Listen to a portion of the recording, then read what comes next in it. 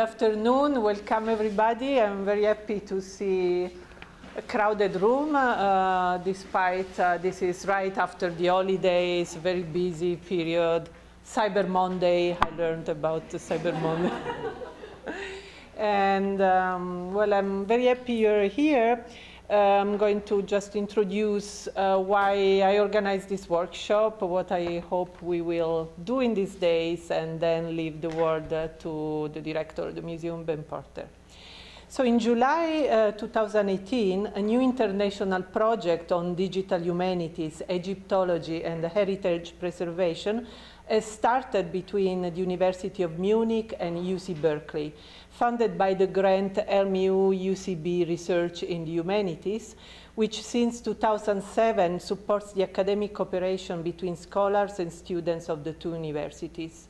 One of the various forms of funding of this grant are the so-called mini workshops, so small-scale bilateral research workshops, this one, conducted by researchers from LMU and UC Berkeley, which aims at kicking off funding for joint research projects. The first mini workshop of this project has been held in Munich in the State Museum of Egyptian Art on July 3rd to 5th, 2018, and it has seen the participation of the core team of the project, so myself, Alexander Schutze, uh, Melanie Flossmann-Schutze, Ralf Birk, plus two more members of the UCB team of the project, Chris Hoffman and Ben Porter. The meeting in Munich, entitled Death in 3D, st studying networks of funerary monuments, mortuary practices, and elites in first millennium BC Egypt, has focused mainly on the digital study of a two tons heavy basalt sarcophagus originally belonging to an Egyptian high official of the 26th dynasty called Psamtik, which is one of the masterpieces of the ancient Egyptian collection of the Hearst Museum and that you can admire in the next room. The wider historical and archaeological context of the sarcophagus has been also taken in, in, in account uh, during the meeting in Munich with a series of lectures devoted to explore the role of digital humanities for the study of the art history, burial customs, and the transmission of the older funerary literature in the first millennium BC in Egypt and in the Near East.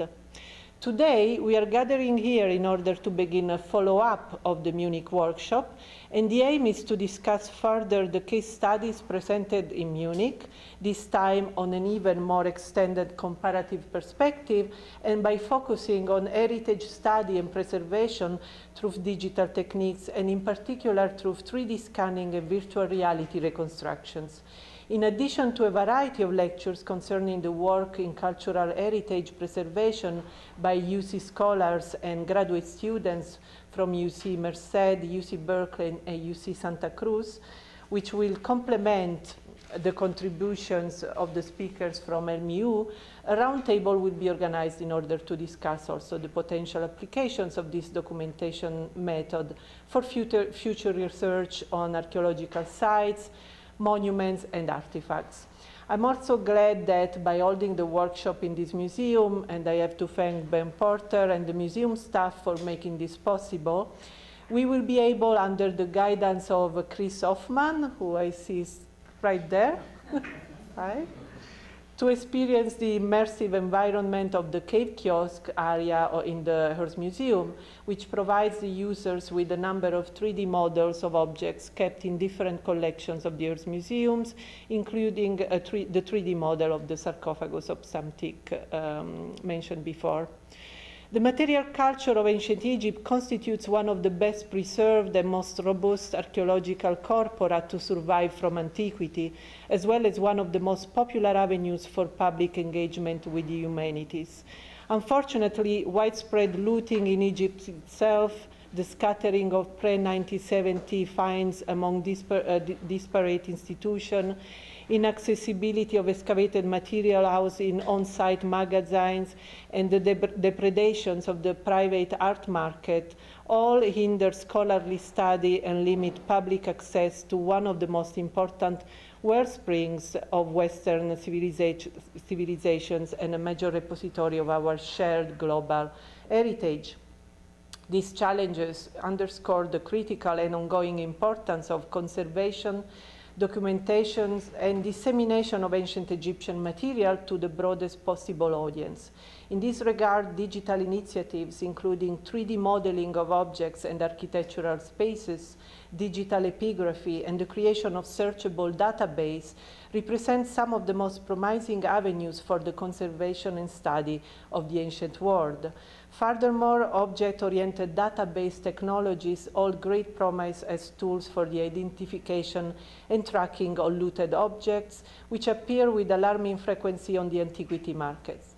Each of these technologies and practices have already reshaped and redefined the research modalities of archaeologists, conservators, and other scholars working in a variety of fields.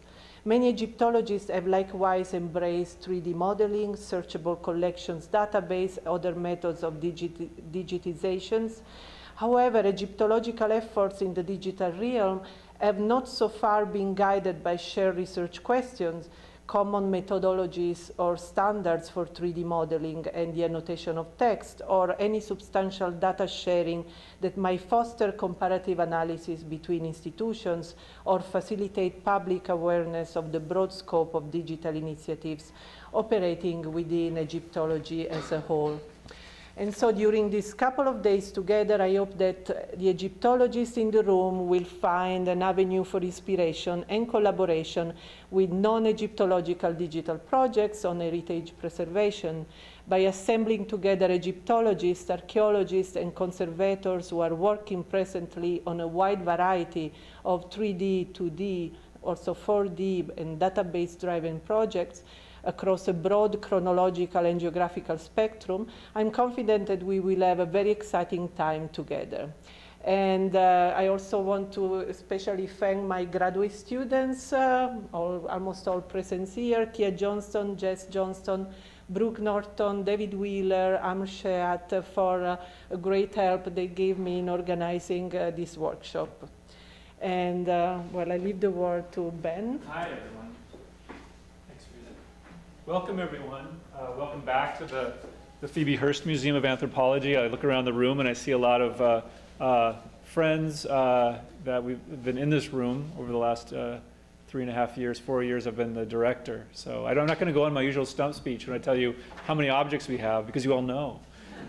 and you don't know, and you already know how great our Egyptian collection is too. So um, what I think I would like to say is, uh, first of all, how wonderful this collaboration between the University of Munich and the University of California, Berkeley is working out to be. Uh, there's so many faculty members and graduate students and indeed undergraduates across campus that are benefiting from this collaboration with Munich.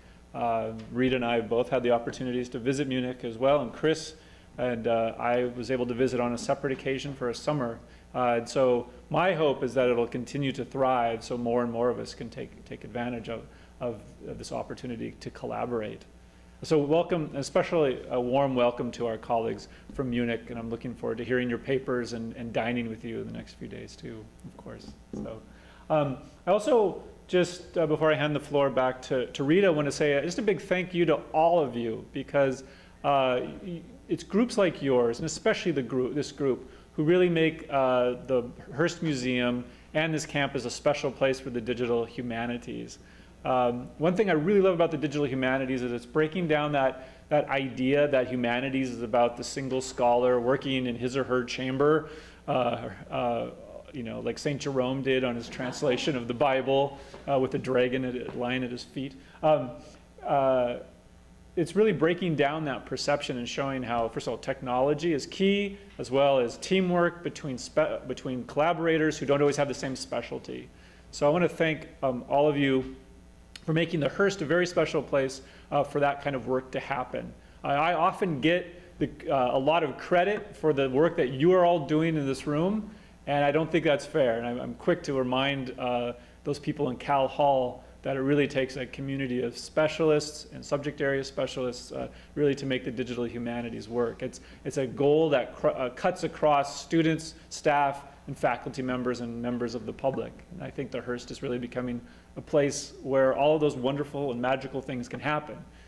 Now, the question that I have for all of us in the room is uh, uh, what is this going to look like in 10 years? And I'm especially keen to know if a lot of the projects that we're doing now in 2018, if we're going to be able to scale that this so that in 2028, is this are people going to look back on this and think, you know, that wasn't it so quaint what they were doing? Um, I often like to think about the introduction of the slide projector and what that must have been like. And I wonder if we're actually at that moment where we're really marveling at the introduction of the slide projector here. So I hope uh, whatever we're doing, uh, we'll be able to scale up and really make it a, a, permanent feature, not only of museums and museum collections research, uh, but also university campuses. So again, welcome to all of you, and I'm looking forward to the papers over the next few days.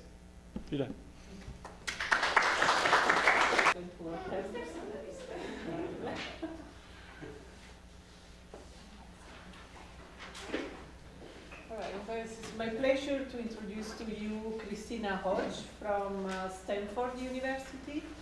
And um, Christina is an ac academic curator and collections manager of the Stanford University Archaeology, Archaeology Collections uh, of the Stanford Archaeology, Archaeology Center, um, a museum quality collection of over 30,000 objects from California and around the world. And Christina is an AB in anthropology, a in archaeological heritage management, PhD in historical archaeology, and she's, she's responsible for daily operations and long-term planning across all areas of collections work, providing expertise, vision, strategic thinking in collections management, exhibitions, research, outreach, and teaching. Uh, before leading uh, SUAC in its new mission, Visions of Connections Truth Collections. Uh, she worked for 14 years until uh, uniting scholarly production with indigenous interests through curation, repatriation, university engagement, and community collaboration at Harvard University's Peabody Museum of Archaeology and Ethnology. Um, today she will present to us uh, a lecture um, called Our Dark Materials, Applying Digital Humanities to an Exhibit of Egyptian Archaeology. Thank you. Okay.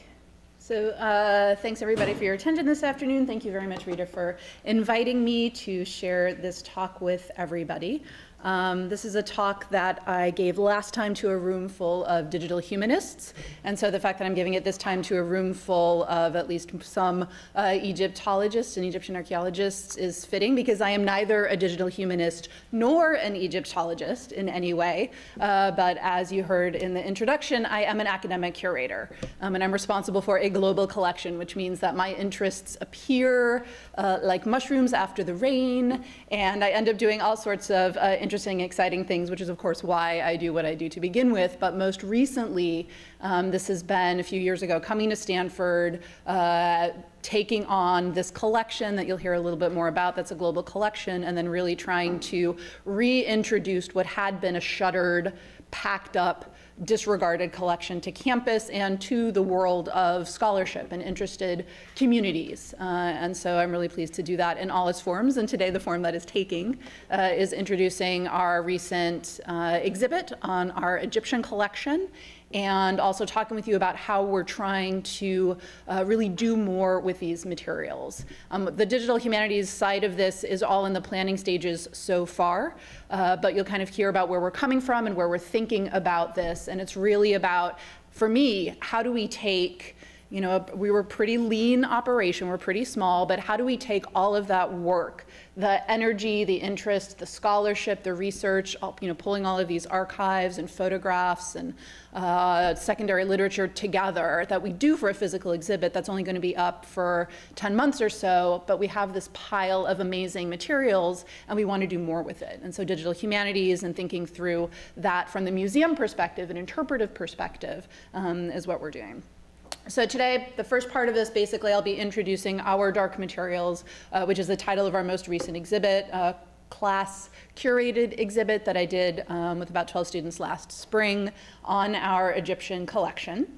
So I talked to you about what's in the collection, a little bit about the exhibit and the logics behind that exhibit, uh, and then also introduce some of the research that we did and the research materials we pulled together uh, for this exhibit that we put on, and then kind of pivot to this digital design thinking, uh, digital humanities potential that I'm really trying to evaluate. Um, like a lot of people, I've kind of been uh, kind of uh, reversed into digital humanities, just seeing it as the new normal in archaeology. It's been around for a while, but in museums, in terms of documenting the collections, disseminating pedagogy, public interpretation, all of that is really where museums are at right now. And so for me and for our students, it's really important to get kind of get on top of this. Uh, and so I've been pulled in by the methods um, of digital humanities, digital archaeology, and all of that, digital museology. Uh, but I'm also at the same time trying to think about some of the um, kind of theoretical implications and disciplinary and interdisciplinary implications as well. So that'll be kind of the second part uh, of the talk this afternoon. All right, so part one, introducing the exhibits. Um, as you heard, we have a global collection. It is museum or museum-ish quality. Uh, the materials are a combination of uh, Stanford family collections, collections that were part of the original University Museum, which was a global museum uh, in the late 19th and earlier 20th century. Uh, and it had things from all over the world. Um, it was never uh, a museum that participated in large-scale expeditions, either archaeological or ethnographic. And so the materials that came to Stanford University are a little more idiosyncratic. It had a lot more to do with who Jane Stanford knew and where she went, what World's Fair she went shopping at, rather than kind of what the faculty were researching at any given time. Uh, and then what happened uh, in a couple different phases, but uh, formally after the 1989 earthquake, is that the University Museum sort of reinvented itself as the Cantor Fine Art Museum uh, and the materials that anthropology had been using or things that the museum was no longer uh, interested in retaining as part of its fine arts interpretive mission. Uh, some were auctioned off to put the money to rebuild their collections, and then others came to anthropology and archaeology. Um, and so those are the collections that I'm responsible for. You'll see a lot in this heat map of where our collections are, which is one of our earlier digital humanities projects. Uh, we have, uh, you know, a fair amount of the world represented. Um, you can see that California and the western US is definitely one of our hotspots. Uh, but also you can see we've got a bit of a hotspot going on right here, and that's Egypt, and it would be even brighter now than it was then uh, because one of the things we're doing is inventorying our collection for the first time. And as part of this project, I found sort of hundreds of more things from Egypt than we knew we had. Um, and so that was part of the inspiration uh, for this as well. If you haven't been down to Stanford um, to see either the Cantor, which is the big museum, or our uh, exhibit cases, to see our materials, including this exhibit, you can come down to the Archaeology Center on campus. That's Building 500. It's open Monday through Friday, kind of working hours. Uh, and then my space is more of a lab storage classroom flex space. Um, and if you're interested in seeing that, you can always get in touch with me and I'd be happy to welcome any of you to see any of our collections at almost any time. So as I mentioned, we have things from Egypt. So Egyptology, uh, the, you know, the Stanford University was founded in the late 19th century. It's part of that story of America discovering Egyptology around the turn of the century. And Jane Stanford herself, who looms quite large in our founding mythology as an institution, went to Egypt herself twice uh, during the last years of her life. And you can see her uh, here posing in front of the Sphinx and Great Pyramid at Giza. She's wearing her mourning dress and is accompanied by a retinue of friends, uh, native interpreters and guides, uh, native Egyptian interpreters and guides, and a couple of camels. Uh, as well, and so kind of has these postcard shots. Um, she was really interested in collecting antiquities mostly because her deceased son, who also inspired the founding of Stanford University, was even though he was only 14, 15 when he died, interested in Egyptology. Um, and so our whole uh, identity is in a way based on the memorial to this young man who died uh, in the 1880s. Um, but this led to the creation of the Stanford Museum, which started out as a universal university museum. Uh, and one of the biggest wings in that museum was the Egyptian wing because of this interest that Jane had from her son. Uh, this is what the Egyptian wing looked like before 1906. This is what the Egyptian wing looked like after 1906. Uh, basically, the whole thing collapsed on top of the Egyptian collections at that time. Um, so 1906 wrought a lot of changes in the San Francisco landscape, and this was one of them.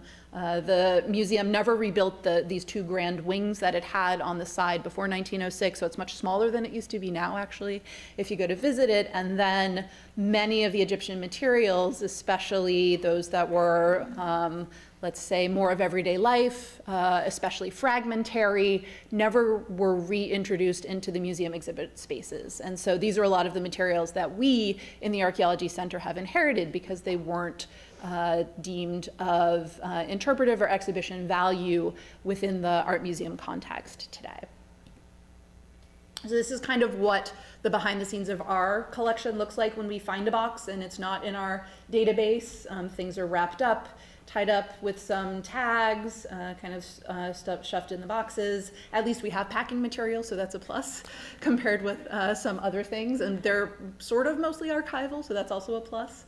Uh, but it's definitely a discovery process to kind of pack it all, you know, unpack it, lay it out, see what we actually have. Uh, in the collections. And so, what we discovered through unpacking, laying out, and kind of studying these materials is a lot more than we thought. Um, so initially, before 2014, uh, which is when I arrived and when the collection really reopened, uh, there were 89 objects from Egypt in our database, and then after the 2018 inventory, there were 381 objects from Egypt in the database, so that's you know 300 plus. Uh, to be fair, a lot of them are stone tools, very lovely chert and flint uh, flake stone tools, but uh, not all of them. We have a lot more bronzes than we knew. We have a lot more ceramics than we knew. Um, we definitely have more mixed media, uh, i.e., cartonnage and coffin fragments, than we knew as well. And so uh, this is really why I decided last year to do an exhibit on our Egyptian collection, because nobody knew we had it. I didn't know anything about it. And so having a cohort of very energetic students to come help me figure it out uh, was really the motivation, as it is every year that I teach this course. So because we didn't know what we had, because I'm not an Egyptologist, uh, we had to kind of come into this exhibit from the back end in a way. Um, we couldn't sort of illustrate a chronology of Egypt. We couldn't illustrate a particular dynasty. Uh, I wasn't even sure what we were going to find out about the provenance of the pieces. So and as an archaeologist, uh, and sort of material culture person, I really wanted to start with the artifacts themselves. And so I divided the exhibit teams up into stone, ceramic, bronze, and mixed media. And basically, each of them took that chunk of the collection to research its provenance, research ancient technologies, collection histories, and then what we might say about that collection today that could actually add something new, ideally, to the way people are talking about Egyptian collections, either through uh, kind of critiquing its provenance, doing some decolonization about, you know, labor histories or uh, focusing on materiality itself, focusing on the lives as it ended up, uh, the lives of everyday Egyptians. So this is not one of our Tutankhamun blockbuster exhibits. This is really about kind of the everyday in life and in death uh, for a variety of Egyptian periods, especially pre-dynastic. That ended up being a strength of ours, which makes sense if you think about what you would want to keep as an art museum versus not keep as an art museum. Uh, but really, for me and for us, this is you know, this is why we're valuing those materials and it allowed us to tell a different story uh, with these things. So the research that went into this project uh, really pulled from across campus. We involved our archives, you know, starting with the object and then moving into the museum archival collections, moving into the university archives and kind of outward uh, from there. So we went to our archives, the Cantor Center archives, uh, university archives and special collections to find letters from Jane Stanford about, you know, chivying her various dealers in Cairo, about why has my trunk full of antiquities not arrived yet, things like that um, are there. So we're, we're lucky to have actually a pretty robust archive for us uh, for this particular collection, looking at related collections, related publications, both of the period and later. One of the surprises for me is that we have, you know, not a lot, but a handful of things connected to Flinders Petrie, a handful of things connected to Archibald Sayce, uh, to uh, Emile Brugsch, to a few of the big names uh, in Egyptology have just kind of little, little ties to what we have. So that collector biography and related publications ended up having a lot of materials as well.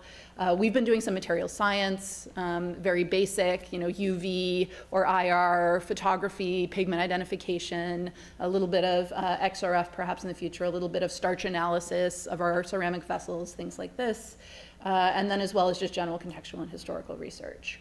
And so from the normal kinds of research that are the back end of a museum display, we have this front end, some of which were just produced for the class, uh, curatorial essays, curatorial statements from the students, the exhibit labels themselves, which is really all that the public sees right now, uh, the physical exhibit itself, uh, and then we've also generated a handful of 3D models with the materials as well, working with the Stanford University Libraries Digital Services. Um, so we, have been partnering with them quite closely uh, in experimenting with both photogrammetry and structured light imaging um, to produce 3D models. So we've got all this stuff uh, on the back end. Uh, what that ends up looking like for some of our objects is uh, pretty, I think, uh, rich uh, history. Um, so even though this is an object that no one's really looked at since 1906, uh, this is a um, Roman period mummy cartonnage from Akhmim.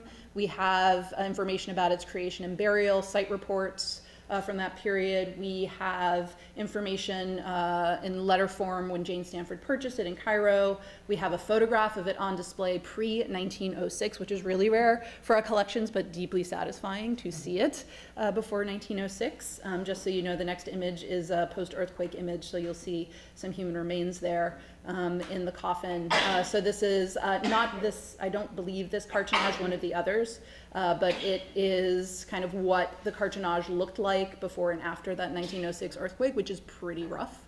Um, I think only one cartonnage uh, or coffin survived the earthquake, and the uh, University Art Museum has the one that survived, but the rest of them were either uh, discarded or sold or uh, given to archaeology. And so this is what this uh, cartonnage looks like today. This is one of three layers in one of three boxes of fragments that we have um, of this particular piece.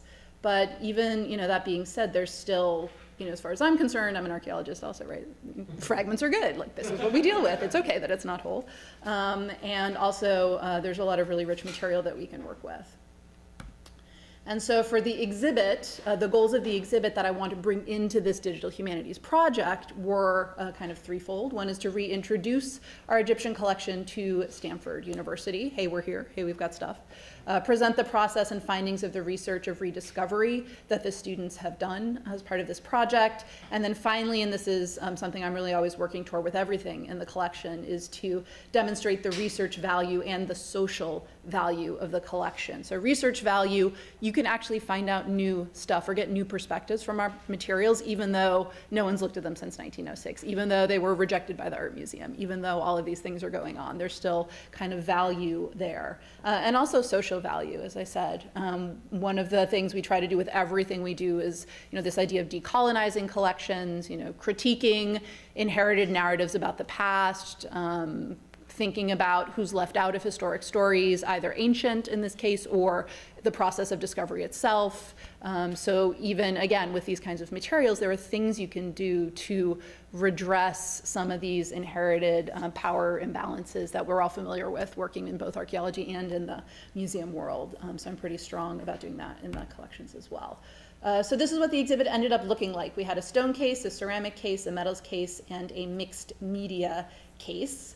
Uh, and each of these uh, student teams focused on their materials, chose their objects, wrote the text, designed the mounts, installed the exhibit uh, in our 10 week quarter schedule, which was very exciting. um, uh, and uh, they really came up with kind of solid themes. Uh, for example, in the stone case, they talked about how stone tends to, the assumptions with stone technology is that it's prehistoric and simple. But these stone tools were produced on an industrial scale for hundreds or thousands of years. And so what does that do to our assumptions about stone tool technology? Uh, and for the mixed media case, um, they were looking at these coffin fragments as of kind of, you know, upper middling to upper middling kinds of people, but this is not the pharaonic uh, period. It's all Roman in this case, or mostly, we're not all, but uh, the one we really focused on is kind of Roman. Uh, and then also is kind of more of this everyday life and death um, kind of choices for memorialization. So things like that um, we tended to focus on. And then we had other cases that grad students curated focusing on uh, the you know, American and European fascination with Egypt, the displacement of Egyptian labor in tales of Egyptology and exhibits and, and those kinds of decolonization acts as well. Uh, talking about also contemporary issues, uh, how artists, Egyptian artists are appropriating and remixing kind of these motifs um, to do uh, art and make a political commentary today.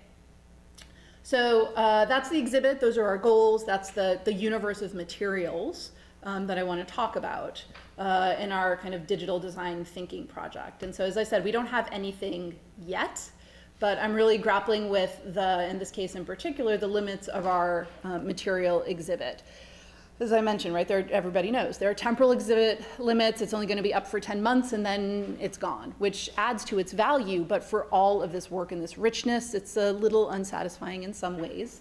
Uh, spatially, I'm showing you some photos, but that is not like the experience of the exhibit itself. Uh, materially as well, um, there are kind of limits to what you can achieve with a physical exhibit in the world. Um, and so I'm looking to, as a museum person, looking to digital humanities not to replace the physical exhibit and not to reproduce the physical exhibit either. We could very easily do a virtual exhibit online and have a photo and the case text, and that would be it. But I think that with these materials, with this multimedia, and with uh, kind of where digital humanities, digital archaeology is, we could we could do more. I'm kind of sitting on all these resources and I'd like to do more with them. Um, and especially thinking through this idea of augmenting or distributing or extending these in-person experiences more with kind of virtuality, treating virtuality as a form of materiality, as a form of phenomenology itself. And so the uh, kind of inspirational poster image that goes with that is the exhibit is the tip of the iceberg, and then there's all this stuff underneath the iceberg that is, you know, fuel for digital humanities or digital archaeology or on the internet experiences. And so the driving questions are, uh, what is the potential of digital humanities to augment and enhance the impact of in real life museum displays. We're fortunate that um, we don't uh, have some of the traumatic situations that uh, are going on in other places uh, in Egypt and other places in the world. Um, but, you know, I'm not um, looking at the online in any way to replace the physical. I always want to have that physicality and that experiential learning is always going to be really important. But um, the limits, especially of uh, decolonizing through access and through outreach, are really, um, really difficult for us to do in person.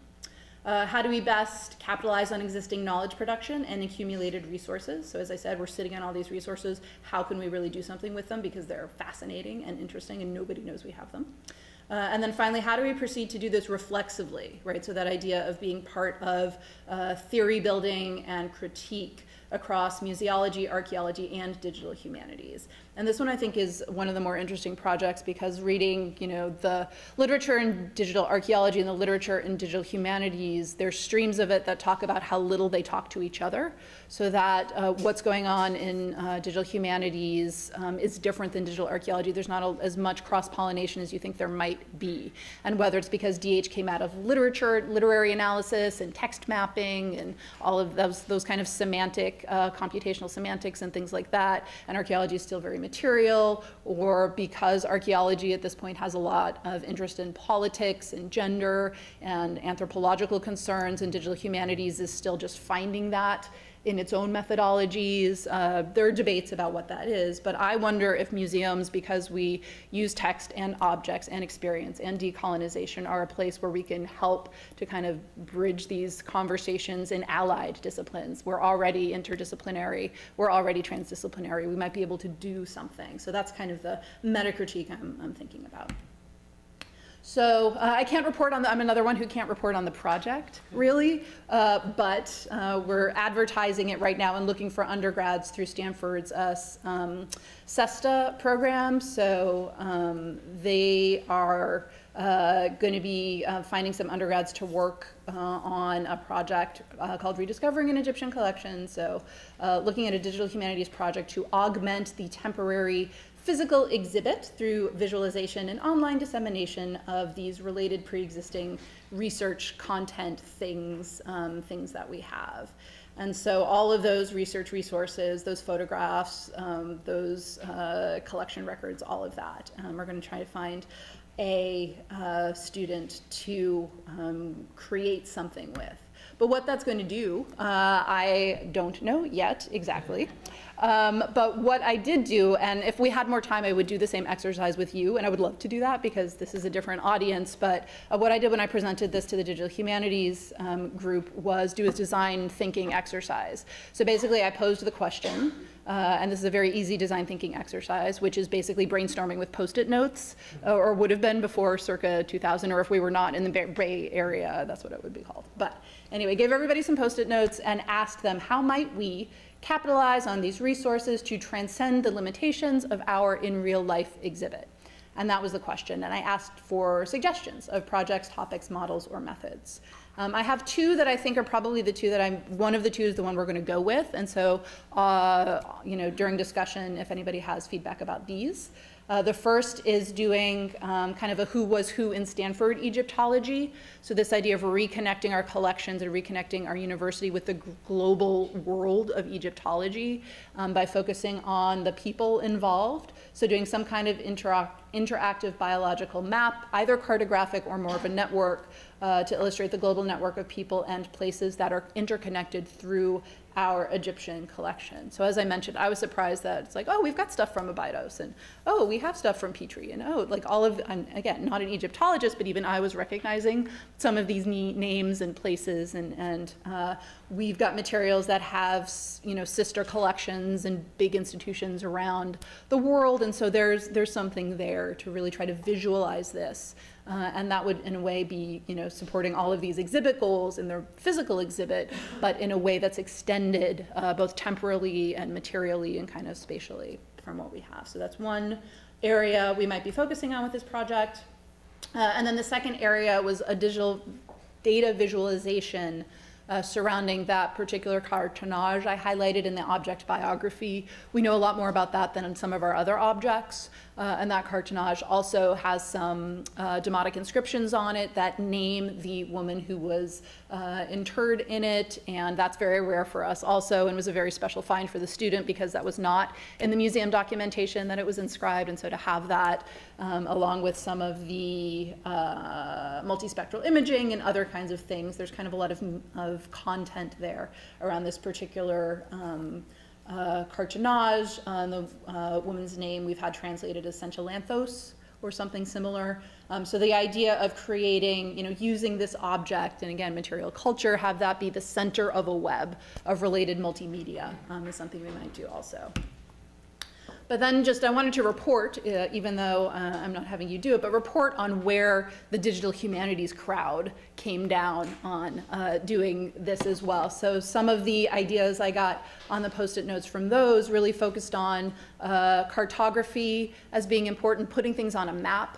Um, so for your audiences, what does your audience want to know about Egyptian collections? Uh, in a way, this is what the digital humanists wanted to know about collections, what they were excited by. Um, so it's always great to hear what your audience might be excited by.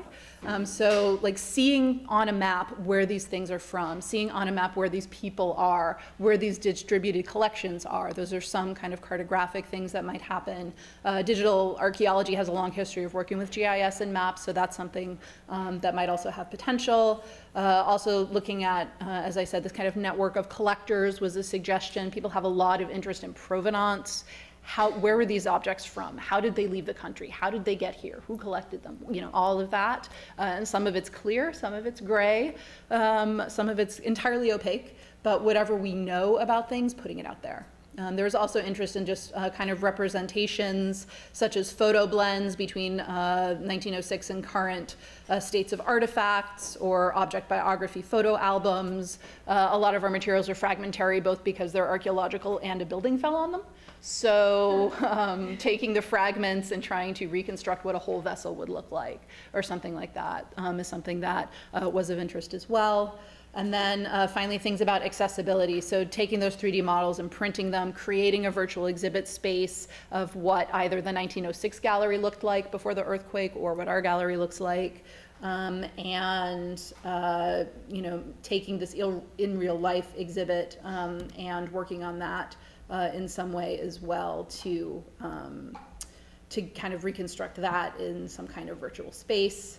Uh, and then finally, and this was what I wasn't expecting, and so I just wanted to throw this out there kind of as the um, kind of final note, is that even though I was saying, you know, and in my mind, there's some research potential, but I wasn't really seeing computational research potential in this collection necessarily. But the digital humanists came back and were like, well, you know there is, because you've got these collection records, you've got all of these catalogs from the museum, you've got these letters from Jane Stanford, which could be you know, analyzed in this way or that, you know, there's, there's stuff you could do there either through um, text mining or visual text visualization of existing records, um, looking at Jane Le- Jane's uh, letters, other collection, other evaluations of the collection we have over time. Every so often, someone would come through and evaluate things, so we could compare those. Uh, and then also the idea of doing computational network analysis on centrality or betweenness, uh, or describing these different connections uh, quantitatively instead of qualitatively as well. So it was kind of a lesson to me that there might actually be more than I thought of,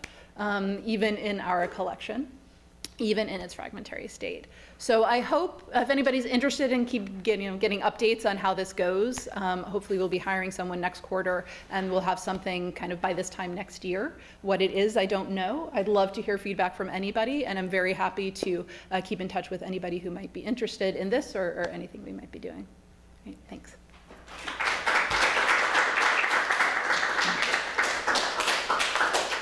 You, Christine. I think Yeah. we, we really can discuss a lot Yeah. of the issues you mentioned uh, soon after the end of the lectures. Maybe now again there is time for uh, one quick question and then we can continue the discussion later.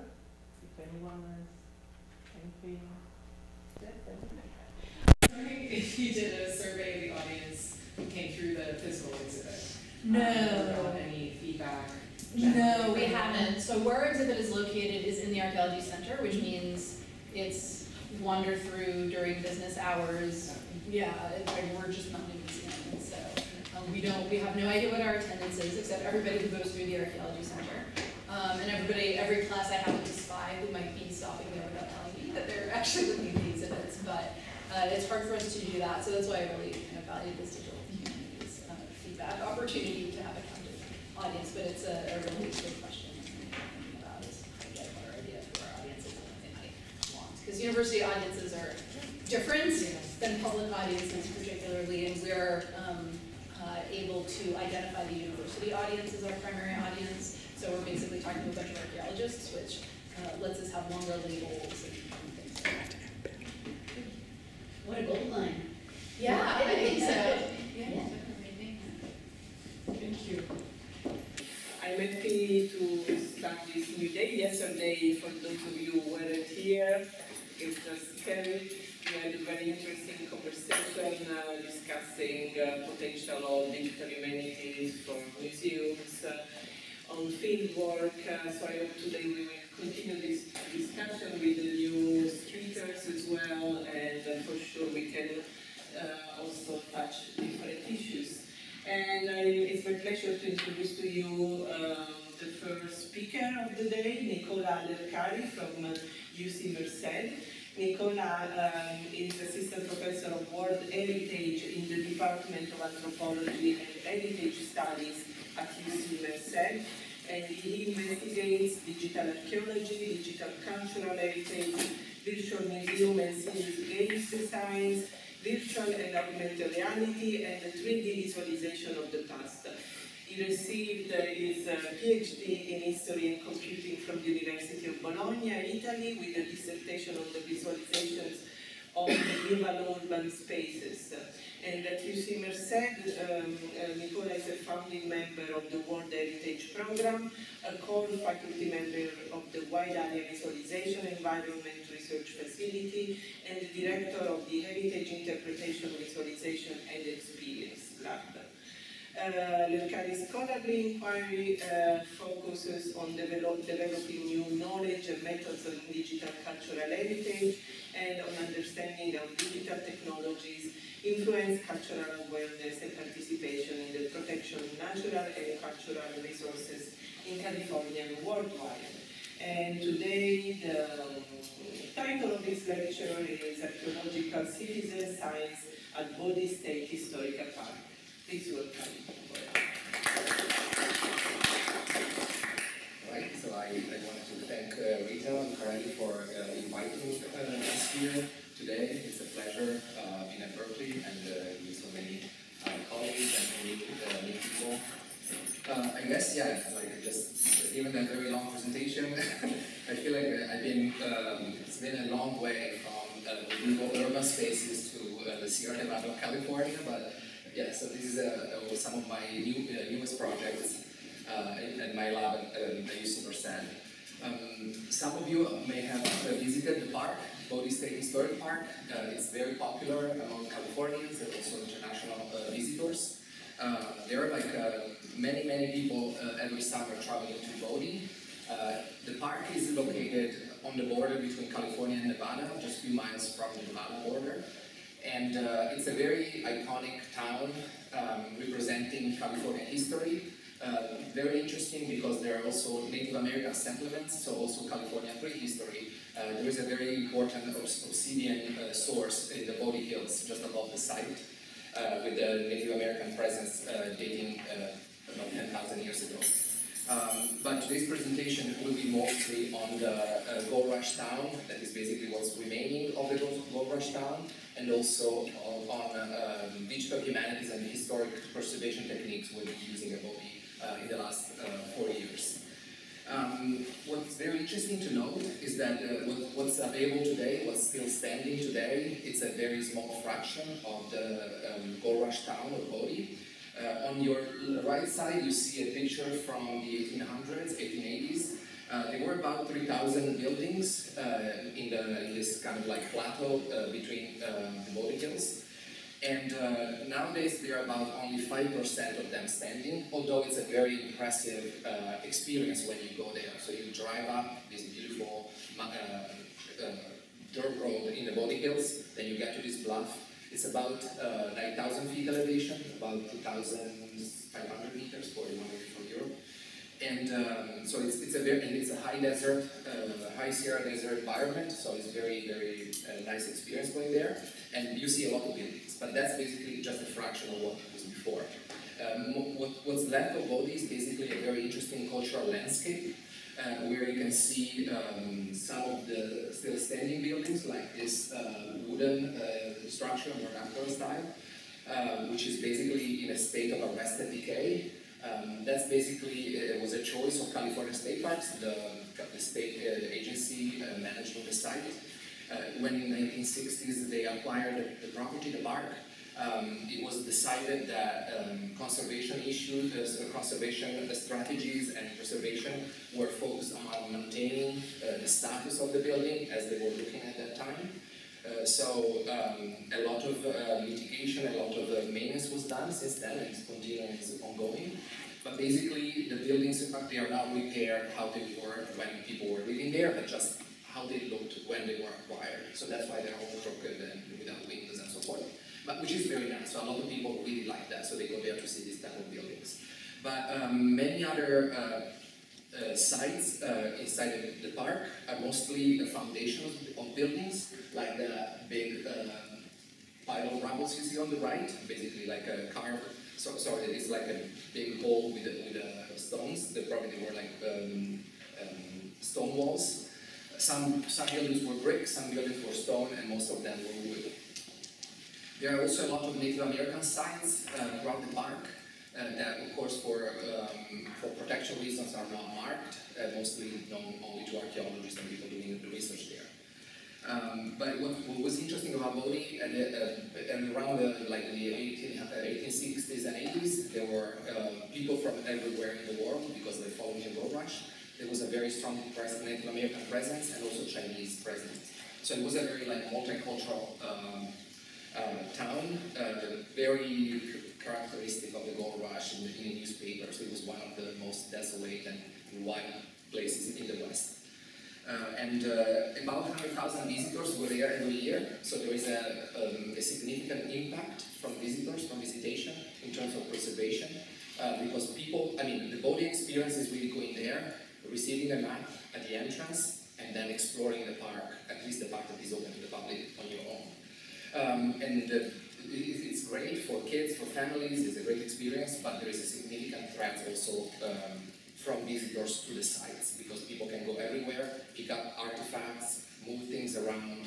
Um, and then uh, it's very clear uh, from all the tracking that my colleagues at California State Parks are doing that um, a lot of visitors uh, find uh, artifacts in the landscape and uh, some of them are very conscious about preserving bodies, so they actually pick them up and bring them to staff, uh, and removing them from context.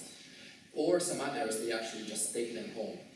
Um, then there is a, I mean, there is a whole uh, vernacular tale about this Bodie uh, course. So then some people then get in trouble after removing artifacts, and then they return them, writing these beautiful letters, uh, very sad stories. Uh, and there is actually, there used to be a collection of these letters at the museum, then they removed them because they thought that it might even increase the problem. But uh, a lot of people actually uh, shipping boxes of artifacts back to the park. But then, of course, at that point, they lost their context and their somehow their, their relevance. Uh, so my, my, work at Bodie has been um, multifaceted. We've been working on historic preservation and also on um, trying to work with visitors to solve this problem about uh, uh, awareness of the importance of artifacts in the, in the landscape. Um, there is a short video here that explains part of the project. Just east of the Sierra Nevada and a few miles west of the California and Nevada border stands the historic gold mining town of Bodie. This National Historic Landmark is a California state park that preserves what remains of this once thriving, diverse community. It serves as a portal to life in the late 1800s, as if captured in time for visitors from around the world to discover and explore. National Historic Landmarks are properties that represent the national story. And so Bodie fits within that history of gold mining coming out to the west, changing the landscape. It's just a wide expanse. It's pretty amazing, actually. The Bodie Foundation is a key park partner, supporting efforts to preserve the town's unique character. Buildings and structures need to be maintained. Artifacts need cleaning and conservation. After more than a century, there is a constant threat of loss due to exposure to extreme weather, wildfires, vandalism, and earthquakes. These same challenges affect historic sites preserved and managed for the public and other state parks. Bodie is a testing ground for developing innovative ways to preserve these special places. UC Merced's World Heritage Program has teamed up with state parks to innovate new approaches to heritage preservation, using cutting-edge technology to digitally document artifacts, sites, buildings, and landscapes. Intricate details of Bodie are emerging as a new gold mine of information to evaluate preservation needs and priorities for these at-risk resources. My work here is contributing to preserving Bodie for future generations, as well as to documenting Bodie for other scholars and the public.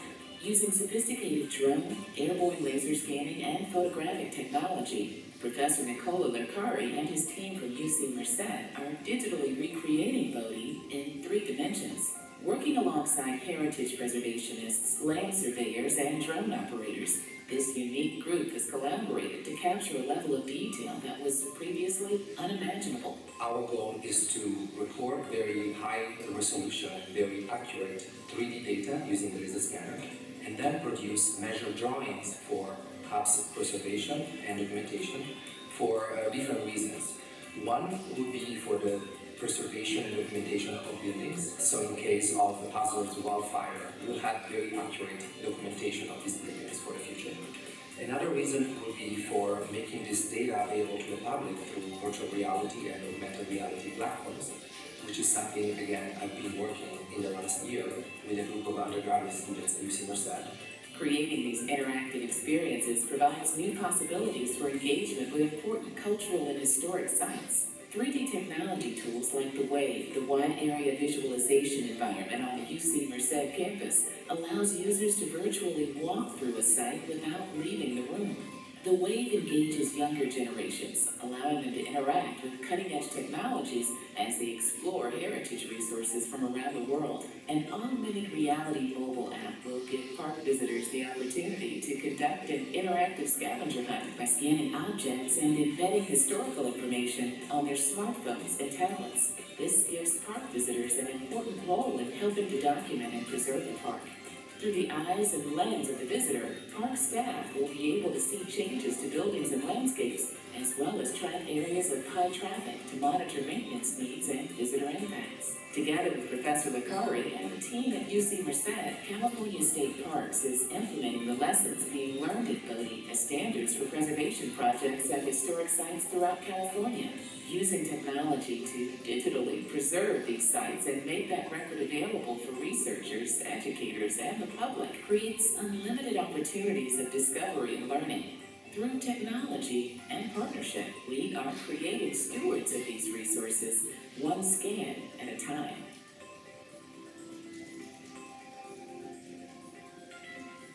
Alright, so from the video, uh, basically you had a broad picture of this uh, multi-year project. But basically, today, um, of course, yeah, I want to show some of the data we collected, but I also want to kind of like challenge the very same work we've done and kind of like flip the coin and see how things can be done, uh, not from a top-down uh, approach, but uh, on the contrary, from a bottom-up. So usually, historic preservation is done by protectionists, specialists uh, like myself and my colleagues at California State Park, uh, among which I want to mention Denise Jaffke, the state archaeologist working in the Sierra District. And uh, basically we use laser scanners, we, we collect very high resolution. For instance, like any of these buildings, this is the railroad depot. It could be like anything, I mean, I mean kind of like 800 million, 1 billion points, uh, basically 1 million measurements. I, I, know most of you use a total station, so imagine shooting 1 million points by total station. Uh, and then it's so dense that it actually looks like a surface, it looks like a building, but it's basically uh, a 1 million point measurement uh, so it's, it's, basically a measurement of the building. Uh, we started doing this uh, in 2015 because of uh, increasing risk of wildfire during the drought, uh, the severe drought in Sierra Nevada in that period, especially scanning some buildings like the railroad depot and some other um, mining facilities that were outsiders the, the Bodie core, um, more at risk of getting lost because I mean, there is a team of rangers, there is a firefighters, there is some capability to respond to wildfire, but especially in the uh, outer part of the park, uh, that capability decreases and the, the, the risk of loss increases. Uh, then basically we start also recording some uh, artifacts at the museum and, and also thinking about how to use this technology uh, in a, a, more engaging way. So for instance, this is a laser scan, is a video from laser scan. Um,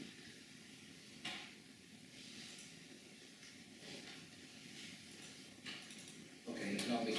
But basically, um, I wanted to show you uh, in the, this, this effort already produced good results. For instance, this was a scan of the DeChambeau building, which is one of the most iconic buildings in town.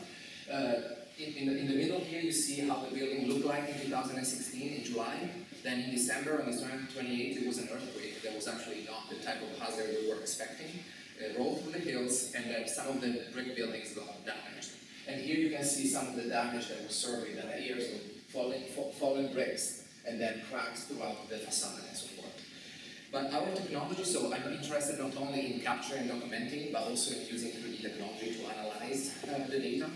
So we've been experimenting a lot with Arianna and some other students in using uh, surface change detection uh, algorithms to actually detect uh, micro differences between point clouds taken at different time. So this is basically, uh, after the earthquake, we went back again, we scanned the same buildings, the same building, and we were able to um, to detect with a millimeter level accuracy the differences in the brick and so forth.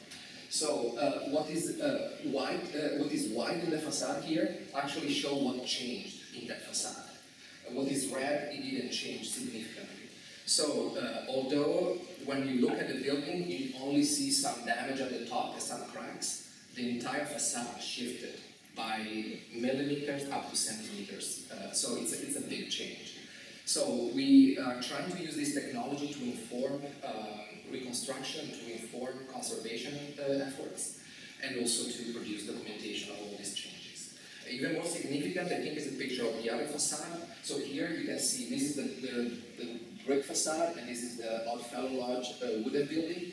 You really see a direction of the, of the shifting of the brick that is uh, um, related to the movement of the quake uh, through the hills. So, I mean, this is then it gets beyond the historic preservation, gets into civil engineering and that type of work that we don't do. But even with a simple analysis, and now we're trying to work with other colleagues at parks and, and write papers about this, you can also see the same type of uh, problem affecting the roof of the two buildings. But so this is basically the type of specialist work that we've been doing for years. But uh, more and more, I'm interested in working with local communities and the park visitors and see how we can engage them with, uh, like, with working with us in preserving uh, cultural heritage places and archaeological sites. So um, this is a, an approach that can be uh, relevant to any site. Uh, when working in parks, mostly are visitors. When working in archaeological sites, maybe overseas, as you guys do, uh, with local communities. Um, and of course, we're trying to have a, a mutually beneficial uh, outcome from these efforts, including training or uh, raise awareness or maybe uh, increase ownership of sites. Um, in California, this has been uh, possible thanks to the great collaborators we have in the Department of Parks and Recreation or California State Parks. But we want to also apply this approach to other sites, including Palenque that Arianna will present after from our new project in Mexico. So the idea is that we are not able to be at Bodie every summer, every month, or maybe throughout 10 years to monitor these buildings, and things can happen at all time. But then we have about 100,000 people going there every year. So if we develop a technology and some solution that allow them to help us collect data uh, using crowdsourced or com uh, community engaged uh, tools, uh, we'll be able to do a better job in monitoring and preserving these places. So basically, uh, our work has been to, I mean, I, I, I really like um, the approach proposed by uh, Sonya Atalay and her uh, community-based participatory uh, archaeology practice. Uh, so basically, adapting that type of approach to our work in historic preservation, we really want to involve the communities to, to work with us, and also take more ownership of the site. Uh, the approach we're trying to use is called also citizen science. Uh, it's been used in many, many conservation projects. Mostly uh, I see in um, nature conservation. But it's basically the idea is that you um, train the public or make them available tools that allow them to do scientific work, collect data, and then uh, report back to uh, specialists that can help filter the data, make sense of the data, and store the data. Um, there are several um, archaeology projects that use this approach. Uh, the first uh, that I've been aware of uh, is a great project at the, like dealing with the Bamiyan Buddhas in Afghanistan. Uh, it was a long time ago, um, and basically it was led by ETH Zurich. Uh, the Bamiyan Buddhas were blown up uh, using dynamite by the Taliban. I believe it was in 2001 or 2000, 2001. And then following that, it was an international effort to collect imagery taken by visitors and then doing basically digital photography. Back in the days, it was probably even uh, regular, I mean, I think it was a different techniques than what we use now, but ETH is really at the forefront of developing the digital technology we're using now. And they basically reconstructed the, the, Buddhas. Some other projects, um, for instance, like maybe more concerned with your, your area of interest in the Near East, uh, of course, uh, in Iraq and, and northern and Syria, uh, Matthew Vincent and Chance Coughenour, who's now at Google Arts and Culture, um, basically they, they, did a recreate project trying to involve the public in finding, I mean, finding pictures and, and building 3D models to reconstruct artifacts from the Mosul Museum and other places that were destroyed uh, during uh, the Syrian conflict and ISIS in, in Iraq. Uh, there is another approach where you ask the public to uh, see through uh, satellite imagery, for instance, for monitoring sites. And there are two great projects to, mention. Uh, the first one being uh, TerraWatchers, developed by uh, Steve Savage at um, University of Arizona. And, um, and also the GlobalXplorer by Sarah Parcak, which is focusing on the roof. Both platforms great with different, with different strategies to involve the public and train them. Uh, TerraWatcher is mostly uh, dealing with uh, trained um, crowd and, and GlobalXplorer with just the general public. But basically, so using this approach, we wanted to develop the mobile app because all the visitors going to Bodie take pictures with their phone. So we, we saw that cameras are already available, good quality, especially if people have the newest phones. So we developed this um, cyber infrastructure, let's call it, uh, starting from a, a, mobile phone app uh, as a tool used by the visitors, and then with a backend for us to receive the pictures. Uh, to make things uh, interesting to the public, we basically use the concept of having this map, point of interest that they were receiving physically at the, at the entrance, but make it digital. So there are point of interest in the in the app that people can go and uh, scan QR code and learn about them. There is a historic narrative that we also tried to engage the, the public with the, the, game. And basically, in some special location, there was like an icon showing a citizen science activity, like you want to see on the red, in the red, in red. And then they, they were trained how to take pictures uh, for us then to, to generate 3D models. Of course, it was complicated. We had to develop strategies for um, using untrained uh, folks doing photogrammetry, but through um, scripts and function in the app, we're able to detect the user position, randomize the scene points from where the picture are taken, randomize the angle uh, and, and, direction of the phone. So each person is tasked, for instance, to take three pictures of the building from different angles, and then we hope at the end of the day, maybe we have 30 pictures of that building, and we are able to generate a 3D model. Um, and that's basically for the um, built environment citizen science part of the project. We have another part of the project that deals with artifacts in the landscape, that I'll talk about that later. Here are some snapshots uh, from the app, showing the different game modes, narrative, value 2 or 3 um, and then of course we developed um, a gamification, um, basically game mechanics using gamification, which is basically what people want to do to have fun with their family. So when you complete tasks, you are given uh, badges, and then you basically uh, progress in this endeavor to become like a conservationist or like a, a ranger for a day. Um, and uh, some other things we did, so basically yeah, this is how it works. For instance, the, the, the vault of the Bodie Dam is just what's remaining of this uh, important building uh, of the Cain family, who was basically the family that uh, at one point in time owned almost all the town and then uh, donated to California State Parks. Basically it was instrumental for the preservation of Bodie. That was remaining. After the quake, a lot of brick were missing, lost. So we wanted to track that. And uh, we did some, some tests, and this is like taking picture of the, of the vault and so forth, and then processing the images. Um, this is how it looks. So when you are uh, in front of the building, uh, there is like a, um, there is a reticle or viewfinder that instructs you uh, where to look at. When it reaches um, the exact location the app is one wants you to take picture from, there, is also like a, a, white circle going into the reticle. The, the, reticle becomes green. You just tap the screen and takes a picture. Then um, it will show you after you finish taking pictures uh, a, a, screen like this, basically with the thumbnails of the picture you've taken. Uh, give you some more information and then you submit them. Uh, in the park, the, uh, an additional challenge was a very, at the beginning, no Wi-Fi and then later a very weak Wi-Fi. So the app is able to store the pictures uh, locally.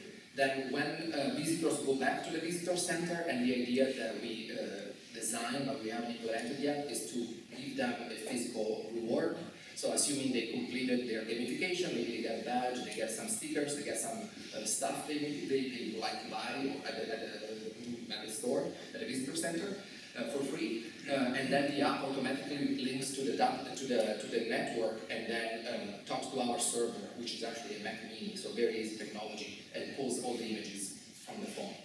Uh, in terms of confidentiality, uh, nothing is left in the app when people leave the, the park, but the pictures, and we think this is not a problem because people take pictures anyways at the park, so it's not a, a, a, complicated issue, even if they take pictures of maybe a native site. But nothing in concerning GPS coordinates is recorded in the app after, the, uh, after we pull uh, all, the, all the data. Um, but we also get GPS coordinates of the pictures, which is very important for monitoring, uh, especially the cultural landscape. And this is uh, what's following. So basically, my colleagues, uh, California State Parks, they've been doing a lot of training with visitors about the importance of leaving artifacts in the landscape. And this is an example of a volunteer working with children or um, uh, at Bodie. Uh, there are a lot of different things like uh, mining equipment, toys. So basically in 1942 the, the town was abandoned uh, because gold mining was shut by the federal government during the conflict, World War II. And then people were thinking that they were going back to Bodie maybe after a few years. So many people left there, all the furnishings, all their belongings. So there is an astonishing amount of things, you know, like Chinese pottery, which is the next, um, artifacts of all sorts, uh, and uh, furniture and mining equipment and so forth. So what we want to do is to create uh, a dynamic database of artifacts where they are at a given given point in time in the landscape and record metadata about them, including the position, um, the status of conservation, and some other information that we can ask people to uh, collect for us. Um, and this is how it works for uh, artifacts. So you see something in the landscape, uh, you again you have that uh, reticle when it's uh, when it's on focus, uh, you tap, and then you have a different form, uh, which is like this. Um, the location here that you see at the top will be hidden from the users, of course, for um, the, the, safety of like um, specific artifacts in the landscape, but it's collected. Then there is a, an open field that visitor can use to leave annotations. And then we're developing a little bit more fancy uh, submission form with more like drop-down menus and information needed by the archaeologists and the conservationists working on site. Uh, so we can ask uh, what type of material, uh, what type of, I don't know if the, the artifact is rusted, if it, it, looks like in the original context and so forth. Let's say it's sort of a locus sheet, but very simplified, that people can understand with almost no training and then it, it hit done, and then that's also stored, and that's sent to us. Uh, so, um, what's basically uh, the outcome of all this? So we really hope uh, that uh, preserving our heritage in California uh, will involve the public more and more. Um, a lot of, of, my colleagues at parks and a lot of specialists in the field are very concerned that especially new generations may not be interested as us in preserving uh, the park system in the future. Um, and um, there are several strategies to avoid that, including uh, making people more connected to their heritage, also using technology, especially for youth. Um, and uh, Parks has been already very successful in engaging with a lot of uh, foundation and local organization in uh, co-managing parks. This happened already, especially after 2008 uh, and, and, and the recession. But um, we also feel that to build new constituents, uh, people need to feel more engaged and also more actively engaged with the preservation of these parks. Not only visiting them, maybe with their children, with their family or schools, but also helping us preserving them. And the hope is that in 50 years or 100 years from now, we'll still have a strong uh, interest in protecting California heritage or heritage worldwide. And I believe like uh, uh, augmented reality citizen science are very uh, immediate, easy tools uh, to use for the public, and uh, and uh, already show uh, like a lot of positive outcomes. We still have to test this with a cohort of volunteers next summer. So that's the goal, to start with a, a small group of trained people, maybe 20 people, 30 people, they're, they're beginning with iPads, and then doing that in a more restricted manner. Uh, it's complicated releasing these type of tools to the public, especially in the US due to ADA compliance and other federal regulations. Um, so we are not there yet ready for release, but we are hoping to port what we learn about it to a new case study, which is called uh, the Fort Ross State Historic Park in the North Coast. And I'll, I'll start working there uh, next year for a multi-year project, about three or four years project. And uh, what is very exciting about that project is that we work closely with the local um, uh, Kashaya tribe, and um, basically, well, basically developing cultural trails uh, with them and parks, and having this augmented reality uh, capability that we built at Bodie um, also to, uh, to both uh, convey information and disseminate archaeological knowledge and, and the native knowledge about the park, but also, again, having people helping us preserve Fort Ross. And this is basically a yes, the end of my presentation. That was the last slide.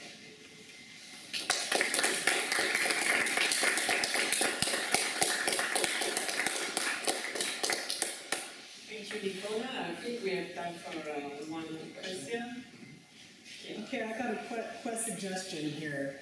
Um, so how are you incorporate, there, there've gotta be a lot of people around who have, who lived in Bodie, or whose parents or grandparents lived in Bodie, and how are you incorporating their stories into this? Well, um, so yes, there are still a lot of people, or at least maybe less and less people. Yeah. And, yeah, but there are a lot of stories and there are a lot of publications. Um, so the way we incorporate them, um, so when you reach a point of interest, you can read uh, about that place and you can read about the story. Um, the current ways we did, we mostly use interpretive material from parks. So we, uh, I think, the current ones at, at Bodie, there is not that type of uh, like oral histories type of, uh, or even linking to actual uh, descendants. Uh, but Fort Ross, uh, that will be built in at, at the outset of the project, so we'll have uh, a year-long, multi-year consultation with the tribe, and then having, uh, we'll collaborate with the Alpha Lab at Chico State. They do a lot of uh, visual anthropology. They will be filming elders, they will be filming people about, talking about the landscape, and that will be part of the point of interest. At Bodie, uh, we didn't do that, because mostly we focused on buildings and conveying information that was in the uh, brochure, in the printed brochure. But the Bodie Foundation includes people from Bridgeport, people from the area who are descendants, and we hope they might take over um, the, the maintenance of this app and develop it even further. Uh, I believe they're also working with their own uh, vendor and they're also doing another app, but we hope that we can merge the two efforts. I guess we can continue. Um, but it's time for the second speaker, also from UC Merced, Arianna Campiani, uh, Associate Specialist at UC Merced, where she recently concluded a postdoc in digital heritage and geoscience under the supervision of Nicola. Her postdoctoral research focused on analytical model for heritage conservation, building on the 3D data collected through time at the World Heritage Site of in uh, Turkey. Uh, she uh, studied architecture, architecture with a focus in conservation at the University of Ferrara, Italy, and she also mastered from the Autonomous University of Yucatan in Mexico, and a PhD in Mesoamerican architecture at the National Autonomous University of Mexico. And since 2003, she's been working on ancient Maya urbanism and architecture. In 2018, her participation in the Palenque Regional Project was announced thanks to the involvement of uh, Nicola Del the UC Merced Digital Maya Heritage Project. Today she will tell us about the Digital Maya Heritage Project, digital documentation at Palenque. Thank you. So, um, in this occasion, we want to present the preliminary results of our uh, intra-site uh, documentation uh, at the Heritage Site of Palenque, and that we carried out in 2018. And uh, we, well, I, because Nicola is here, I don't know if he wants to add some things. also discuss the potential of uh, integrating uh, different kind of documentation, intra-site and inter-site digital documentation technologies such as uh, unmanned aerial vehicles, uh, image-based modeling, terrestrial laser scanning, and uh, LiDAR. Um, with ground truthing and physical conservation intervention to foster well-built heritage interpretation, conservation, and preservation. So you probably saw this news this year uh, on newspaper and also in TV. Um, in general, uh, so we can say that uh, in the context of uh, SDA forested regions in Mesoamerica, previous digital documentation projects mainly focused on uh, inter-site uh, documentation using technology like the LiDAR or um, light detection and ranging technologies, also known as area laser scanning, at an inter-site level because of the need of uh, um, the reconnaissance of the deforested uh, areas in between uh, sites and also and the LiDAR offers the opportunity to um, cut the vegetation and so see what is uh, needed. So this is a huge project carried out by a consortium of uh, uh, several universities, mostly from the US and uh, from also Europe, from Czechoslovakia and Poland. Project that works in North Guatemala and they have like more than 2,000 square kilometers of LiDAR data. So it is a huge project. But what happens, for example, is that uh, fewer scholars working in Mesoamerica and investigated digital documentation technologies at an intrasite level. That it is what that we are doing now at Palenque. In Mexico, uh, this kind of technology is uh, has a bit, and so not only Mexico, also in other Latin American countries with a high concentration of sites, in the research funding. So the National Institute of Anthropology and History in Mexico City has tried to bridge this divide by uh, forming this uh, uh, laboratory that with the terrestrial laser scanning were uh, scanning um, several historic buildings and a few archaeological buildings, but now I think this lab is kind of uh, closed, also the data are not available to the public. And actually, uh, recently we met someone from Silent who told us that they were recently in Mexico City scanning the cathedral and the uh, Palacio de Bellas Artes uh, with the private funding from uh, uh, Banamex, uh, so from uh, the bank, right? So uh, it is a kind of a process that it is coming, but very slowly, the digital documentation of heritage in Mexico, and so we are trying a bit to like kind of uh, doing uh, our agreement with the university, and so to train also Mexican students. And uh, on the bottom you can see uh, the National Institute of Geography and Statistics actually made a LiDAR project in several states of Mexico, but the resolution is very uh, low for our purposes, and so we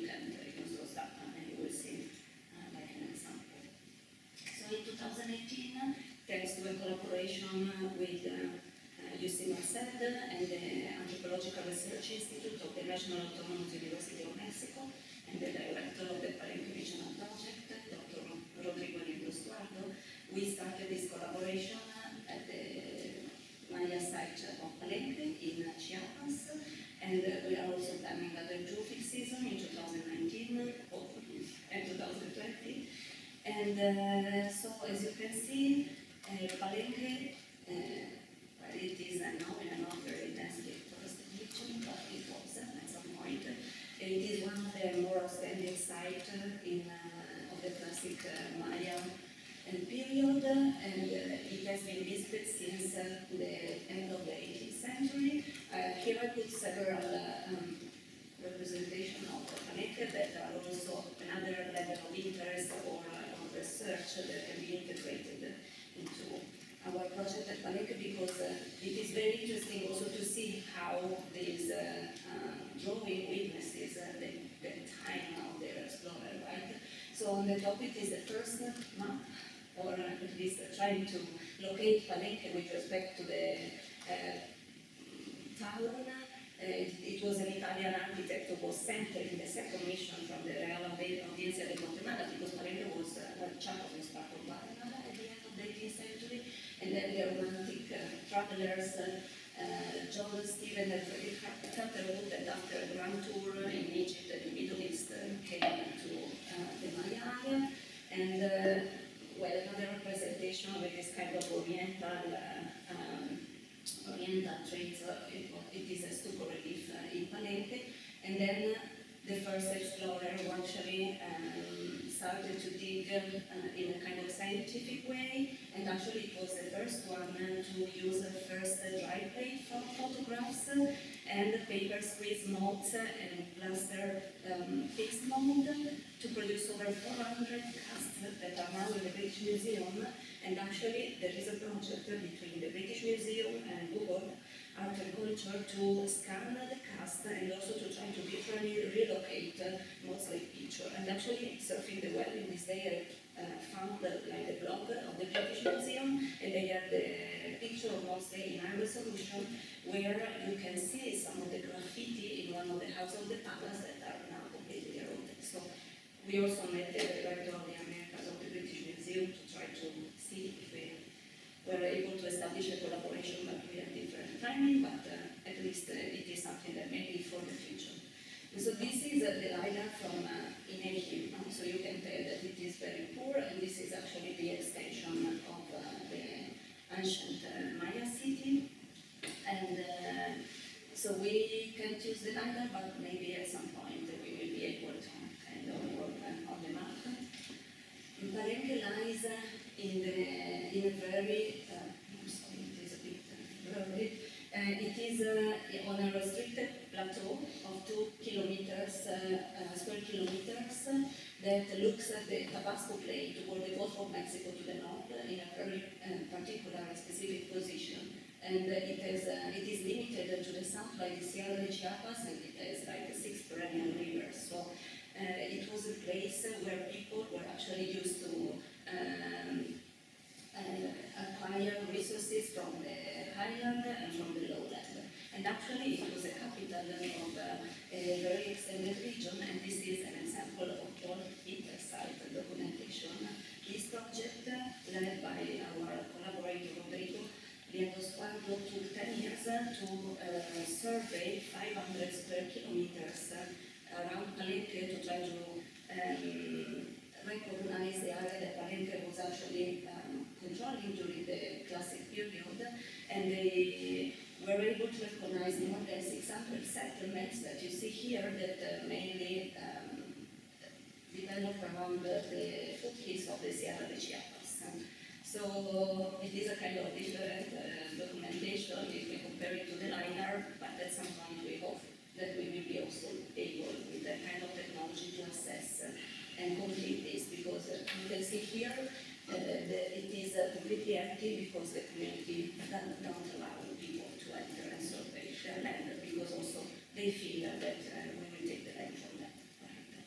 And so in the late classic period, um, this was the extension of Palenque, and so despite its importance, the only map that it is uh, like kind of scientific was uh, um, completed by the Palenque mapping project at the beginning of the 20s. We took four field seasons to, to do this because, it, of course, the vegetation is very dense and actually Palenque is a national park, so it can be capped, right? They recognize almost 1,500 buildings uh, and but modern visitors. So this is uh, the, these are the buildings that are actually excavated or consolidated, and modern visitors generally. Uh, Yeah, he doesn't. no, it doesn't. okay. So here, modern visitor visit uh, generally go just here because here is the modern parking lot. So they just visit the part that is uh, cleared by the, from the vegetation and maintained by the National Institute of Anthropology and History, and uh, and then they go to the museum that it is right here. So it, no one has really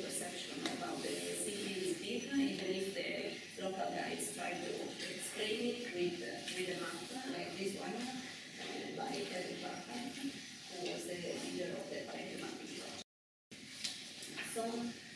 Um, almost all the buildings that we see today were uh, built in the 7th and the 9th century. And, and this is the center of Palenque, and it is the area where previous archaeological projects and work mainly focused, uh, leading the investigation of other areas less frequent or underdocumented. And also last night, we were also discussing about uh, that it is kind of hard to obtain a permit and to do more extensively excavation in other areas of the site. We are kind of very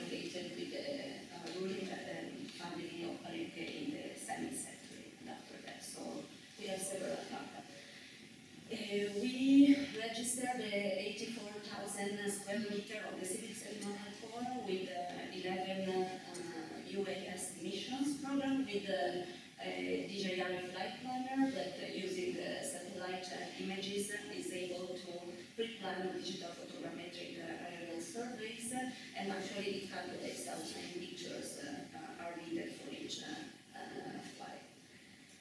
And so here we obtain um, our, so you can see here, Kea was asking me if we were doing photogrammetry, yes.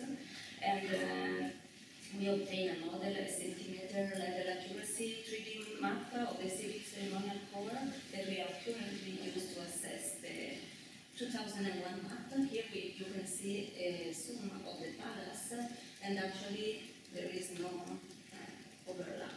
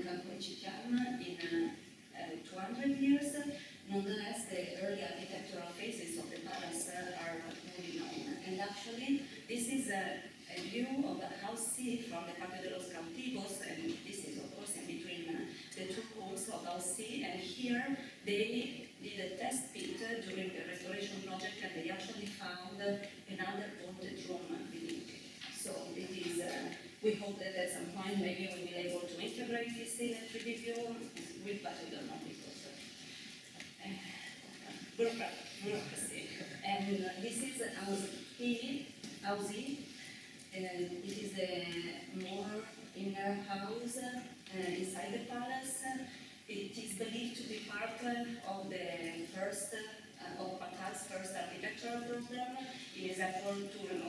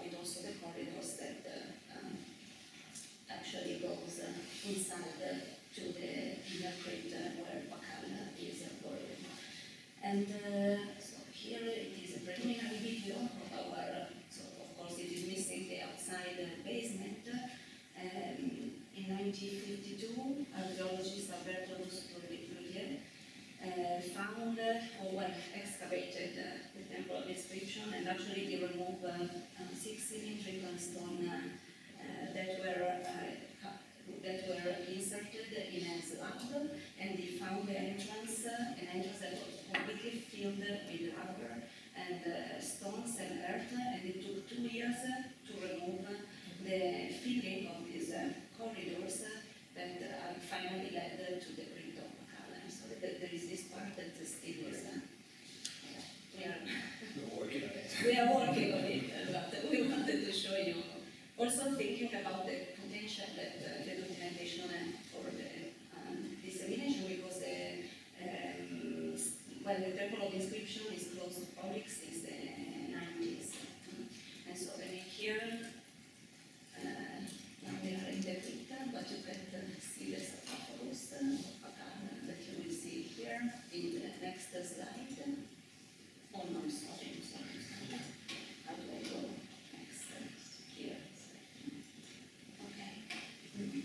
going here, for example, the, the sub-images and uh,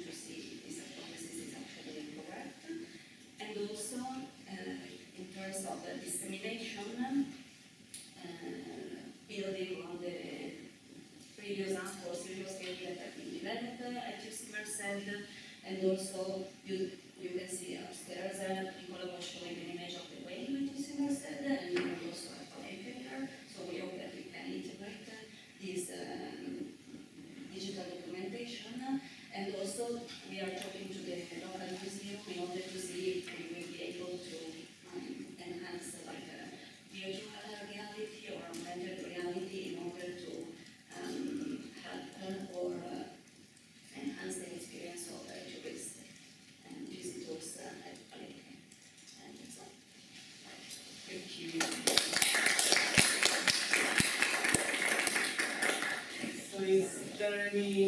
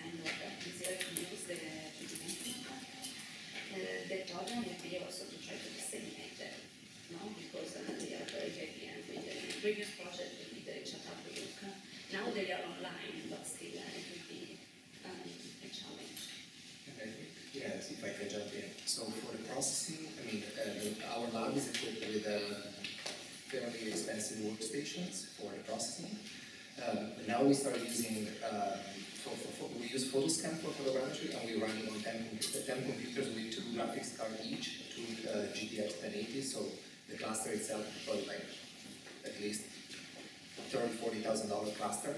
And I but that Berkeley, you guys have uh, virtualized services for, for running PhotoScan now. We are not there yet, we're still like in a physical role. Uh, in terms of storage, uh, the Wave has a very, um, has a very big array of solid state drives um, I think is, I don't know, maybe 8 terabyte of solid state. Uh, again, probably $10,000 just that storage. Um, and my lab has a very big uh, network storage unit uh, where we store all the data. I think it's about 64, uh, 64 terabyte. Uh, I mean, we invested a lot of money in, uh, in this because that's a, a core of our research, but the sustainability of this is very concerning um, because I, I was able to purchase a lot of equipment through my startup when I when I worked out and really even a lot of money. But um, I don't know. But on the long run, that for sure poses a, a problem that everybody faces. And uh, for instance, uh, for uh, the Chapaguin project, we partnered with the UC San Diego Library, um, and we curated there, we stored there three collections, um, hundreds of 3D models there, uh, because I think that's really the, the way to go for, for storage and curation and, and dissemination, more than just having one lab, but leveraging uh, the UC system capabilities for, for that.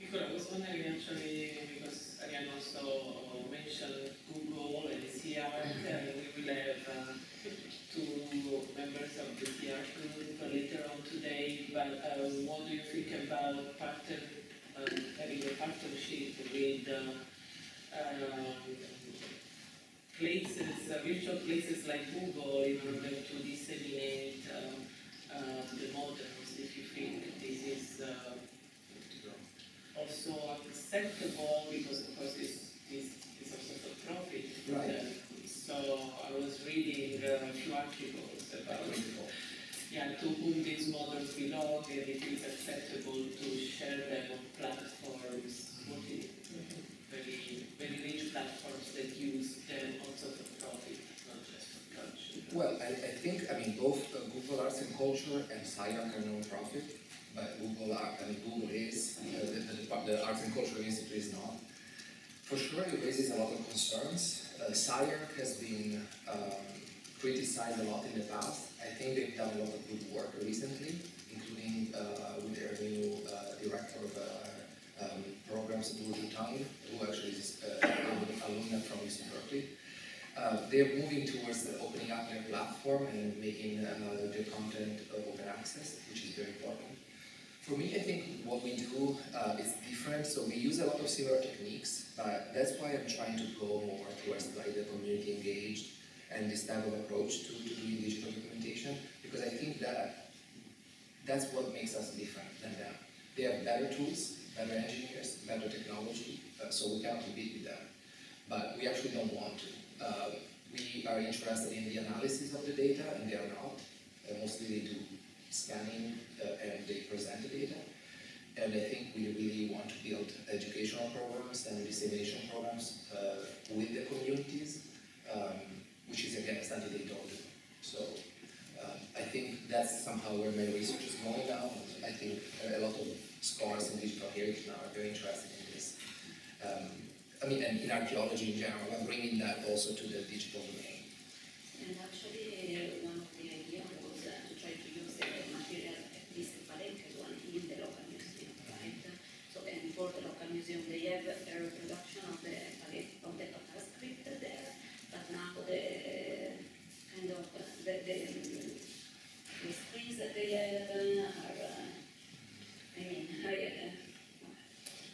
Yeah, but all the museums have complications. Yes, yes, yes.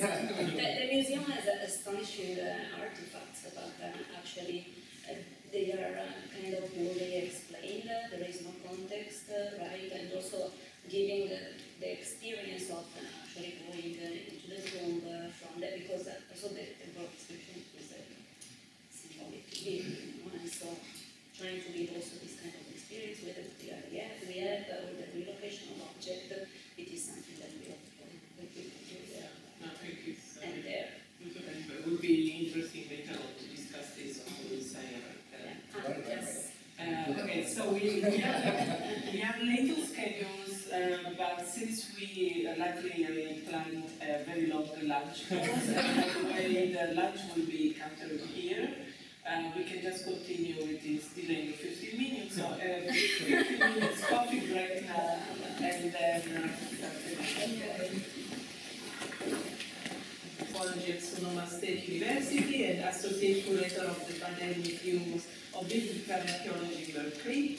She earned her PhD in 2017 in ancient history and Mediterranean archaeology at the University of California, Berkeley. Melissa spent the 2016-17 academic year as an educational and cultural affairs research fellow at the Albright Institute for Archaeological Research in Jerusalem, where she completed her dissertation entitled Transformations in Depth, the Archaeology of Funerary Practices and Personhood in the Bronze Age Levant. Research investigates ancestor veneration and the status of the dead after burial, with a focus on funerary taphonomy, secondary inhumation, and reused burial spaces in the second millennium BCE, Eastern Mediterranean and Near East. Everyone. Uh, well, I'll preface this with a couple of things. First, thank you, Rita, for inviting me to participate in this workshop. Um, second is we're switching gears a little bit from um, papers earlier this morning that were dealing with larger scale heritage issues, now focusing in on um, a small archaeological case study. And the third is that um, I'll be discussing a, a Middle Bronze Age tomb from the Levant. I realize that I'm speaking to an audience which has some Egyptologists in it. Um, I'll say this tomb is really impressive for us in the Levant. It pales in comparison what you're seeing contemporaneously in Egypt, um, and also pales in, in comparison to the Palenque tomb we just saw, but relates nicely in terms of some of the issues that are encountering with trying to document uh, a small enclosed subterranean space digitally using 3D uh, modeling and photogrammetry. So be focusing on a tomb that was excavated in 2016 at the site of Tel Megiddo in Israel. Um, so as we can see here in this series of pictures, this is a subterranean chamber tomb, and it presented some major challenges because it couldn't be documented using traditional methods of the total station or even traditional photography, which was inadequate. In a context like this, in a small enclosed space, no single standard photograph is capable of documenting the entire context of it with any success, even using a wide angle lens. The space might be represented, but it will be warped.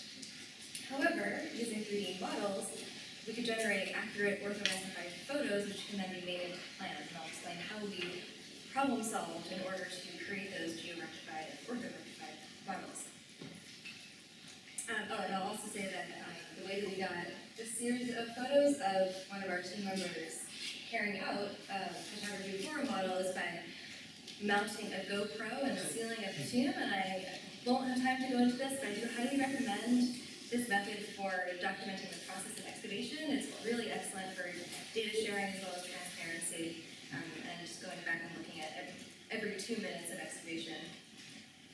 So I'll begin this talk with a brief introduction to the context and the finds of this tomb complex, which is called Tomb 50, and that's how I will be referring to it. I will also highlight some of the main purposes for digital documentation of mortuary contexts, although I don't think I need to convince this audience too much of the benefits here. Uh, some being data sharing and replication of contextual and spatial data sets in situ, precision and efficiency of this documentation that creates visual and geospatial records, and of course research applications for lots of different questions, bearing taphonomy, sequence of funerary activities, relationships between uh, the individuals buried in this tomb, and I'll also mention some of the collaborations that are being, uh, research collaborations and studies that are being carried out on this context, um, which spans many different teams across several continents, and so it's really important to be able to share uh, this data in, in a way that makes sense. And these presentations contain images and videos, so you'll see a lot of them moving forward. For some chronological orientation here, for those of you who are not Levantine specialists, um, we are dealing with the end of the Middle Bronze Age, roughly 1650 to 1550 BCE, which is the period of 250, and in the local stratigraphy of the site of Megiddo, this is stratum 10. Um, we had a second burial feature um, nearby, so this is the, oh, this is, oh, doesn't work on this, this is chamber structure, and there's a, a different unrelated burial from uh, the stone of nearby. This tomb contained at least nine individuals who were of highly elite status due to three different pieces of evidence. First is the abundance and the richness of the materials, knowledge and oral sense. Uh, the second is the context of the tomb, next to or within the early palace precinct of the site, and the third is its monumental mortuary architecture, which is unusually elaborate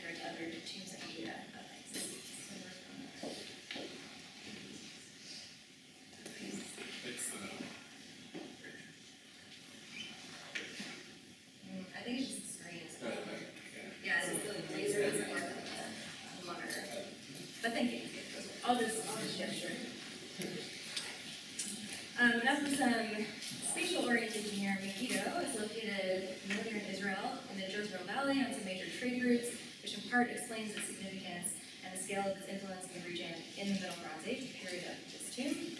It was a thriving city-state, engaged in long-distance trade with the Aegean, the Near East, and Egypt. And during the mid-second millennium, the settlement encompassed an area of about 12 hectares, so it wasn't huge, but it was sort of uh, over, overly important for its size. Uh, it was surrounded by a large mudbrick fortification wall that gradually went out of use and was completely built over by the time that 1850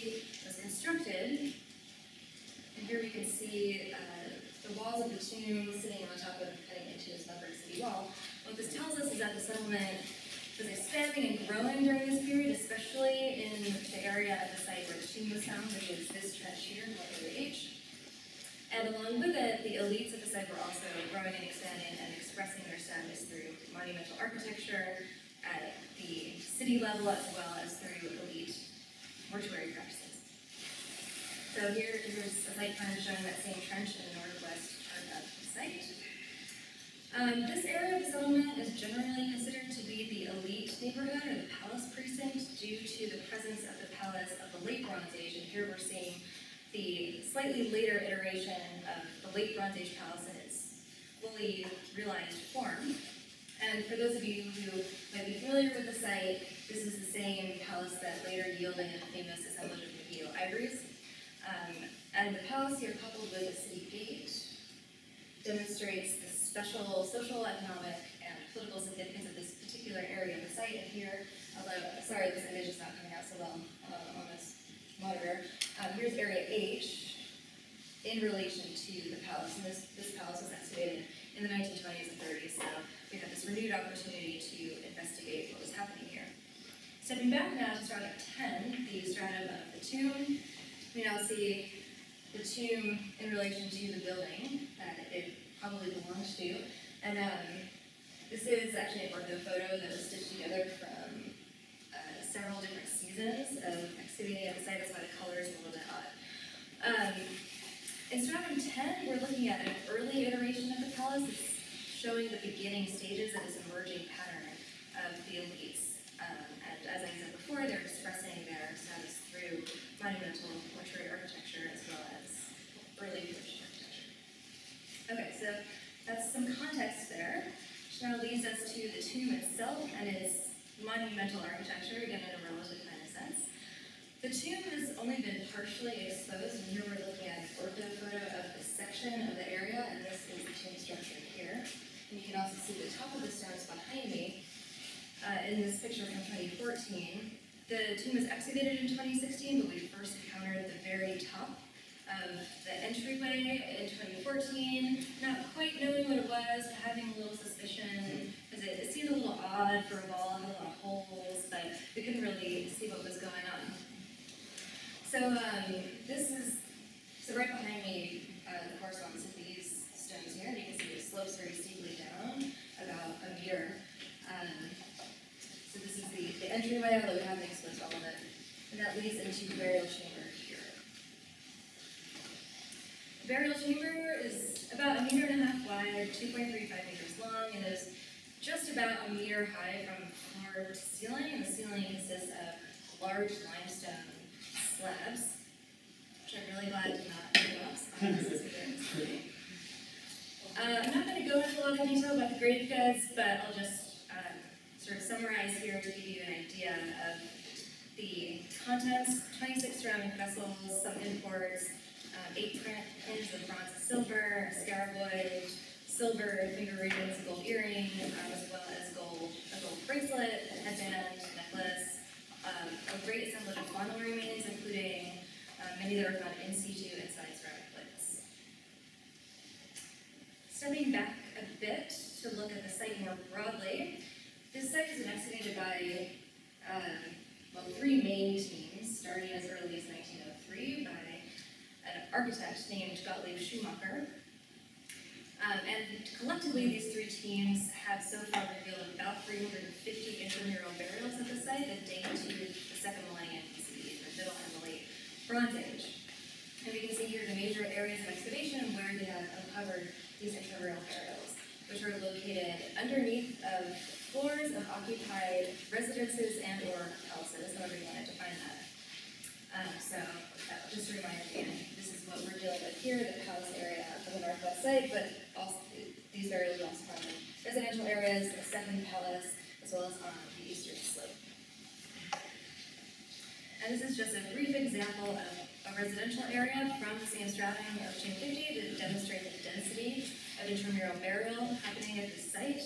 Um, as you can see from these three houses and one fragmentary house here, there is usually at least one burial per room, although they're often not in the central courtyards. And sometimes are up to four burials in a room. These run the spectrum of uh, simple pit burials, and chamber burials, all the way to masonry constructed chamber tombs.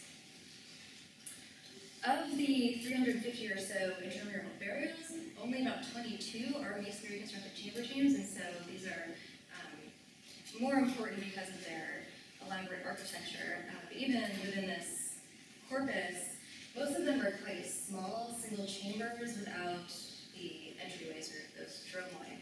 So in that way, they uh, are quite different from 250. Here we see a few examples of other masonry constructed chamber excavated at the site.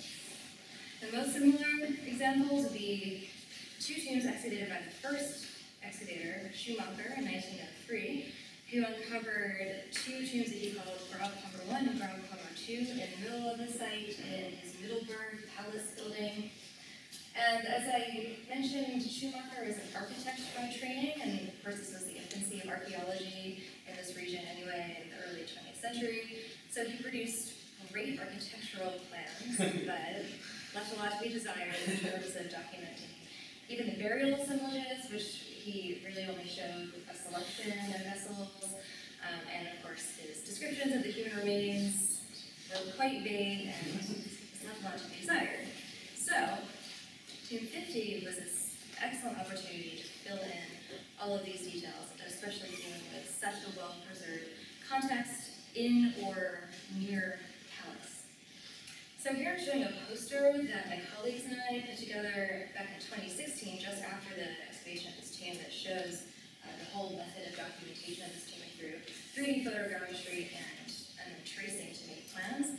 I'm not going to go into all of the details here because a lot of these methods will be discussed extensively, or already have been um, during this workshop.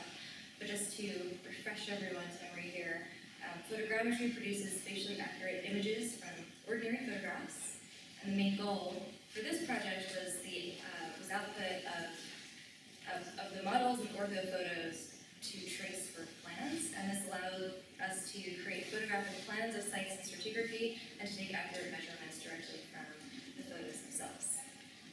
To produce the models, we used a method similar to what I've been hearing about uh, yesterday and today, structure from motion, using photoscan software. And as we've heard, this method creates point clouds, it also creates textured models, DEMs, and ortho photos. And I'll point out, um, although it does seem like there are a lot of people using this for field archaeology purposes, making a model in the field is different than making a model of an object in, let's say, a museum setting, um, where uh, an object might not need to be tied to its geographic coordinates like you would want in the field.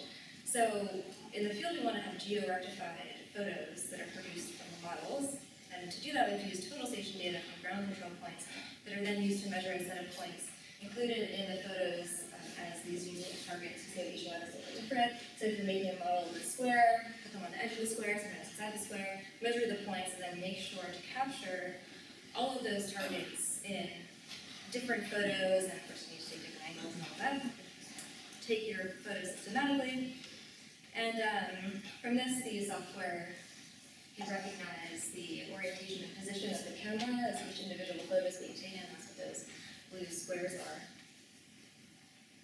And then it creates a sparse point cloud based on oops, based on matching those points. And this produces a model. So this is all well and good in an exterior setting or, or some kind of open space where you can set up a total station and, and measure and even take photographs easily.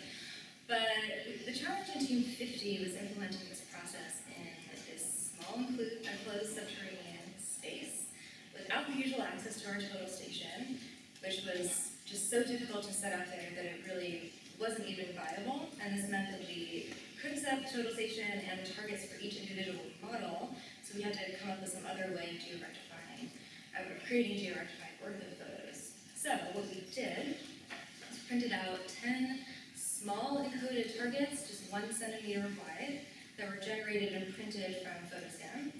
And this allowed Photoscan to auto-detect targets that were visible in each model. So, so far it's not really all that different. The concern was that the really small targets might not be recognizable in Photoscan, um, but this was not a problem, um, thankfully. So we set up 10 of them, and you can see how they are dispersed throughout the interior of the tomb. And we just stuck them in the mud of the walls of the tomb with paper clips, and they stayed. So we were not articulating the walls of the tomb because again, we did not want the stones to collapse on us. So the idea was to create um, sort of semi-permanent target setups that we would only have to measure everything once. And we did have to measure it once, and so what we did was um, set up relay points for the total station and created new control points that were visible from inside the tomb, and then set up the total station in the tomb just the one time to do all of the measurements, because otherwise it would have completely defeated the purpose time efficiency, which is one of the major benefits here. What are the major um, outcomes and, and benefits um, for us, um, especially for me as the person interpreting all of these signs, is the capacity to reconstruct contexts and assemblages that were deconstructed and documented in different stages during the excavation of this small space. And if they're accurately georeferenced, the models and the orthophotos can be cropped and together. And so what it does is create these mosaics, and here's an example um, purposely not color corrected so you can see where they've been stitched together. So these vessels were exposed first, and they're beautiful, but they were totally in the way we couldn't actually get around. So we had to take them out in order to keep excavating the tomb, and we had to take them out before we would expose these two individuals here. So in reality, none of these things were exposed at the same time, but virtually we can reconstruct the entire in situ situation as it would have been ideally if we um, were much smaller people and of course, this is kind of method of um, merging together these mosaics can be applied at any scale, be landscape, scale, site scale, feature, or even artifact. Some of the uses for the data, orthophotos, as we all know by now, are accurate visual representations of the physical subject, that's a major benefit. Each individual pixel, in this case, is geo-referenced, containing x, y, and z coordinates. The individual features don't need to be measured in the field, which is a huge, huge time saver. And overall, this creates a very efficient and precise procedure that can also be combined with other forms of digital data. For example, you can trace objects in applications like GIS or Adobe Illustrator and produce essentially the same thing a plan that archaeologists have always done manually, but using a faster, easier, and much more accurate workflow. I don't know, I don't think I mentioned it yet, but uh, our accuracy was really good. We had millimeter accuracy within the individual um, models, and then centimeter accuracy between the models, which then allowed us to merge them together pretty seamlessly. Um, and one of the, most important outcomes, um, besides the plans, are the DEMs, digital elevation models that represent the top-down geographic perspective and, course, elevations um, of the ortho-rectified subject. Uses for research are also um, kind of endless, but the documentation creates visual and geospatial records that are highly precise and can be manipulated, seen from different angles, uh, many more angles than 2D photographs or illustrations. Makes it easy to replicate contextual astronomical spatial data from different stages of excavation. And um, here I'm showing some screenshots from Sketchfab, which is the website that hosts the models. And it makes it pretty easy to share and store and communicate this visual data with other researchers, and the models can also be annotated, so I have a really um, simple annotation here just as an example. And it can also be password protected, so that's an important consideration. We don't necessarily want these models to be released publicly. Whether or not Sketchfab is a great long-term long-term storage solution, I don't know. We can, we can talk about that after. Um, beyond the accurate plans, I find the models and orthomosaics to be really useful for interpretation The models, of course, are dynamic and can be manipulated, which allows me, who couldn't be there at every single moment of the excavation and documentation, to reconstruct the order of deposition, details about the burials that wouldn't have been documented in using traditional methods of filming and 2D photography. So I'll talk a little bit more about these interpretations here. Um, so here we uh, see the nine individuals who were buried in the tomb, three of which were primary inhumations located in the center and the front and south of the tomb, and then the other six were located in the back or the north of the tomb, um, and had probably been moved around just once, either from within the tomb chamber or possibly having been brought in from a different context. And um, there's some interesting patterns here with these secondary inhumations. One is, you can see just by looking at it, that's just a normal photo on top of an ortho photo, it's a little confusing, I should have done that, but um, you can see that most of the individual bone elements, especially the long bones, are mostly intact.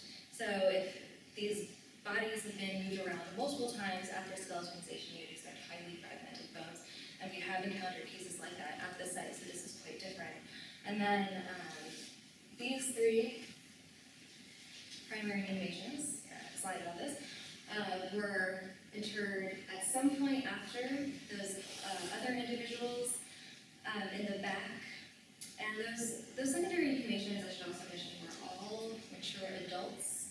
So that's an interesting pattern um, when it comes to potentially age-based selection. So here I have an order of deposition that I've reconstructed um, in some detail from those different stages of excavation using these uh, spatial and visual aids like the models and the orthomosaics.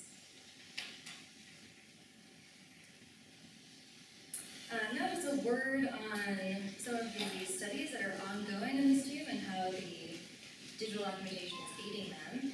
Um, mostly this is, the benefit is the ease of sharing the models, which has been instrumental to moving forward this project at a decent pace. We know how archaeology can sometimes languish. Um, so really trying to get this out there.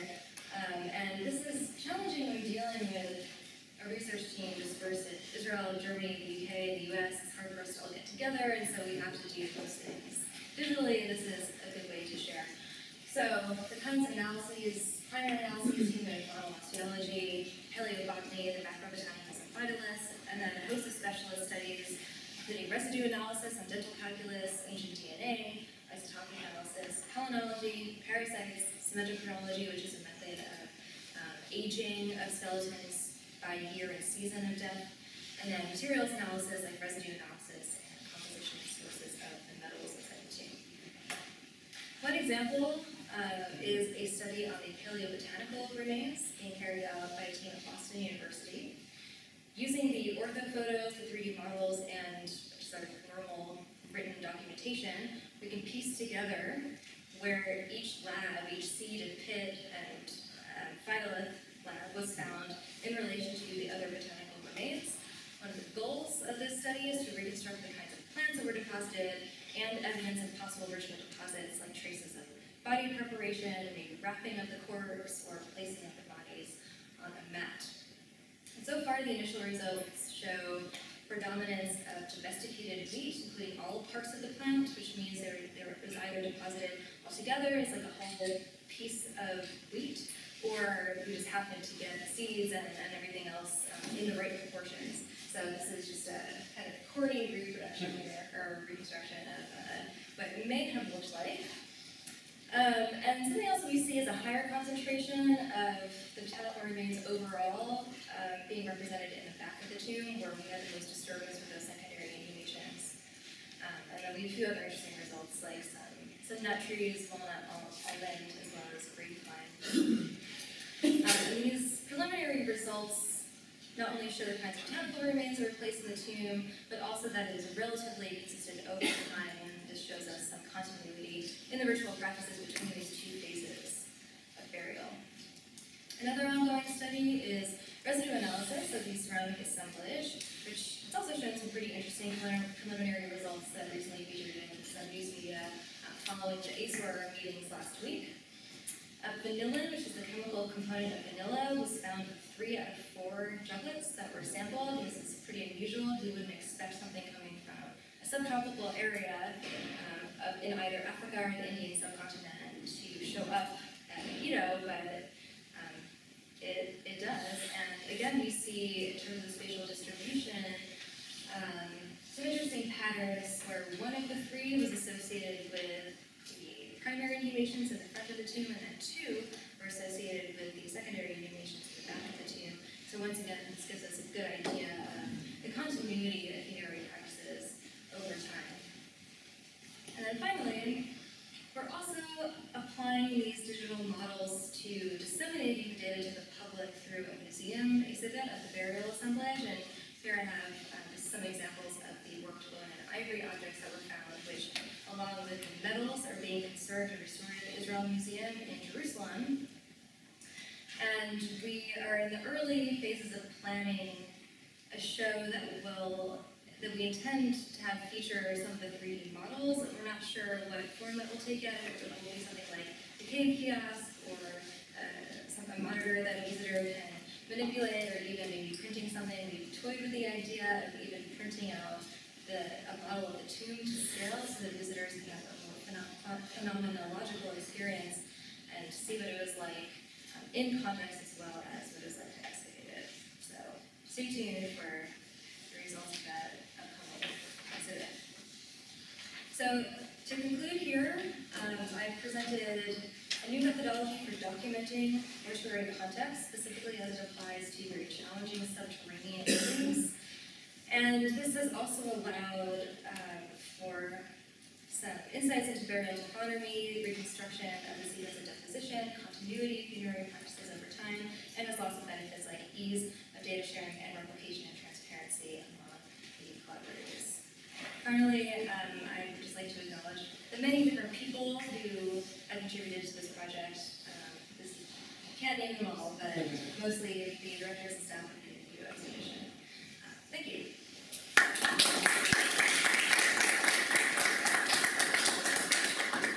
Thank you, and uh, there is time for one question. Jessica?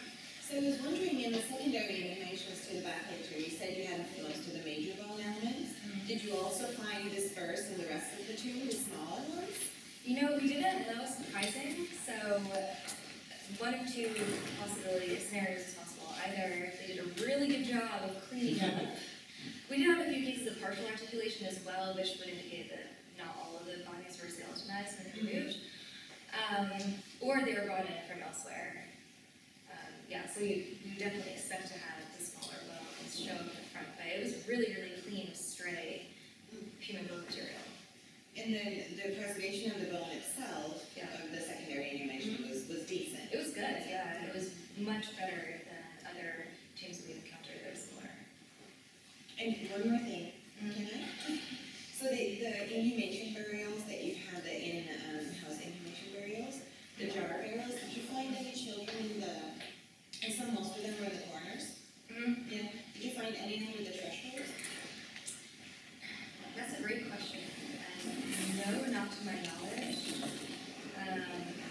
Almost always in the corners or along the sides of walls, and almost never in the center of a room or in a courtyard space or in an area like a threshold. Okay, Thank you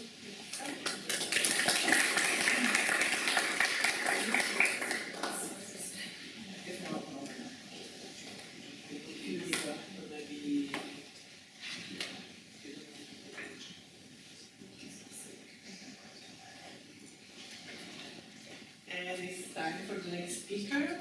It's uh, the time that she prepared for the PowerPoint point I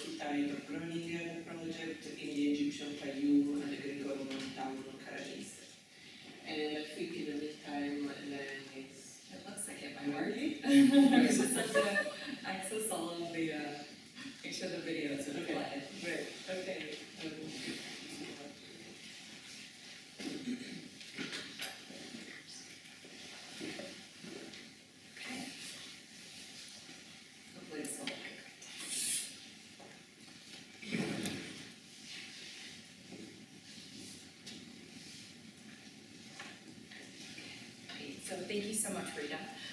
Um, and so, uh, as we've seen over the past day and a half, um, archaeology is undergoing a digital revolution. And this change of practice at all levels is incorporating 3D technologies. Melissa just gave us um, some great examples of how that's happening at the data collection level. Um, and um, of course, we're uh, dealing with the questions of what do we do with our 3D in terms of data archiving. Um, my own personal interests are um, focused on using 3D technologies for analysis and understanding, especially for me on landscape reconstruction and reconstruction modeling. And then also the question of presentation and publishing, which we heard a lot about um, as well today both in terms of scholarly as well as educational or public, um, like uh, Nicola focused on this morning. So today I'd like to tell you how I've been approaching uh, analysis and understanding, presentation and publishing um, of 3D materials with my ongoing project focusing on the necropolis of Saqqara. So my project, very creatively entitled 3D Saqqara, um, harnesses the temporal layering abilities of 3D GIS environments to examine the ancient necropolis. Um, so I'm, I'm creating a 3D GIS reconstruction or of, um, of the site and modeling a series of now disappeared landscapes. So both adding in what is missing from the site today or um, not visible, um, and simultaneously peeling away layers of later construction at the site so that I can consider each phase of the cemetery in isolation, clarifying how new features were added or modified at the necropolis in response to the existing monumental landscape or buildingscape um, of the time. So my model is covering the first 2,600 years of architectural development and environmental shifts of the site, um, basically visualizing major architectural change at Saqqara during the Pharaonic period, from Dynasty 1 through Dynasty 30, around 3000 to 300 BCE. And so I'm, I'm doing this to try to investigate changes, especially in visual points of emphasis, but also to think about ritual linkages between important spaces, um, and, and think through some of these questions about how spaces were intentionally remembered or obscured by later generations. And I don't think I have to um, really say this this audience, but I always like to emphasize the fact that I am not trying to recreate the past, right? And I know people have a lot of problems with the word reconstruction, so I try to use visualization um, to sort of make that clear to people. Um, because of course recreating the past is a fully impossible task. And um, I like Maurizio Forte's uh, definition of these kinds of reconstruction or visualization models as a potential past, a model of the potential state of some elements of the landscape at a given past moment. Um, but just like any kind of map, this leaves out a huge amount of information, and I can't hope to begin to reconstruct um, or represent the full complexity of the past. but this kind of work does allow for replacement of many important aspects of the site, aspects that um, can be combined virtually and considered in new ways. And so that's why I think it's really useful to us as a tool for archaeological analysis. So the site of Saqqara is especially, um, I think, um, appropriate for this kind of visualization or reconstruction because of the huge amount of change at the site, both in the ancient world as well as since the Pharaonic period to now. So one of the challenges of understanding the ancient landscape, for example, is the um, just the changing landscape within the site itself. Um, so you can see this is Old Kingdom entrance level to um, the uh, to a series of tombs, um, Old Kingdom tombs next to the Teti Pyramid, and then there's me standing up there at the New Kingdom level. So a number of meters um, of infill and building materials and leveling um, happens between the Old Kingdom and the New Kingdom, um, just in this one place of the site. You can also see incredible monument deflation, especially of the mud brick tombs from the early dynastic period, um, and then what is clearly archaeological clearing and perhaps even early um, spoilage heaps from excavations that really um, change and have turned the modern landscape into something that's not reflective of ancient ground also, of course, the um, deflation even of stone pyramids, as well as the removal of those beautiful, bright, crisp white casings um, that would have made these monuments um, so stunning. Um, today, you can see many of them have been disassembled, um, possibly to build the medieval city of Cairo, um, but also probably in ancient times we know people, um, the Egyptians themselves were quarrying the stone from the earlier monuments and reusing it in their own tombs.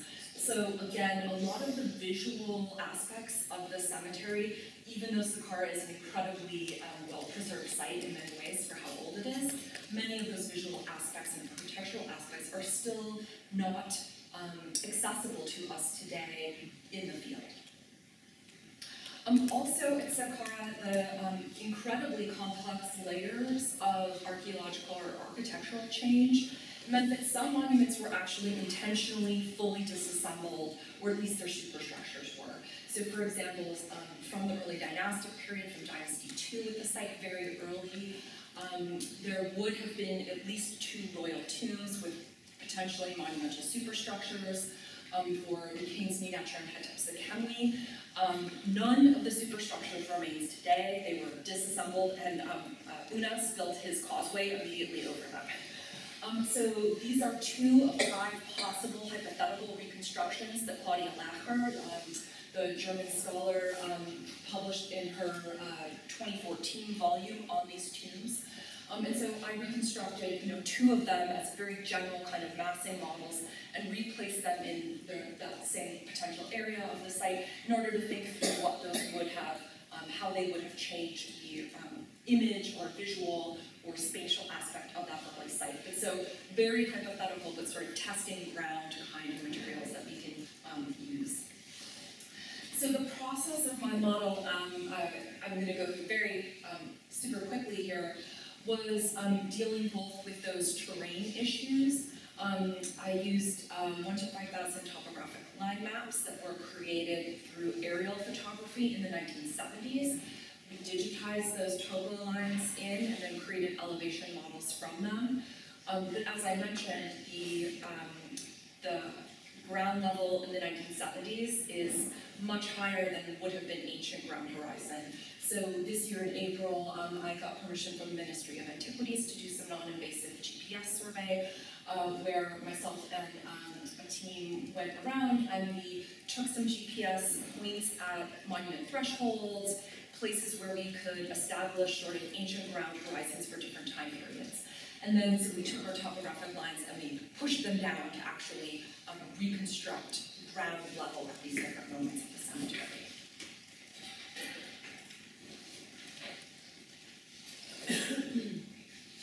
um, the process for monument building, um, I'm really only interested at the landscape level, not at highly detailed interior spaces.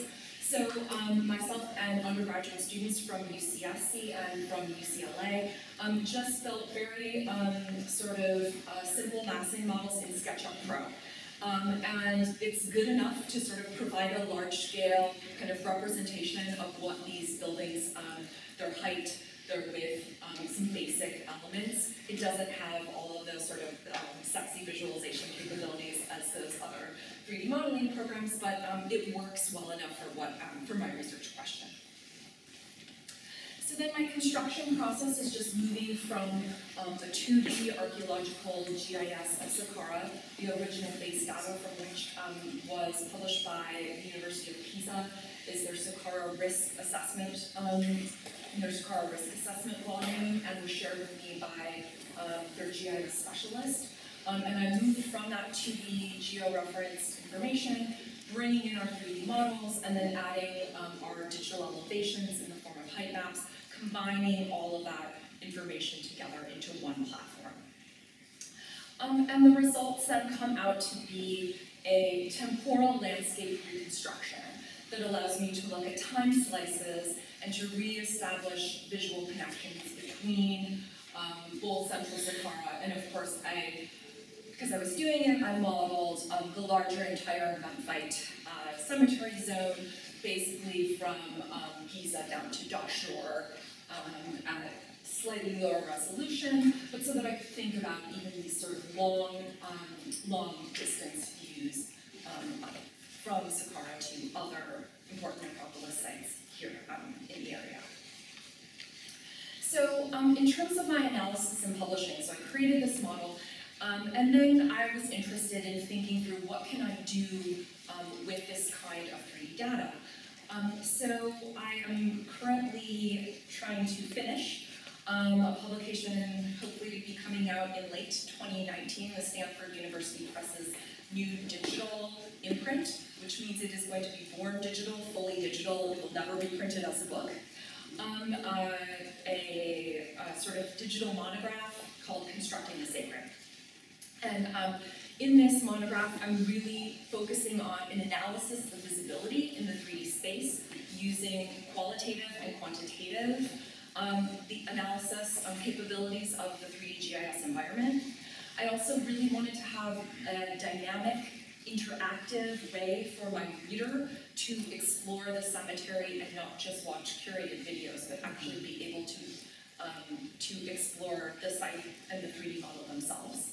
And then um, obviously accessible metadata and paradata about the model is critical for any kind of scholarly publication. So um, I've been trying to think through how I can make that kind of material accessible within a 3D model space. Um, so I've been using the uh, urban simulation software program called CityEngine. Um, and this has allowed me to take the model and do some GIS type of analysis, um, viewshed analysis or viewpoint analysis. Um, but instead of having it be 2D analysis, it now works in 3D. So you can see that it actually is 3D aware and can show me what would have been visible or not visible from a single point location. For example, here I've chosen a point um, in the uh, New Kingdom city of Memphis looking back up towards the necropolis.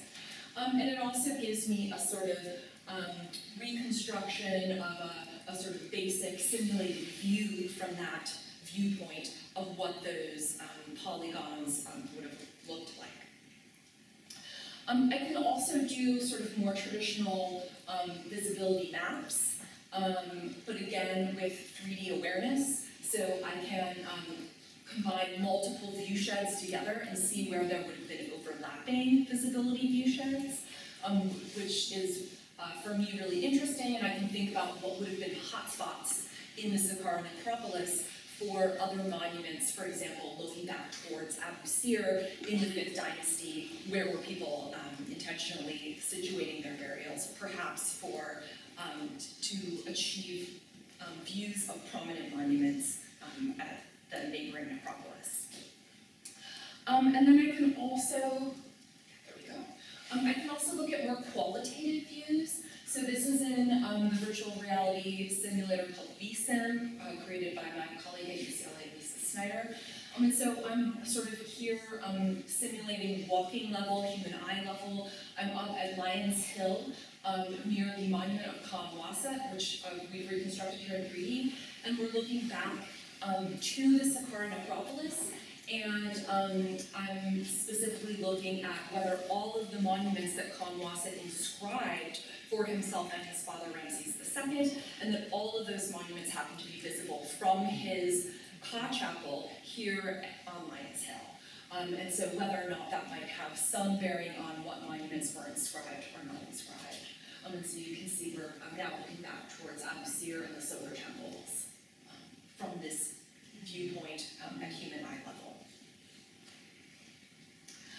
Um, and so I've been working with uh, the GIS specialists at my campus, um, especially Erin Cole, um, who has um, helped me create a, um, an online web viewer. So this will be accessible um, on the web um, as part of my publication so that the reader can explore a low resolution version of the 3D model um, with a time slider so they can um, see sort of the progression of architectural development at Saqqara from Dynasty 1 to Dynasty um, 30. And I have multiple different terrains that pop in um, based on the different ground horizons at different moments in time.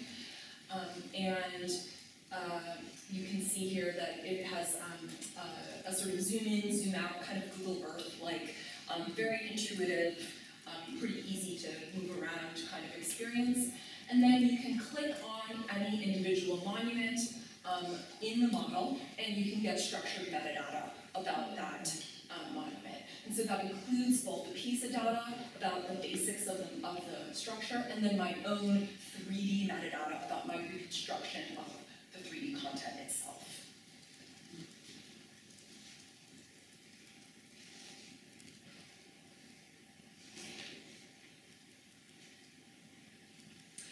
Um, so, in terms of presentation and education, um, I'm now really excited to be taking this finished model and pushing it out and thinking of ways that I can disseminate this information outside of the scholarly realm and also into students in the general public.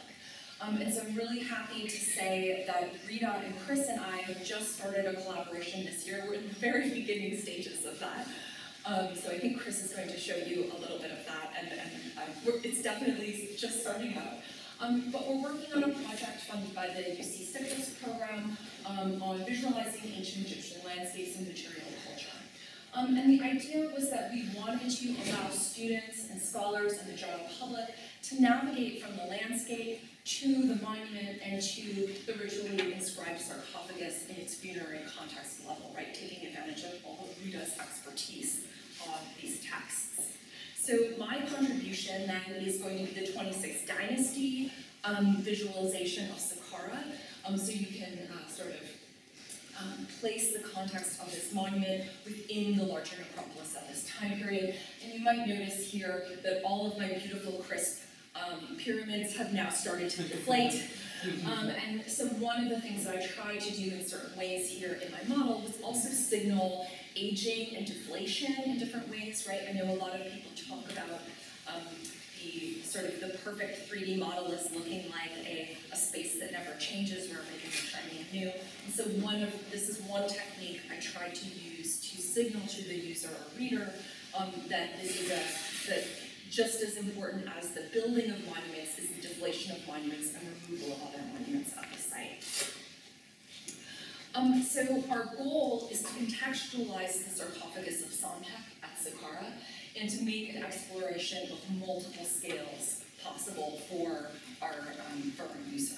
So we're starting with the landscape level, and then we're moving down to the tomb monument level, and I'm working with an undergraduate at UCSC who's working on tomb modeling. Um, and then we're going to move into the sarcophagus level. Um, and so we're hoping that using the headset you can jump through all of these um, sort of points down to that level. Um, and the real goal for me of this is thinking about integrating a funerary object in its cemetery context. Um, and so this has a lot of, um, I think, potential, especially at the museum level, where we can embed an object within its historical place and time in, um, I think, much more understandable ways. We can signal that the object was part of a large complex um, of funerary practices. Right? That this is not just a single piece of artwork, but this is one um, element of a much larger practice of, of, um, of funerary culture that is part of Egyptian um, history. And then to reimagine details of its original placement that might not be apparent to the museum visitor. And so that might be also including um, 3D models of 26th dynasty pottery or other kinds of objects that could have that would have been um, found in the tomb or that would have been typical of a 26th dynasty tomb, really to sort of recreate a whole historical moment or context for this type of object, um, and hopefully then make it more meaningful and more understandable to the students for the general public who are coming in um, and engaging with the sarcophagus. Um, and so my, uh, the 3D Saqqara project has been supported by many different people, and I always um, want to you know, recognize that um, I'm the PI on the project and the presenter, but I um, have had so much data shared with me by other Egyptologists, which I am really appreciative of because I know the field is not um, always um, so open to sharing data, and I feel like that is changing, that um, a number of my colleagues have really recognized the fact that um, each of us shouldn't be reinventing the wheel. Um, and so that has been really, really helpful to me. Um, and also I've had a number of graduate students and undergraduate students who have done um, significant work on um, the 3D modeling and the um, modeling processes and moving from one platform into the next. And so their labor has been really important to getting this project done, and I, I would like to acknowledge them and all of the work that they've done uh, as well in making this happen. So thank you.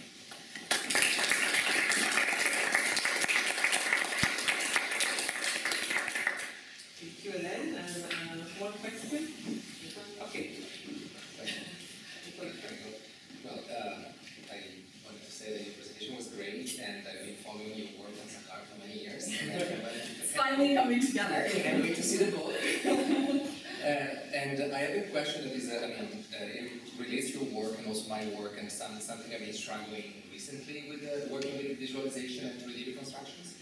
So, um, how do you capture the argument? I know that you do because I, I've been reading your publications, but the process of argumentation and uh, the decision making when you build the models, and how did you put that in the book in the in forms of metadata and target? Yeah. So um, I think that's so critical, and that um, if we're not doing that, our colleagues don't take this seriously as scholarly endeavor. And so I think um, we all get very excited about the visualization and the analysis capabilities, but without the documentation, um, our work is dismissed. Um, so one of these six chapters of my digital monograph is an entire chapter on the building of the model. And I talk a lot about the decision-making process and that this is a curated 3D map of Saqqara that's based on my decision-making. And I talk through all of the um, many, many kinds of issues in terms of my own decision making and, and how that impacts the output of the model. And so, um, you know, I, I try to emphasize to people that, um, that this is not a neutral, um, you know, examination of the real world, but something that I have curated um, and put together as, an, as a form of argument as a scholar. Um, just like someone would lay out a textual argument, right? And, and then it can be picked apart just like a textual argument can. So um, I feel like the when people publish 3D materials in one location and then they publish something else that's actually the data about their model, I think that's not a good model for us to be following. I think we need to be integrating those two kinds of publications together, and so I was very adamant about doing that in this in this work.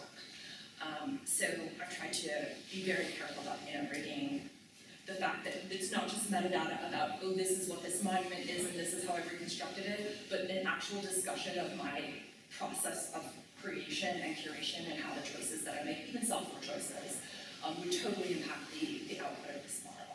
Um, so I think that's a really great point and that annotation is such an important thing for all of us in thinking through these kinds of questions and um, I'm hoping that as more digital publication um, methods are available to us, that we can start to integrate these, um, these two parts of the project much more closely. Yeah. Hi, hopefully this is quick. I, um, I wasn't here yesterday. I'm Carrie Schroeder from the University of Pacific, and I work um, primarily Coptic literature. But I'm interested in what you're doing because I and I'm wondering. Yes, I'm sorry, I'm not including the Coptic monks. Yeah, I, figured that out pretty quickly, but that's not my question. Um, yeah, thank you for saying that. Um, how, how much was your work, um, affected by the fact that you had earlier data, like those nineteen seventies maps, right? And like, yeah, how much does that, does that, because that, that really struck me, that you have this long history of, uh, of data and even visual data and, you know, geodata. Yeah, so I consider this project really to be ninety-five percent a legacy project, legacy data and publication data project. So I'm thinking of this as a synthetic project that's really looking at taking all of this research that individual teams have done, um, you know, painstaking work of individual monuments at Saqqara for hundred and fifty years. And I'm trying to use all of that and um, take it, put it together, combine it, curate it, reuse it um, as a form of analysis, but so much of this is legacy data and early excavation data, and then contemporary stuff in the past, you know, 50 years. So my own work in Saqqara has really just been ground truthing a few last things, but I'm really thinking of this as a um, amplifying all of the work that other people have done and visualizing it in a new way. So I'm not doing any excavations myself, it's really Yeah. trying to use di- digital technologies to present the site in ways that it hasn't been presented in a synthetic way from before. So the answer is right, I couldn't, this project would have been impossible without the huge amount of labor of Egyptian and international teams um, at Saqqara for, you know, over hundred fifty years.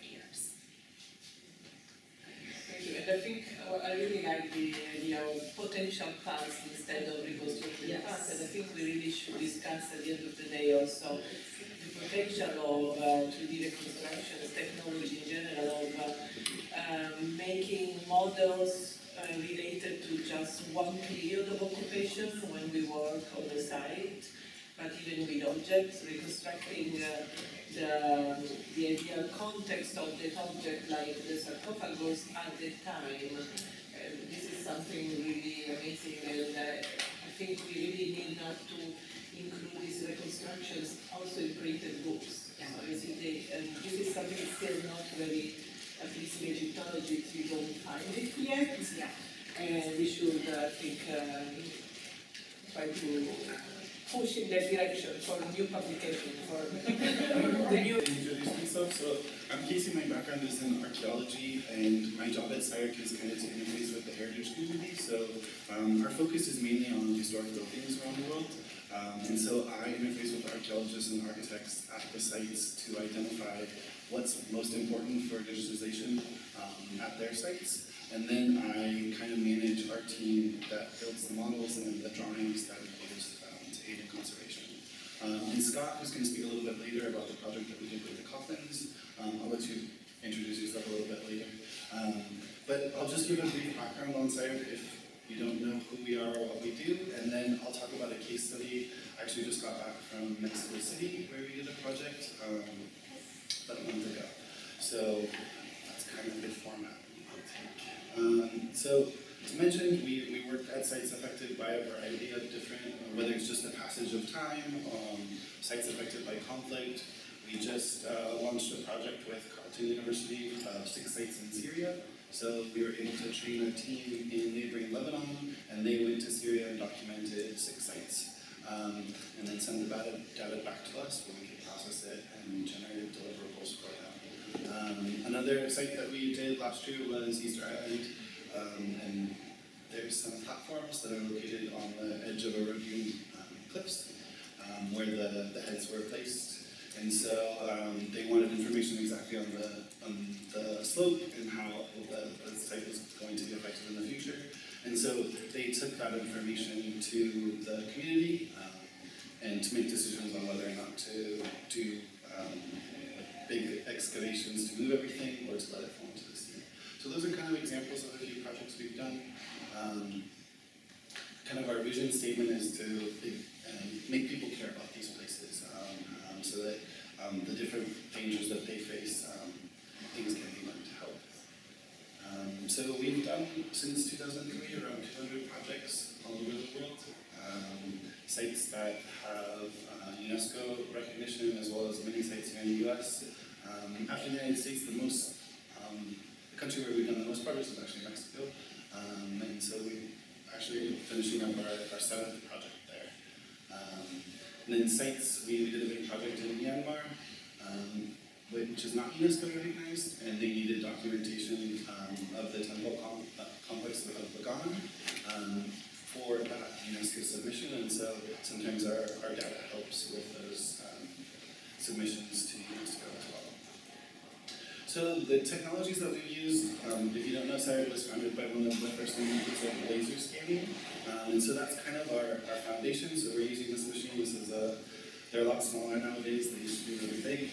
Um, so this is shooting out a, a pulse of light, and it creates a point cloud um, of the site. So it's capturing every surface of the monument, and then over top of that um, point cloud, we overlay photographs. So um, it's really only in the past couple of years, we started this three years ago, we've been really um, using photogrammetry um, to make better drawings and better outputs. Um, so we can make really high resolution 3D models that we can slice and create drawings, um, virtual reality experiences. But it's but like in 2003 we weren't using photogrammetry, and so our data doesn't have this information. So we capture sites at a variety of different levels. So this is the site in Bagan, Myanmar. So this is captured um, kind of at a landscape level. Um, but again, our focus is on like single buildings. So uh, I just have kind of like an example flyover of the 3D model. So these are, this is the temple that was we focused on.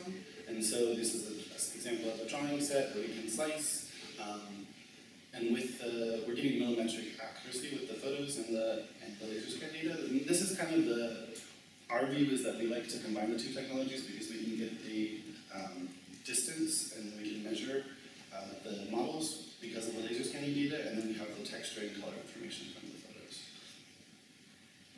So this is another site that we did in New Zealand um, last year, and again, slicing it in any ways that the site wants to use the data. So usually what I do is try and identify what like, current conservation programs the site is doing, and then um, we identify, tell them the things that we can make that can help them um, in their work, and then there's usually like several revisions. They want something specific, and then I try and make sure that we deliver on um, that, that it's actually useful for them. Um, let's see.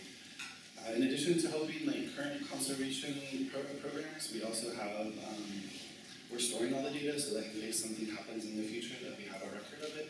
So in 2006, we, we documented a site in um, Uganda that was lost by arson. And so um, after the site was destroyed, uh, UNESCO contacted us to get the data and then they were able to reconstruct the site. So um, that was something, a project that we were able to use. Unfortunately, it, it happens that sites are lost. And then finally, this kind of third tier of what we want to do is we want to promote discovery of these sites. So um, can create virtual reality experiences where people can walk around places. We, we launched an, a free application called Masterworks of four sites that we've documented.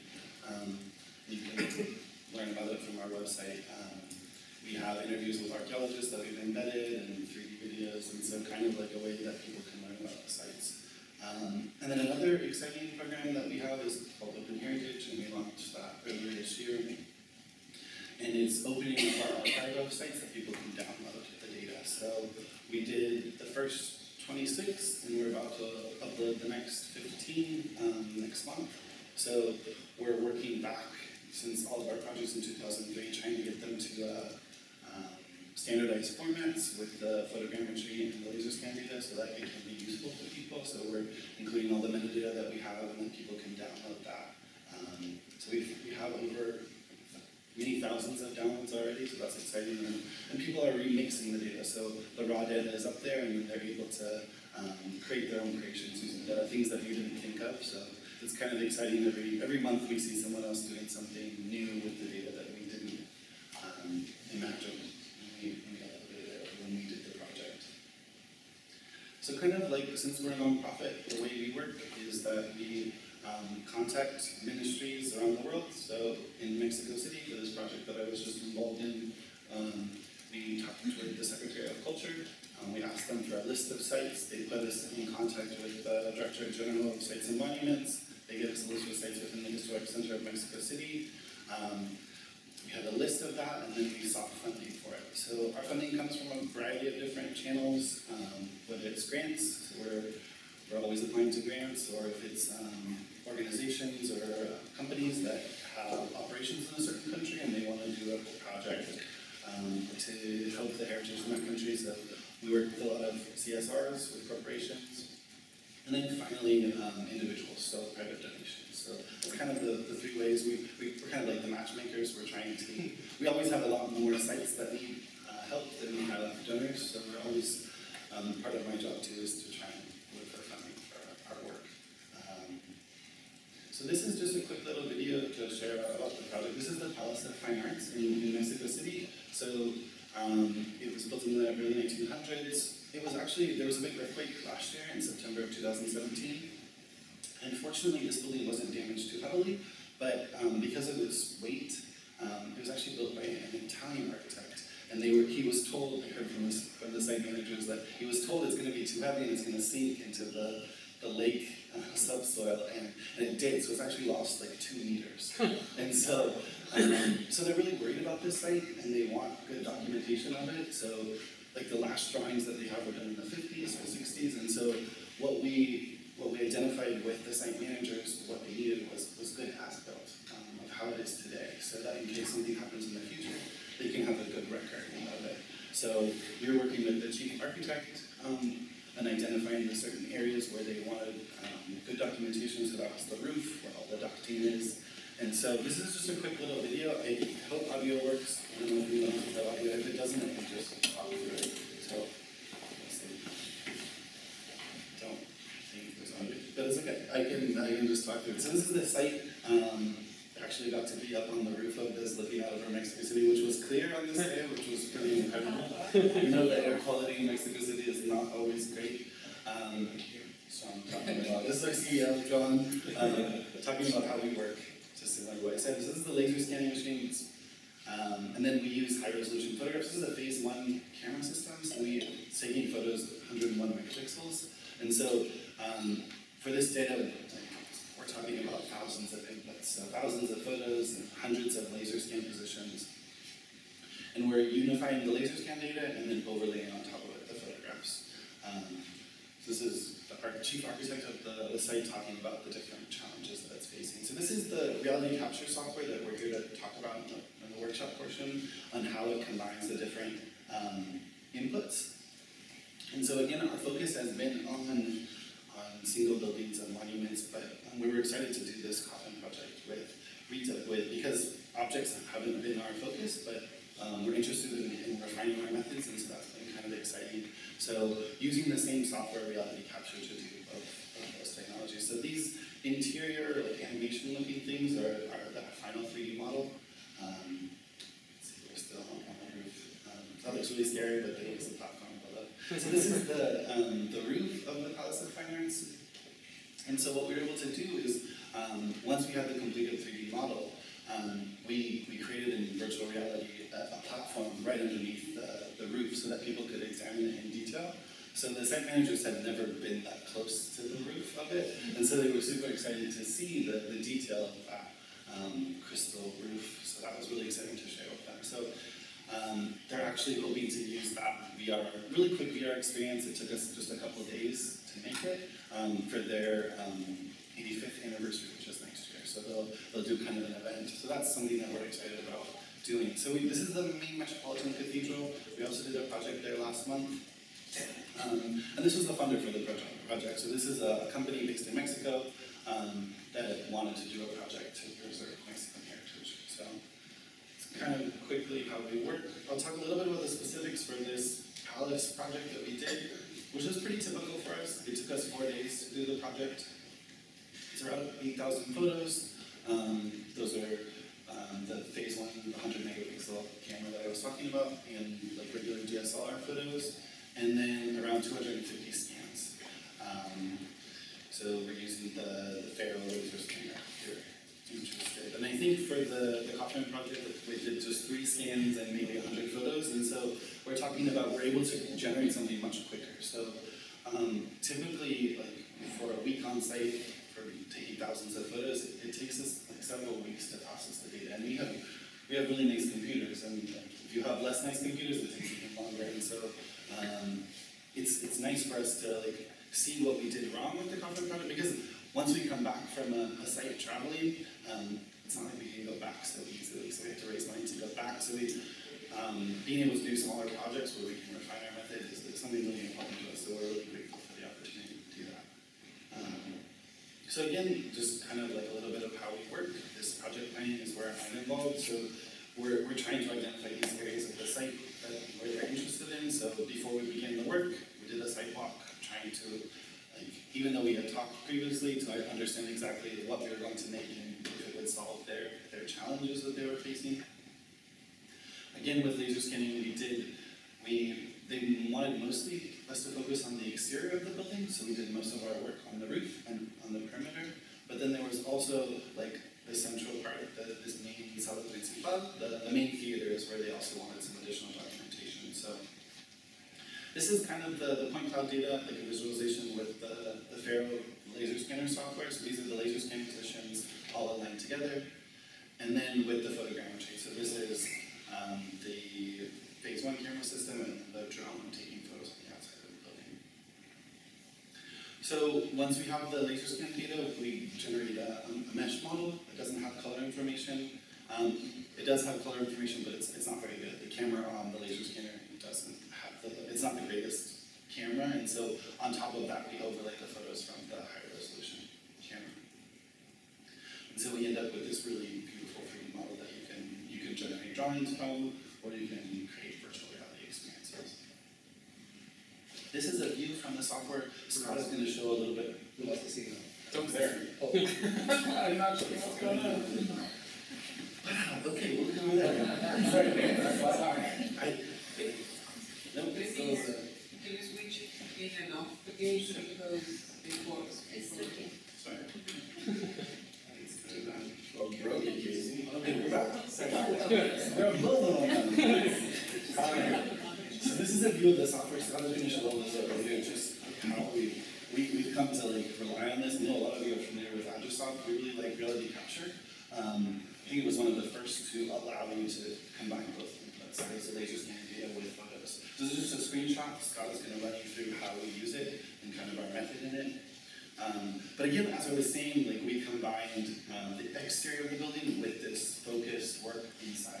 And so to do that, we, we because it wasn't really based, we didn't have GPS information inside, we couldn't tie it the outside, so we had to go through the hallways and combine it with the outside. So we have, um, so now we can slice the model and get the inside, we just, the, the main um, sala principal, and then tied it with the outside of the building. So this is just a visualization of the 3D data. Um, they were super excited to have these. They want to put them on their on the website for the palace. Like a lot of times, like sometimes it's not conservation needs. They want to share their site in new ways. So whether that's through um, models that you upload to Sketchfab that they can embed on their website, or just simple visualizations that they can put on their websites just to interact with new audiences. And in Mexico, not everyone can afford to go to the Palace of Fine Arts to visit, and so they're they're really excited about um, providing access, at least um, link access to the building um, on their website. So this is again another visualization. This is the Cortina de Cristal, so it's I think 27 tons. It was made by Tiffany's in New York. It's made of over 2 million pieces of glass, reflective glass, and um, this is the roof. And so these are visuals. They were super excited to have these. They've never seen it at this detail before, so um, it was a really great project. We're really excited to be a part of it.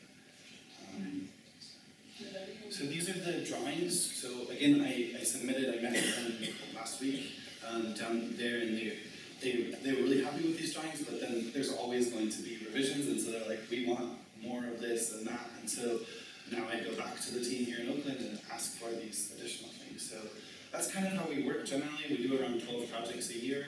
Um, we're off, Scott is off to Tanzania, um, doing a, a, site on the coast of Tanzania that's eroding into the ocean.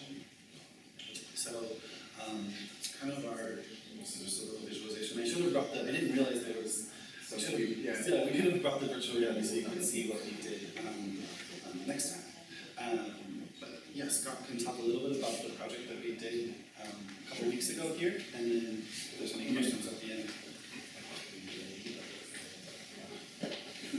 So, yeah, my name's Charlie. I'm the director of production for CyArk. So my job is to make sure whatever we collect in the field uh, becomes useful and tangible. So whatever case needs, we produce at the end of the day. Um, I also do a lot of field work. and try not to, but it doesn't work out that way. So I'm, I'm in the field collecting the data using laser scanning drones, photogrammetry, all the technology we use. So this project was, we are doing FreeNet. Um, excellent for us to do a little artifact testing uh, and using the same methodologies we use. Um, laser scanning and photogrammetry. Uh, what was kind of interesting about this project is something we normally don't do is looking at ways to be able to move the object um, if you have to rotate it or get a different angle on it um, and being able to get that to work really well with photogrammetric software. So we were playing with that as one of the tests to do for this project. And I think you got to move this the coffin several times, right? Yeah. We, we were both not involved with the Yeah. project. Unfortunately, Chris is on maternity leave and Gloria's in Mexico City. So we'll have to bear with Yeah, us. I We're, mean, we're the challenge was that we could not move it much because the space was really limited. And also we had no professional movers with us and we could not open it, so actually we, for the better lighting, uh, mm-hmm. we, we had it between the shelves. So this was just a test. We used our Faro Focus S350, um, and as well as just, I think that's a D810, uh, DSLR. Uh, we look forward next time, hopefully the next test, to bring our, our big gun medium digital format camera out that captures crazy levels of detail. Um, so, just to show a little bit of what we did. This project is really, really small um, scale for us. It's like Kacey mentioned, usually one day in the field is four day or four is one week in the office for us. Um, so when we're normally dealing with upwards of 15,000 inputs between photos and laser scans, this is 256. So this takes zero time to process. Um, once we had it in the office, we had the model you'll see in like maybe an hour and a half, two hours. Um, so it's quite quick to process. So what we see first, uh, this is reality capture. We've been using this software for three, three plus years now, since the, kind of the very beginning when were initial users. Uh, and it allows us that ability to use the laser scan data and use photogrammetric data. Um, and we can reconstruct from either photos or laser or both. Uh, that was kind of a game changer for us, and I think it's a game changer for the whole reality capture market. Um, what we see here is kind of a combination. So the rectangles, let's see, the the, the squares here, those are all the laser scan inputs. And if I grab a laser scan input, you can kind of just see, that's a, really good one. So it, the way the software works is essentially we'll break down uh, the 360 degree scans and we'll break them down into cubes and it can use, it breaks down the laser scan as a photo and then uses typical feature detection as you see on Agisoft or reality capture uh, to combine the two data sets. For this, this model of the coffin, you can see we had to actually mask every single photo because we did move, we did move the object, and if you have a lot of movement, then you have all the background detection, so we basically had to remove all the features from the background. Uh, this still, still a few inputs is really quick to do. So once we do that, we, this, this was basically automatic, you press go. It will align all this off, align all the inputs, and you can see the laser scan data is grayscale. We didn't take time to do any color overlay on that. And then you can see all the tie points or the matching feature points that the software found. So right now, all we're seeing is just single tie points. So this is not the model at all. And then what we do is actually just mesh that object. And this, this mesh here is a combination of both um, laser scanning as well as photogrammetry. Um, and this is about 80 million polygons.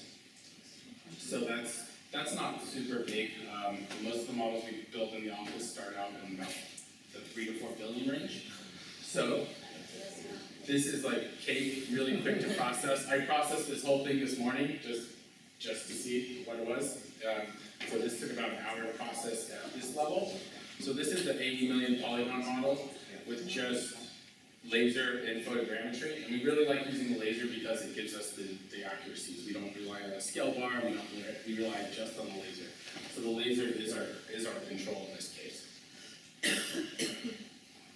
so this, this model is 80 million polygons. Um, you can then reduce it as much as you want in reality capture fairly easily. So we drop it down to 40 million polys, and we usually work with about 40 million polys because that's the limitation that reality capture can display, so it makes it easy for us to see. And at the end of the day, no one really works with more than 40 million polygons anyways, it's really just cumbersome. So at that point, we drop it into about 40 million polys, uh, and we, oh, I don't have my external GPU with me, so let's go to a lower quality model. resolution here. And we finally brought that down to about a million polys. And this is two 8K textures, so that allows us the ability to put it online. Um, uh, we can reduce it a little further and put it on VR and any phone. Um, so this is a fairly, fairly lightweight model for us at a million polys, but we still see a lot of that detail level. Um, we don't see that quite as much. You lose a lot of the geometry. So you're essentially going from that to this. So this is 80 million where you see all of the details of the, of the coffin. And we lose that detail, but we make up for that detail by overlaying all the photo texture data. And we don't use recap too, because recap also has like a, a similar to reality capture, it has 3D make photo or. Yeah. But we don't use it, but it's really great at um, showing the 3D models that we have. So Yeah. that's what we use. So if you guys are, yeah, recap photo is the best mesh viewer by far. Um, yeah, for, for education, it's free, and it's, this, this is the full 80 million, and it has like 12 or 13 AK textures, so that has everything you need to see it, see all the details. Um, and like I said, we could, we're kind of looking forward to coming back and trying to do another one because we can do it at much, much higher resolution. This is about one millimeter resolution. That Bagan example we showed early um, of that mural was about 0.07 millimeters. So we could go much higher in resolution, and I think that's the, really the next test for this is how high can we go um, and still keep it pretty lightweight. So this is this is just on a laptop. It's not great. Super powerful laptop displaying over their internet, which is the guest Wi-Fi, which is not great. So it's cool to still have almost you know one-to-one resolution online. Um, so and we can do a bunch of other cool things, but this is kind of our end goal is how to get stuff online to be able to share it with people.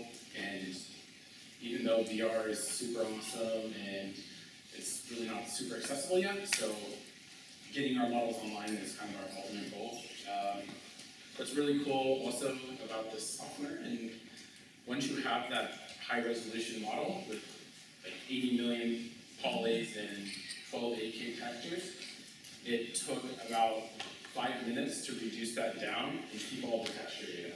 So you can you can remap the UVs. I don't know how technical you guys are, but you can remap all the UVs and keep all the texture information without rerunning the software, which is a kind of new feature and it's pretty awesome.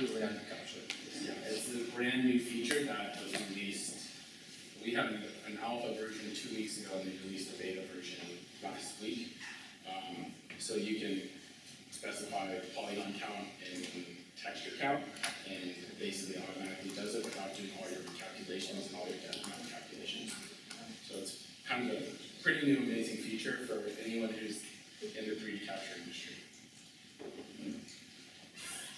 And of course, um, in addition to just 3D inputs,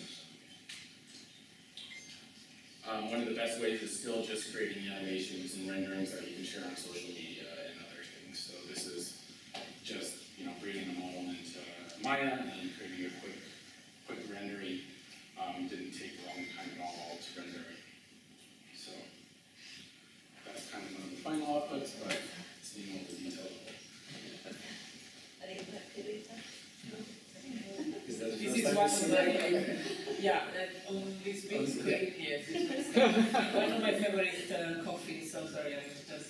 Level of details. So that's, that was just a quick, a quick project we did with the coffin. It took about, I don't know, four hours to capture? Yeah. Five hours to capture. Um, and then it took a, to process. Um, so we look forward to trying to do a little more of it and getting a little better at artifacts. Um, we like to, I would like to in the future is capture some of those artifacts and those assets that are in museums and put them back in situ in these sites we already captured. We've done a few examples of that in the Gone, uh, but I think it's really powerful to bring those assets back to where they were originally and see them in context. With VR, it's pretty amazing to be able to walk around and see how it was before. Uh, so that, that was a brief demonstration. Do you guys have any questions?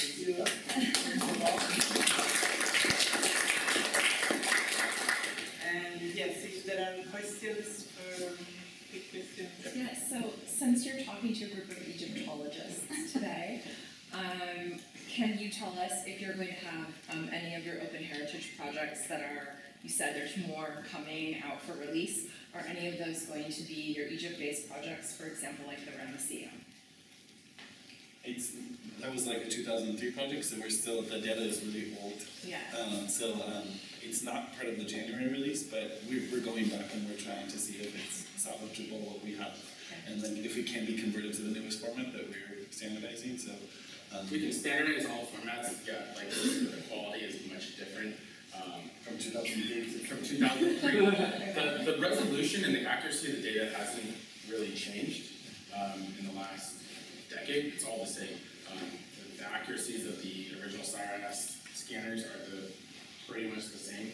Uh, when Ben did the first Cyrax scanners, uh, the accuracy was one millimeter at hundred meters. So that was the metric and what was designed for back in the day. Uh, but instead of being able to do eight scans a day, you can do like two scans a day. Um, so big difference in how many scan locations you have. So for a site like where we have the cathedral, where we did six hundred and thirty-three scans, um, it just simply wasn't possible back then. So, but yeah, we, we were trying to release as much of the data we All of our sites are on a, a master list and we're trying, like, part of my job is to get all of those up and we're working on it, so. And working in Egypt, you got, I'm sure most of you know, the government also, all of our data, we have kind of non-commercial rights to it, but the sites own the data fully as well. Uh, so we have to get their permission to release the data. Uh, a lot of, a lot of governments it's okay with, especially in the US, anything that is national park or publicly funded has to be open access, um, if requested. And stuff in Egypt, the government is a little less likely to release publicly. I would say the same for Mexico. Yeah, so also we're, we're worried about, we're worried about the government changing next week in Mexico City. So, because we, we have permission under the former government, but like, we'll see. So we'll see what happens with INAH. Yeah. Well, INAH is pretty fixed, yeah. but like, things like that, they cultura and they change. I just want to the same. I had a question, a quick question about, um, so since you're also talking to a scholarly uh, audience, and we are all like, I mean, some of us are like metadata freaks or stuff like that. Do you um, record, I mean, there is a lot of things that when you're showing us the model, you explain on the side. Uh, is this information captured when you do productions? And then do you share this information, I mean, how many scans, or why you decided to do uh, like the medium format, the photos of the, of the big, uh, uh, whatever hall, and not another type of technique, or is Yeah, any, so we're- of that attached to your models, or? That is not really currently attached to the models. Um, we definitely have lots of field notes, Right. things like that, which explain what we did, what the weather was, all that fun stuff. Um, And we have. data, we, yeah, we have a little bit of data Right. for the open heritage. I don't think we have enough yet. Um, we'll be making some announcements probably next year that are gonna be, we're working on addressing that. Um, we know it's a weakness and it's something we, we will, we really wanna contribute more to. Um, the metadata standards as well as three D standards in general. There's still no consensus in this, anywhere about three D data storage or three D metadata. It's all over the place. You can ask ten people and get ten answers, so trying to consolidate that if we can. You just like, if you go to academic conferences, you get hammered all the time, so better get it, get it straight. Yeah. And you, and so do I, I mean. Yeah, and, and we're working on that. I mean, Yeah. we went to like a biggest like archiving conference. Yeah, or the CIPA conference, I mean, with the like professional like photogrammetry, uh, all engineers and. Yeah. Yeah. I've been the secret conference, I presented at the secret conference, I've been grilled at the. Exactly. So I'm not going. Just if I may add very quickly, so I'm really happy that uh, CyArk was to help with the conference by the being scholars and metadata freak. My personal frequency was to get the annotations of these models, and we did already photogrammetry, but um, I think it's really an issue with doing photogrammetry on objects if they're not really high resolutions. The annotations do not come right either, so you cannot have the annotation, translation of the text or iconographical analysis if they're not good models. And I think really we need more, uh, um, more people really can um, um, work with the technology as you do, because you say you did it in one hour, when uh, we tried to do the same copy, it took us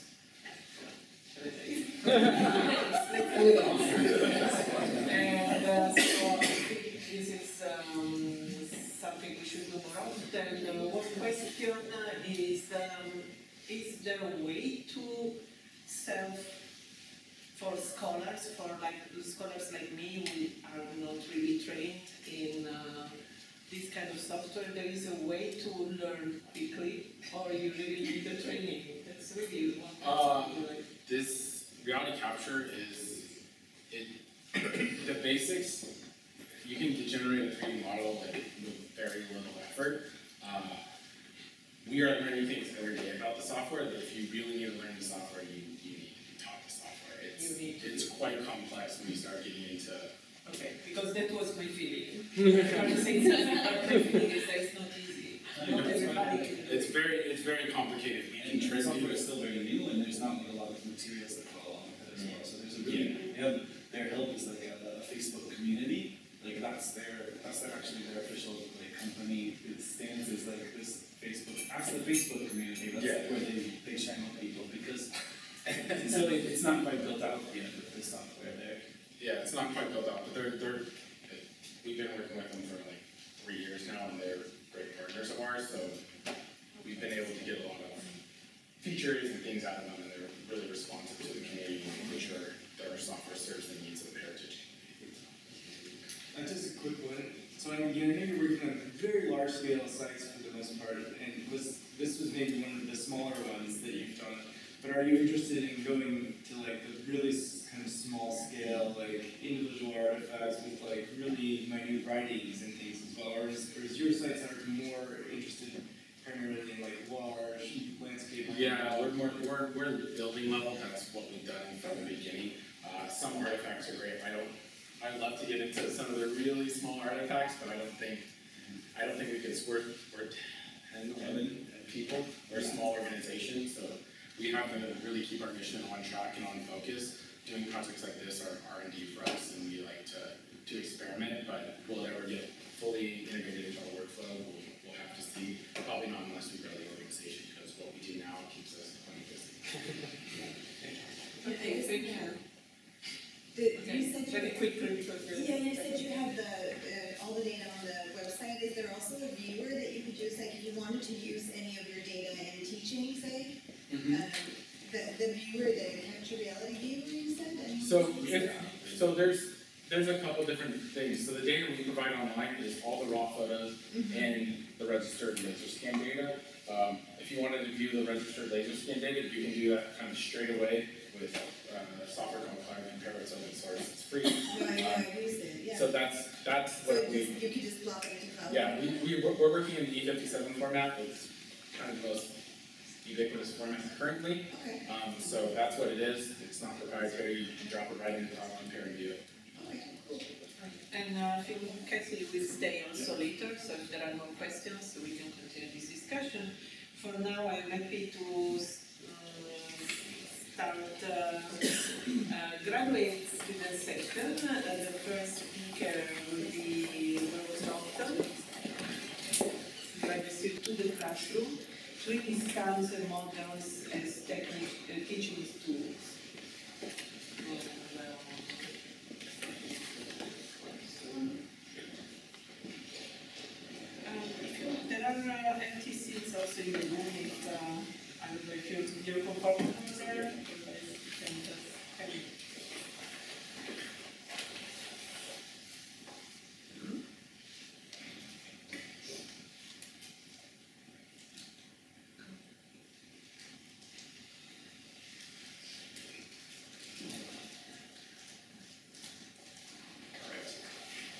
Okay, excellent. Well, thank you so much, um, Rita, for, for that introduction and for having me here today, and uh, more importantly, for organizing this, this whole thing as a grad student who's just starting out in digital humanities and is playing with a lot of this material. It's really great to, to be a part of this and hear about all of your research. So thank you all as well for, for all of the information, and hopefully uh, I can sort of reciprocate a little bit with some of the, the, the work that we've been doing with 3D printing if you're thinking about expanding in that direction.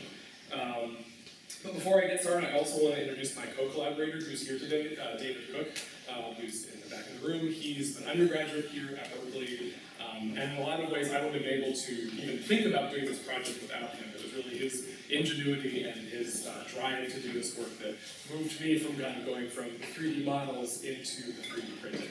Um, I'm also really happy that he's here today because if you have any technical questions, he's probably going to be able to answer them a little bit better than I will. Um, also at the outset, I should say that uh, I'm actually not going to be showing any Egyptological material today. Uh, as Rita mentioned, my research is both in ancient Egypt but also in Greek archaeology, specifically the Mycenaean period. Um, so I'm actually going to be focusing on some Mycenaean vessels, um, although I'm going to sort of be ending on uh, an Egyptological note as well. Um, and specifically, I'm going to be talking a little bit about this guy. Um, so this is a drawing of a Mycenaean stirrup jar. Which is the vessel that we've sort of been focusing on the most sort of for our, our early stages of, of research. Uh, this is not the drawing of the actual vessel, which I actually have right here as well. I, I think actually I'll send it around This sort of feels a little bit like show and tell. It's kind of feel like I'm back in preschool. Uh, but this is the vessel that we've been working the most with and that we've actually succeeded in, in several print jobs for. Um, so this is not a drawing of that specific vessel, but it's, it's pretty close. Um, now, uh, the stirrup jar is actually a very common shape in the sort of Mycenaean corpus of, of vases. Um, here you can see uh, the basic shape stays the same. Um, there are some sort of fluctuations um, in decoration, in size, uh, and some of the specifics of the shape, but for the most part it stays you know, pretty consistent. Uh, this is a fineware vessel. Uh, as you can see, it's a closed vessel that's used primarily for uh, transport and storage of liquids. Uh, the larger vessels like this one that you see on the right were probably used for wine storage, and the smaller vessels like the one that is uh, going around right now were used for oil, specifically perfumed oil. Um, now, although this is not an Egyptian artifact, there might be some of you in the room that have seen this before within a specifically Egyptian context, and that's because this is a really uh, important and kind of big import um, that we see in Egypt from the Mycenaean world. We find these pots at sites like Amarna, in Medina, uh, Tel El Daba. I think uh, the last count that I heard is uh, these pots show up at something around like 30 different sites along the Nile Valley in Egypt. Um, so for someone like me, sort of as a, a side note, who's interested in cultural contact, um, you know, this kind of research is really interesting because it provides us you know, with a way of digitally scanning a lot of artifacts from a lot of different places, both Egypt, Greece, and the rest of the Eastern Mediterranean, uh, and bringing them together in sort of a curated digital collection that you can't do with the actual artifacts themselves. Um, so that's one of the reasons why I sort of got into this work is because, you know, again, as someone who kind of travels around, looks at all this material, it's nice to of have a curated collection in one place. Um, Now, the, this one obviously is not one that's from Egypt, so the scan that you guys are sort of, you know, holding and playing with right now is a scan that I took this past summer while I was on excavation in Greece. Uh, so I'm a member of the staff of Berkeley's excavations uh, in Greece. We work at three different sites. We work at Mycenae, a, a pottery production center where this guy may have actually been made. Um, but we also work at Nemea, the Temple of Zeus there, and um, also nearby the Temple of Nemea, just to the west, we work at Aidonia, which is a Bronze Age chamber tomb cemetery um, where this guy was discovered. Now, um, this past summer, my director and advisor, Dr. Kim Shelton, was very generous and allowed me to, uh, to basically go into the back of the museum and pick a couple of objects that uh, I would be allowed to sort of work with digitally. Um, so that was very kind of her, and um, I also was very fortunate that one of the members of our excavation team, uh, Dr. Effie Athanassopoulos, was also around, and she's our Byzantinist, and she has also been doing a lot of work with 3D scanning. So she and I worked together and we decided that we were going to expand her work where she's mostly been scanning the Byzantine objects from the Nemea excavations, and we wanted to sort of start piloting a program to do that same work at Aidonia. And this is one of our sort of first scans that we created. Um, and we actually, so we made a couple different scans of this guy. We started with photogrammetry, so this is our Lester Jar posing for his photo shoot. Um, but we also uh, did 3D laser scans using a Next Engine uh, handheld, not handheld, um, tabletop stand uh, scanner, which I think Justin actually alluded to a little bit yesterday. Um, it's a 2008 copy, um, so it's you know about 10 years. Um, so he was talking a little bit about how sometimes this technology gets out of date rather quickly. You need to get a new scanner, um, but actually, for reasons I'll show you in a little bit, it actually does a very, very good job of making some very nice scans. These are not photographs of the object, these are the actual scans just from the NextEngine scanner. Again, this is a scanner that's 10 years old, uh, but still is creating a lot of really great details. In fact, if you have the model and you look um, basically right below the spout, you can see we have all these nice little painted lines, and you can see those lines on our model itself. Uh, which I think uh, is a good testament both to the scanner, but also to the, the 3D printing that we did. Um, and because we actually decided that for, for reasons of texture, we wanted to use the 3D models that were generated by the laser scanner rather than photogrammetry because it kind of flattens the object a bit. Um, so this is a scan we decided to, to work with, and I came back to campus and was thinking a little about what I wanted to actually do with these objects, and then um, very fortunately for me, David approached uh, my advisor, Dr. Kim Shelton, and said, hey, I'm really interested in 3D printing, do you guys have anything? Uh, Kim put the two of us in contact, and we've been, we've been playing around with stirrup jars ever since. Um, so to, to, kind of start the process, oh, actually, I'm going to go to that in a second. Um, I was actually really surprised. I kind of thought this was going to be really difficult and, and high-tech and hard to do, um, but it's actually a lot simpler than one would imagine. Um, so yeah, it's actually fairly simple so long as you already have the 3D scan of the object that you want to make. Um, and from there, most 3D scanned files that we that we had from the scanners were in polygon format, so that p.ply format, uh, which is really standard for 3D scanning. Um, however, the 3D printers uh, all don't really work within that file type. They use mostly .stl files. Um, so the first thing that we had to do was to import this object into MeshLab and change it into a .stl file, which is actually, again, fairly simple to do. Um, and then once you've done that, the file can then easily be loaded onto the 3D printing software of our choice, which for us, we had access to a Cura Type A printer, uh, which are the 3D printers that are available in the makerspace in Moffitt, uh, which uh, I think, again, Justin sort of alluded to this a little bit yesterday, but if you're on campus uh, and you haven't been there, I definitely recommend checking that out. It's in the first floor of Moffitt.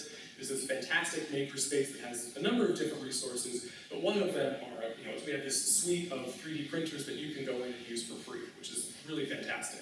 Um, now, these specific printers don't allow for many printing options, uh, but we, were okay with that at first since we didn't have you know, a lot of things that we needed to change. Um, the stirrup jar that we printed um, was printed using the, the, filament, a PLA filament, which is a compostable plastic. Uh, the filament is just what we call the, the, material that the object is made out of. Um, it took our printer 12 hours to, to put this guy together. Yes. So this is just a little GIF showing uh, the printing process and how it works. So just kind of looking at that, you can see that with this 3 model, there are essentially two components. The first is the, the outer wall, which is that, you know, the thick wall that you see on the outside. And then the second is what we call the infill. It's that sort of, uh, as it comes back down, it's this triangular structure on the inside that supports the model both as it's being initially built, uh, but also supports it, you know, once it's finished as well. Um, so uh, that was, you know, we that was fun to kind of print and see that happening. So here you can see some action shots um, of the object being printed and the, the final copy. Um, so we were actually, it was fairly successful. We were pretty, pretty proud of that. Uh, but we decided we wanted to move on and uh, test another type of vessel. So this is the coarseware vessel, which is again also from Aidonia. It's um, it was used for fumigation rituals, and here you can also see the supports. Um, so this is obviously the vessel itself. This is not a part of the vessel, um, but those are the supports that the 3D printer builds in, so that when you're working horizontally or working on a vessel like this that doesn't have a base, uh, it's able to you know support it as it goes out and, and prints it. Um, and those just you know basically break off very easily once you've finished the print job. Um, and we wanted to print this just because you know, we hadn't done a closed vessel, we wanted to do an open vessel, the stirrup jar, which Brad Hensek referred to. Um, this is a fineware vessel, uh, and this is, as I said, a coarseware vessel. And one of the things that we found was really interesting is even with, um, you know, which is, this is not necessarily the top of the line printer, but even with this very standard printer, we were able to get a high fidelity in sort of the, the composition of the clay. So I don't have this model with me here today, but if I put them side by side, and you can kind of see it a little bit uh, in the pictures as well, you can feel the difference in the clay. This, as you guys were feeling it up, this is obviously very smooth, very nice, uh, but if you were to, you know, play with this guy a little bit, you could feel how coarse that clay actually is, uh, which is something that we found to be pretty, pretty exciting, and one of the reasons why we wanted to go with the laser scans rather than the photogrammetry. Once we had printed this, we decided that we wanted to uh, try to make our stirrup jar hollow. Uh, and after some initial research, uh, we found that there are two ways to do this. The first is uh, to upload it into a printer and set it to vase mode, which essentially tells the printer not to print the infill, uh, and it just basically prints a shell on the outside. So that's what we did here with this one. And we had to actually go to uh, a different makerspace on campus, in Jacobs um, hall. Uh, and we had to use a different kind of uh, printer that gave us some more printing options, which was the Ultimaker Cura 3D printer. Um, so we could actually go ahead and do the vase mode. And maybe you can kind of tell from this, but it, it didn't really work. Uh, I have I have him here. I keep referring to this as a little stirrup jar that couldn't. Um, because as you can see, in vase mode, it really struggles with sort of the horizontal. Um, so if I sort of turn it over like this, you can see that it hasn't really been able to, to do the 3D printing at the top. Uh, it couldn't really do the base either. And once it gets to this part of the vessel, where it is really horizontal, uh, the 3D printer really struggled to make that work. Um, it's also kind of a little bit flimsy, like I can kind of push it and, you know, could potentially break fairly easily. But even in this model, again, like if you were to look right below the spout, we still have some of those nice fine lines from the paint. So it's not all bad, but uh, we just sort of discovered that that's probably not the best option if we wanted to print something to be hollow and kind of play around with.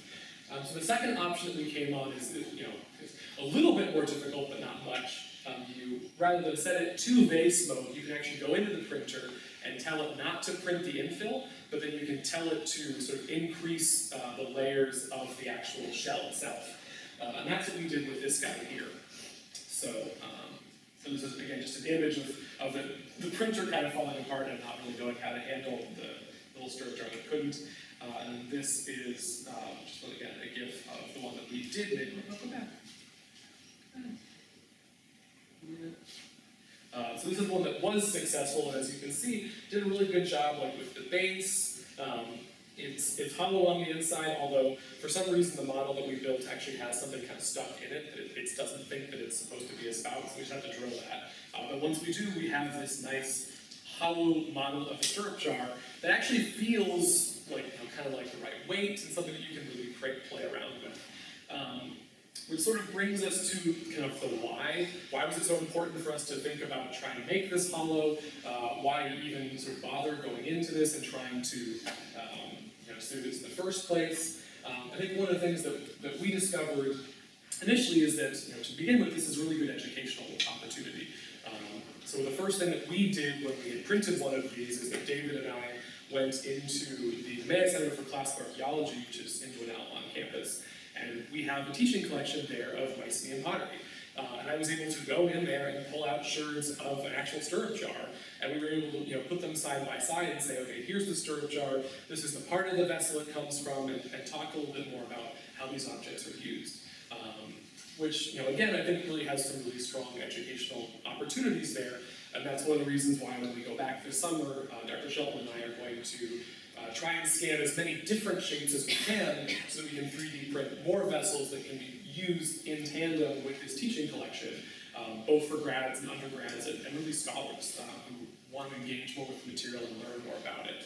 Um, but I think, and this has kind of been brought up uh, in a number of the different talks so far, I think really sort of what's been most beneficial, even just for me about this, is sort of the tangible sort of phenomenological experience with the object. Um, I work with this object in Greece, and I'm not even able to handle as much as I'm able to handle this guy. And just walking around with him and playing with him, I've been able to, to think a, a lot more about how it's being used and how it's been designed. I mean, this is really a nice handheld object that's designed just to fit your hand, and then you can kind of put a little perfume on, and you know, he's he's quite nice. So um, so I think you know it's it's also a way to you know create that kind of phenomenological experience with students and researchers, and also make these objects a lot more accessible. I mean, this is an object that's in Greece, and even versions of this object that are available in museum environments, you're not going to be able to touch and play around with and think about how it was used.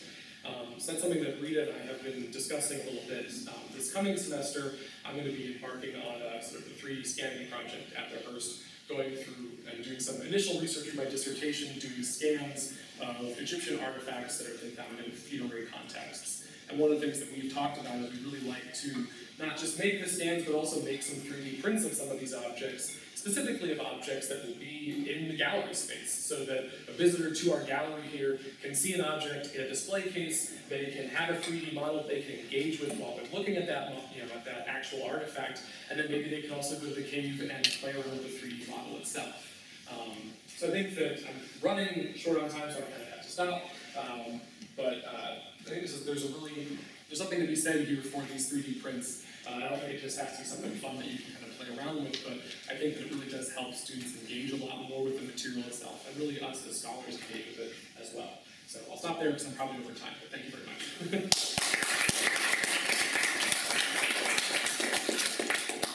Thank you, David. Any questions? That dog is adorable. What is it?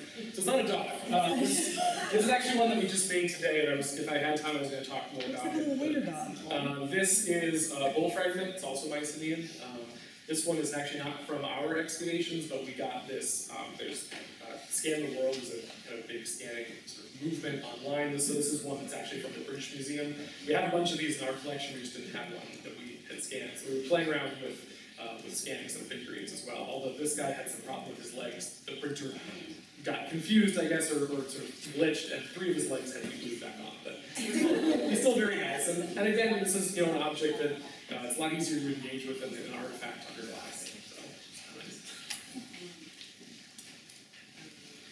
I have a question. Yeah. What is the cost of? Uh, So the, the makerspace on campus is free.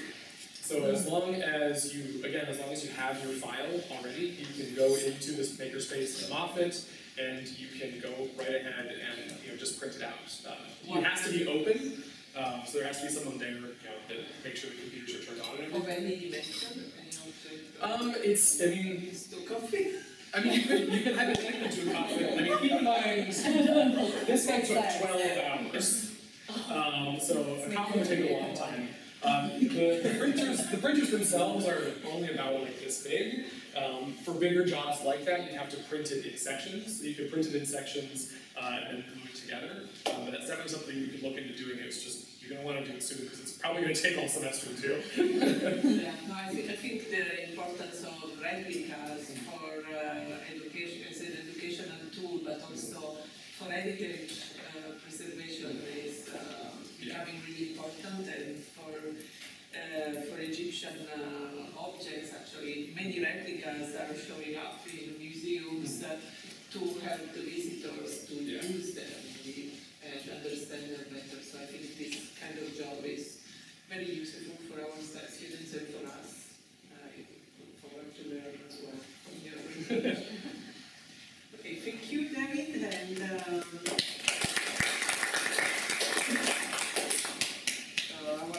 speaker is Kea Johnston, currently pursuing a PhD in Egyptology in UC Berkeley. She has an undergrad, undergraduate degrees, two undergraduate, undergraduate degrees in computer science and biology from Brown University.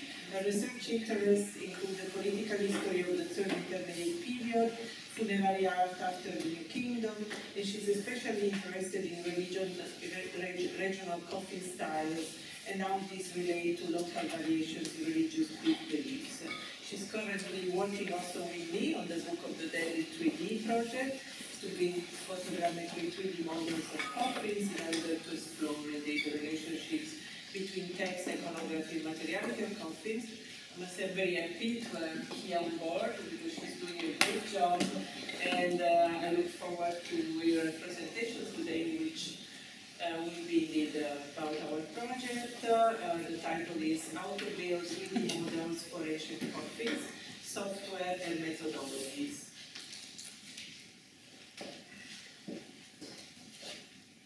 Oh, and there's no coffee pauses. We have a very intense afternoon, but we have coffee, so you're welcome to just. Uh, I have a very tiny little computer window here that I need to.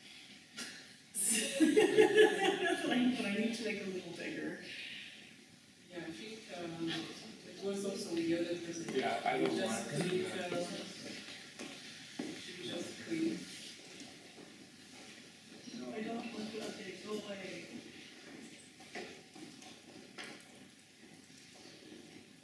Click is just clicking on the presentation.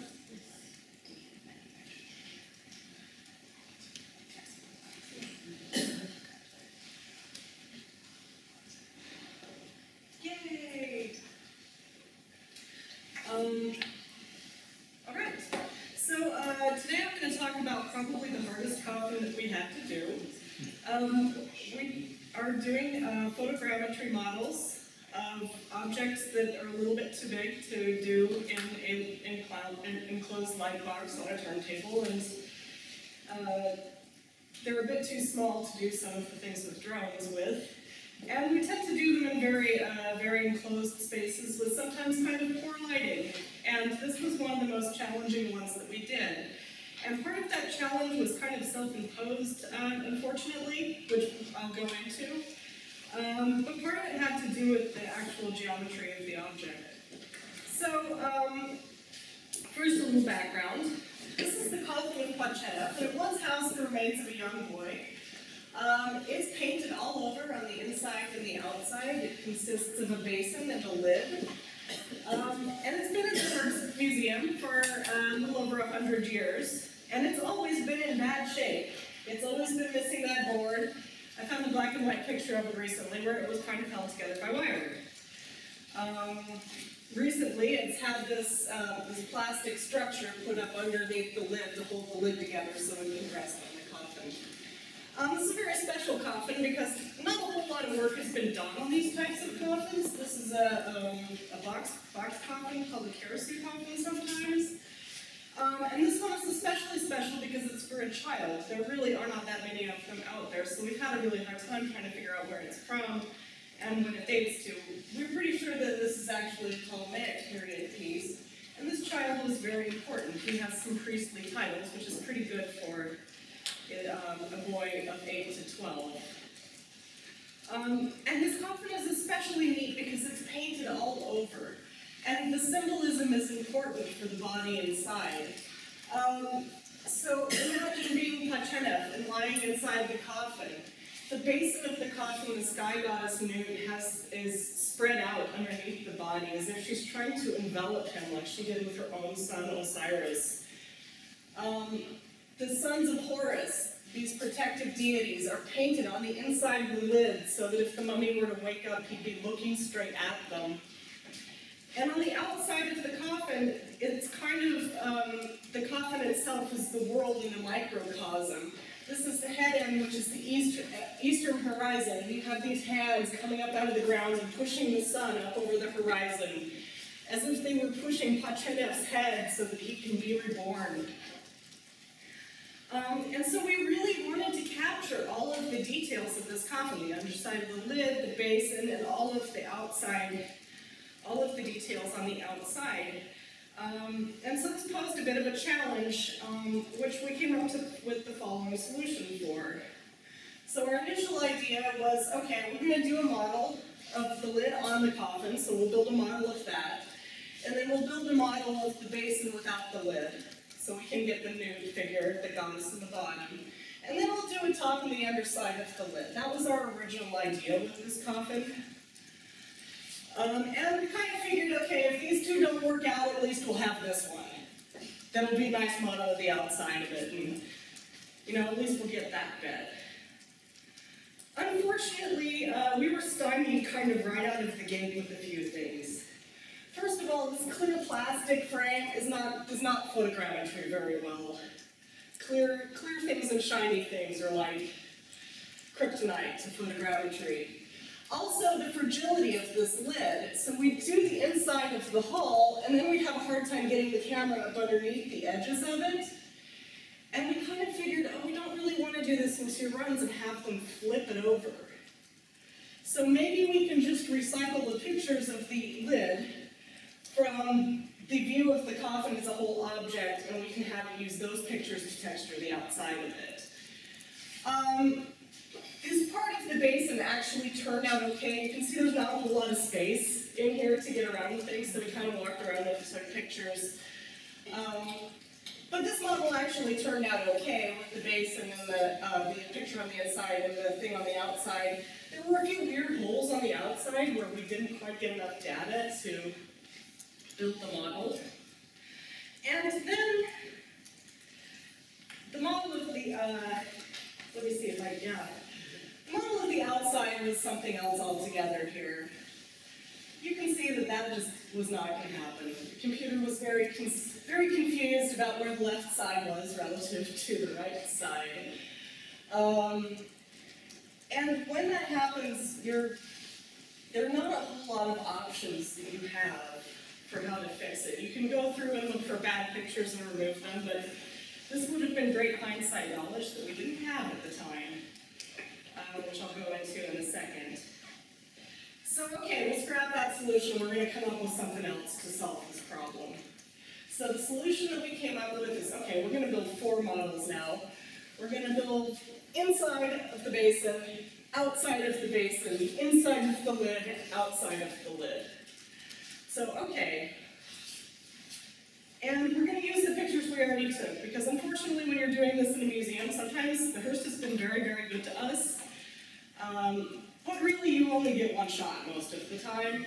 And so if you take a bunch of pictures that just don't work out, you kind of got to figure out how am I going to deal with this, rather than just going and doing it over again.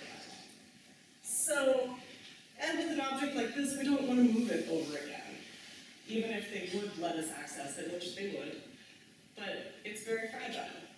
So um, we recycled these pictures that didn't align correctly of the basin, and I masked them twice. So in this one, I'm using those pictures of the entire thing to generate just the outside of the box. I've masked out the lid, I've gone through all the pictures and masked out the lid. Same pictures are going to be used to generate the outside of the lid here. Go ahead and invert the masks, use them to build the outside of the lid. And here are those, here are those two models kind of in action here. Here's the outside of that lid. I mean, here's the outside of the basin. And you can see it's a little bit janky on the posts there, but for the most part, it's, it's pretty good on the outside. Yeah. Pointing out the dodgy bits. And then there's the inside right there. And between them, they should make a pretty decent model of the thing. Yeah, you can see that the inside's got some issues too. So it needs the outside, the outside needs the inside.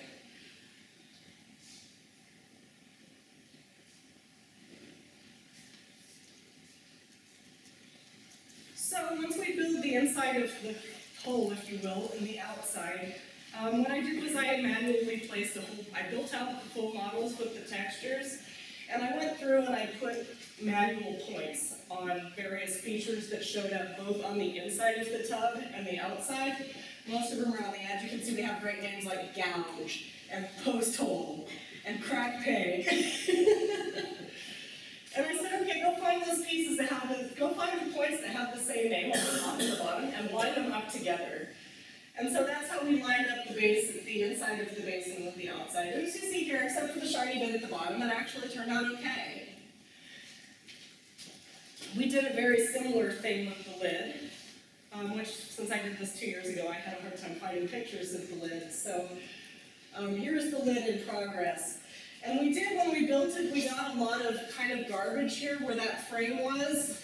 And I actually, at the point where I was doing the dense cloud, I went in by hand and edited all of those points out. So you can see kind of a ghost of that framework, but for the most part it's not there because it was only generating tiny weird parts of it where it was reflecting. So we have two models here, and I want to position them in such a way that the user can actually see up inside it in a way that they can't if the lid is just on top of the coffin. So I wanted that user to have the user to have the experience of being able to look at the picture on the bottom and being able to look at this thing that was carved on the top that the mummy itself would have been able to see. Um, and so what I did was I exported this as two different pictures, as two different models, and I posed them together in 3D Studio Max. And because we distribute using 3D PDFs, I think Adobe's kind of evil, but everybody has it. So it's a good way to get to make your models accessible to people. Um, I was able to build a 3D PDF using by compositing both of those models and exporting them as a U3D file, and then using Photoshop to export them in a format that I could make a 3D PDF out of. Was there a better way to do this? Yeah, probably. So, so at this point in the project, I think this was two years ago, we didn't really know a whole lot about taking pictures for photogrammetry.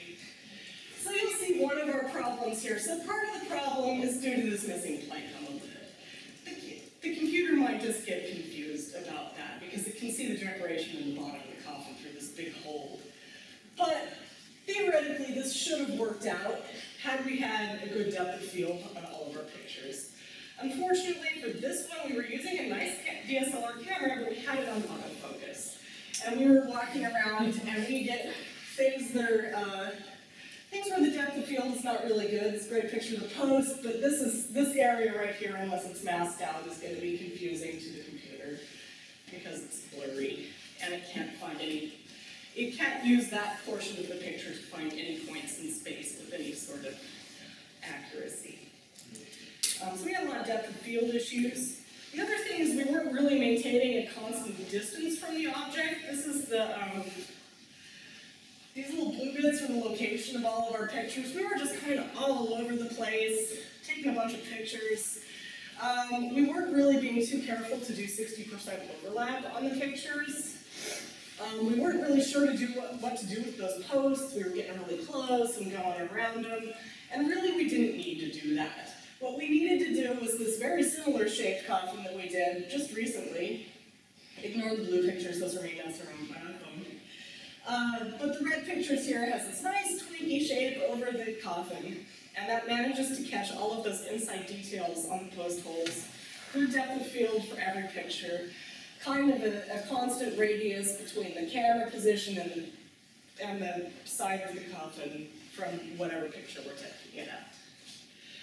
Um, theoretically, we could have built the lid in one piece, and the strategy for doing that would have been to um, be very careful around these corners, so when you're doing an object in a round, you generally rotate it around 15 degrees. So if you're doing an object that does kind of a 360 degree flip, so you're going along the side of that arch of the coffin lid, and you want to kind of go around that edge, you would want to do something like pivot 15 degrees and take a picture every time as you go around that really tight corner right there. Um, as, as far as like what, I, what would I do differently, um, I think I would not have done the, um, the whole model with the lid on top. I think I probably would have started, I would have made a nice model of both the inside and the outside of the basin, being very careful to take the pictures um, and get good coverage with the pictures, have focus set to a have the focus set on manual with a fixed shutter speed and a fixed, uh, fixed f-stop. And um, I would have actually probably done the lid the same way to prevent it from moving, except we would have built the underside of it and then flipped it and done the underside of it and then tried to pair up those two house manually. So, just in case you were wondering, here is what the final model of and F looks like. And it actually turned out okay. I. You can see all the little guardian demons along the top here, and then there's the goddess in the bottom with his name. Kind of. And then you can see what rough shape the inside of this piece is in. and then we got the details on the posts. You can see that lid probably needed to be photographed a little more carefully. And then they got the gods overhead, right around where Hashanah's face would have been. And there's the hands lifting his soul, was lifting the sun up the horizon being recorded.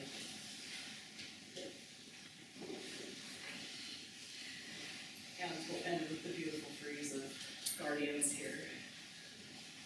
Because they're really kind of the, the winning feature of this album. And that's all I have So.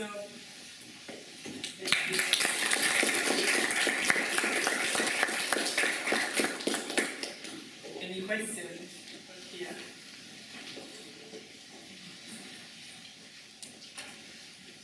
Yeah. Yeah, thank you for um, showing us your process. I've always thought of you, you're the expert in this compared to, to us. Like, we, uh, But to, I think it just shows how hard it is in kind of this learning context. We're, we're inventing this from scratch and we're also learning the techniques of the software. So really, talking a lot about needing more experts to refer to. And you're now, I think, I see you as one of these experts, but who who do you, yeah, well, who do you, who do you want to work with to really help you take this to the next step? Um, Rita has me working with Valerio from CyArk, and he is, he, he's like the guys I used to work with in the game industry with modeling. He's amazing, and I look at the stuff he's doing, and I'm like, oh god, I need to go back to college to learn how to do this. Maybe in my next life I'll be reborn as a 3D modeler. yeah? Yeah, so Kea, I wonder if you could reflect on what kind of training um, you think would be most useful. I know you've had some kinds of training now. Um, as a graduate student in archaeology, what should faculty and departments be offering to our students? What what kinds of things would you know do you feel like students would need so that this process would be easier?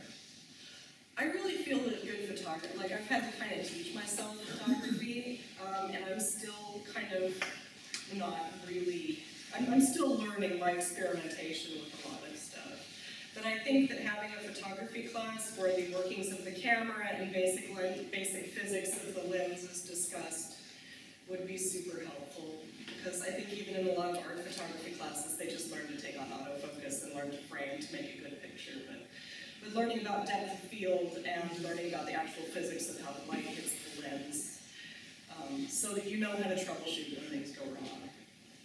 If I may add, I think basically we will need uh, curriculum for 3D artists, so courses really on hands-on, how to use technology for the students, and which we don't have, not many universities, uh, so that would be really great thing for UC Berkeley, but not only.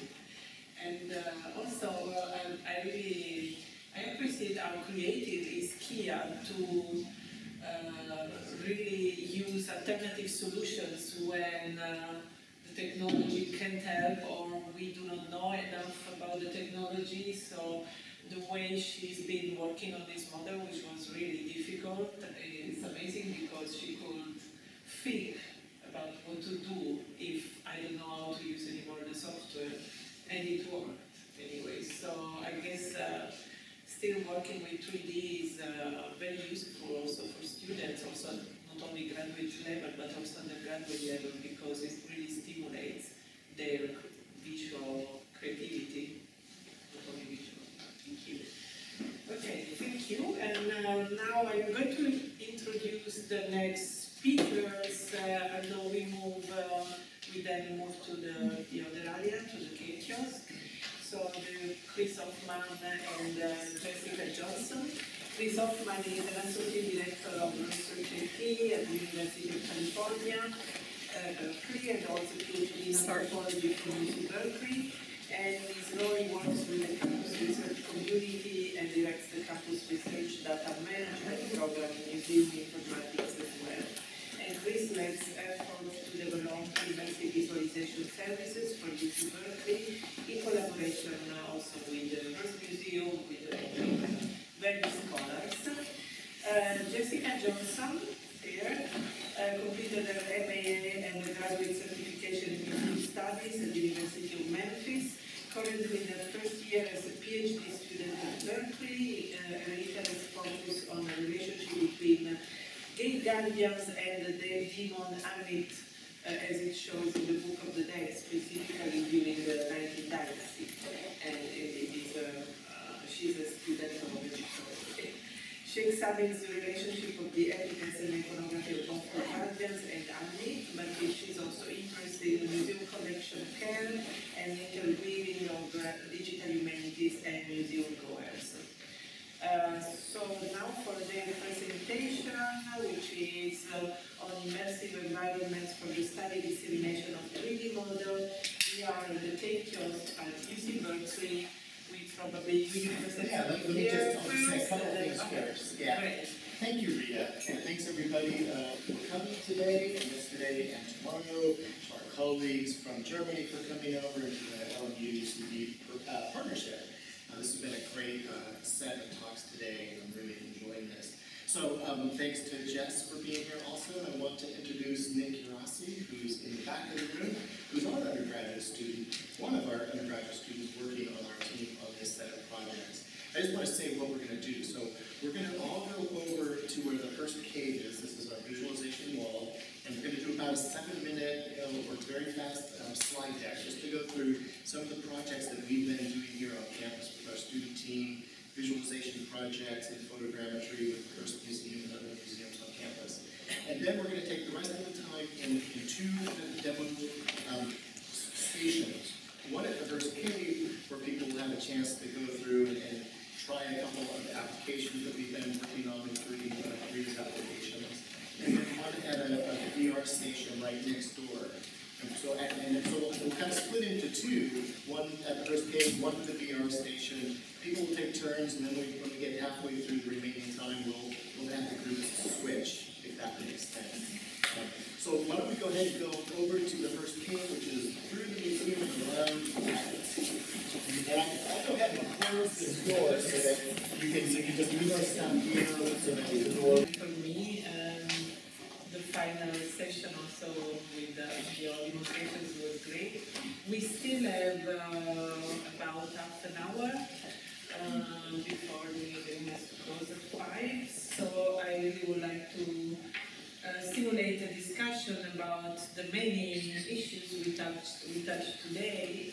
And spontaneously anyone uh, has already something to start with or questions speakers, at least those who are still here, or uh, what you, we, we could also without questions uh, just start to talk about so many issues, practical issues about how to use the technologies, I think, and maintain uh, the sustainability of them, maintaining the cost, uh, hiring the right, uh, also people to help uh, scholars with practical needs, uh, or uh, also the contrary, how uh, 3D uh, and in general digital experts can help scholars. Um, I have many notes on each lecture I could go on, but first I want to ask you if there are questions from one of you or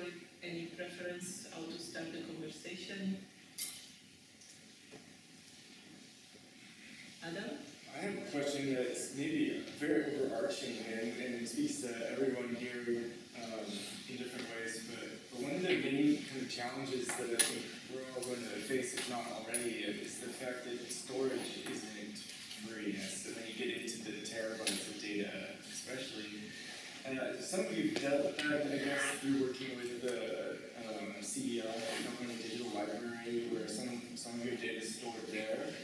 And some of you have been working with, say, CyArk and, and other uh, members in the industry, and Google. But, uh, but I feel like for archaeologists and specialists and researchers especially, having kind of like a hub or wandering hole would actually be a game changer for interdisciplinary and collaborative um, work on, you know, you would have a site you've been curating, and you would love to have, you know, talented scholars engage with that data set, and yet they can't because they don't know it exists online or something. So how, what are your thoughts so far as you kind of interacted with some of these like storage facilities essentially? Uh, and can you, can you in your mind see any kind of consensus forming as to where we might invest our data sets? Because I have big data already that I would love to make interactive and collaborative for interdisciplinary scholarship, but, um, but you know, there are roadblocks and challenges. I'd rather not have to invest in multiple places, but rather maybe just one or two, you know? Yes, I'm, I'm struggling with uh, these kind of issues too, uh, Lynn, yes. Yeah, so I think that's such an important question. Um, and uh, my colleague at UCLA, Lisa Snyder, is, has sort of come up with one sort of repository. And, you know, that's a drop in the bucket for what we need, but I think it's maybe an interesting kind of model for how um, scholars and libraries also could kind of work together. Um, she's creating sort of like a little niche repository for people's projects that they build in VSim. So she's, you know, created this open source software, virtual reality thing that allows you to richly annotate your model with scholarly kinds of information. Um, and so she now has a small grant from the NEH, and so people who download her software program and upload their models in it and annotate them can then submit them to the archive so that you can have it stored in the, you know, the library, um, through the digital library, um, and you can control how other people are able to um, access it and change it. So if you want teachers to be able to use it and write their own narratives around your narrative, they can do so and save those, and then they can even upload them for other people to use if you know they wanted to do a narrative for high schoolers about your cuneiform tablet or something like that. Um, and so I think it's kind of um, at least a model for how we as scholars need to actually engage in that question instead of saying like, oh, well, we'll just put our stuff up on Sketchfab, which is proprietary and which we have no control over, and we have, you know, um, they can just decide to close that down and then we've done all this work and have no access to it, right? So like we really need to start creating our own solutions, um, and um, I think that's a really important place that collaboration has to happen around that, right? It's very hard for one scholar to do that. You need to have collaboration between multiple libraries, multiple scholars, um, and you know that's a very it's sort of a little niche kind of thing. Um, but I can imagine a similar type of thing for archaeology for photogrammetric models, right? That would be about sharing all of this kind of material. So I think we all start need to start um, being more savvy about that and actually putting together some grants and working together to kind of make these repositories because no one's going to do it for us. I, yeah, I think about this a lot too. Um, I'll admit my dirty little secret about these projects that you've seen is that we're doing a horrible job with archiving and backing up, deciding what even, you know, we're, we're working so hard to even like solve the bare technical problems that kind of the ongoing preservation is something like, and we'll get to that in a month or so. Um, there, another example I think that Nicola talked about is that UC San Diego has a repository and for the project that we worked on, uh, we, we were developing, we were sending our content down to them. And they were willing to take also the, the raw photographs as well as the finished models. And so we had, it was interesting to have a discussion about what content So for example, for us, so this experience, right, we, uh, and uh, you see something, first of all, the librarian, the digital librarian were absolutely knowledgeable about uh, all the kind of data that we were, uh, of course, we had a few Zoom conversations telling them so we can have uh, like laser scanner data that we can upload like in E57 uh, from cloud, so they can be open in uh, uh, software. that are sources, and plus uh, we also have uh, uh, photogrammetric model, either we upload like the raw picture and the model with photoscan, and like, and then uh, we upload also um, the model in OBJ format, so the content depends uh, more or less on you, on uh, what kind of data you have and what you want to upload. And for us, it was like, we want everything there, everything that people can uh, start, start, from the photogrammetry or start from scratch the, to align the laser scanner data. And then uh, the way to make them uh, searchable was to link them to publication. So now, when you know that the publication is still, uh, there, we are waiting, uh, it is uh, under review. But uh, the idea was to, when you now submit an article, uh, a lot of time there is already, right, the reviewable uh, collection related to the publication, and so that is uh, how we did it.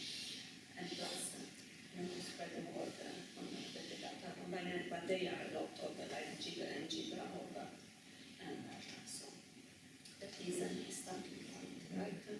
But You know, the NIH, so NSF won't fund repositories like that, and I'm sure NEH won't as well, but the National Institutes of Health have funded actual repositories for medical data, genomic data, so other funding agencies have decided to invest in this because they know UC San Diego is going to solve the problem for everybody.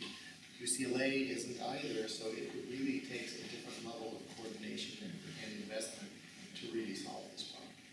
And considering how many anthropologists and archaeologists and cultural in the UC system, it seems to me like this would be a, an absolutely, it would make a huge amount of sense um, to take advantage of that multi-campus kind of Yes. level thing and be working to have a, an eight, you know, a seven or eight campus collaboration on putting together this kind of thing, right? It, it's just a matter of, of people doing it, right? That's, and, and, and sort of bringing it up and saying, this has to be done, we're, we're, we need this, cause they're not gonna build it for us until they know that Of course, it's a and then, necessity. uh, uh, they knew that like uh, an Excel spreadsheet, right, uh, according to our need uh, to capture all the metadata, so they were able to ingest all the uh, data and the metadata and see, and going through one, each uh, one of them, I think, uh, seeing if there are problem with what you write in the metadata, so it is a gigantic uh, that is the solution. And this could be indeed a cross-disciplinary Yes. uh, enterprise. Um, and I think it's, it's important indeed uh, to kind of go out your own discipline and see to what others are doing. That's why my idea for this workshop was a comparative perspective because I think in Egyptology we have a lot of work to do in this direction, but we are still not looking enough on what is happening uh, in other fields with uh, producing uh, models, but also storing them and sharing. That is the other Yes. issue. Does this look like, I'm for German colleagues, is this a familiar problem? Do you, do you have centrally supported repositories for these kinds of digital products of your research? Or do you solve it at the university level? Yes, so our IT group, they had very big server, so we can put everything on. And um, so actually for my exploration project, I have no, I have no problems at all. I can just leave everything in the IT group. And um, it's for free, I don't have to pay for it or anything. And, uh, but I know that my, my French colleague, they have the same problem. They have no repository or anything like that. So I think the LMU, the LMU Munich is quite good at that point. I don't know um, what your experience are. I didn't have that amount of data, unfortunately, but I say I use it also, they, they give you a repository for personal purposes, but also for bigger projects. So you can apply for a certain amount of data you need, a space, so and you get it and you get it for free. Yeah. yeah. Are you familiar with Europeana, that database? Which, which one? Europeana? Oh, it is like a 3D library for data in Europe. It's for European collections. No. Europeana? Europeana. Okay. Yeah, that's, that's a project to bring together all the digital collections from Okay. European libraries and museums and cultural institutions into, into one, one One place. place, Yeah. yeah. I was just wondering if your university was utilizing that. you know, But if you don't know, then sure. And that's only for Europe. I think it's based on European collections. Yeah. Yeah. And maybe you kind of think, well, maybe like your library, maybe sending its collection, but what about all the other collections that don't start out in a library? Do they go to? Yeah, and like in the United States, you know, like the Library of Congress, like has like certain standards for data ingestion and. But not really, I'm sorry? not really data. Yeah, they're starting to, they're starting to 3D data as well. That, that was one of the resources that we, when we were working on this open heritage project, we didn't quite know the standards of. So we were reaching out to different groups on like how we were doing that. Like our data is stored in, with Google Cloud Services, and so like then people get a link and then they can download it through open heritage. Um, and we control what goes up there, and like we're looking to see if we can add more partners to this, um, the Open Heritage Alliance program. But um, still very early days for, for that. Because uh, at the repositories, uh, of course you have to pay, but uh, I know that now you have to kind of uh, have a management plan, right? And you write so it's. Yeah, and sustainability, so if you can't show that your, like, a big project is sustainable, you're not gonna get the money anymore, you know?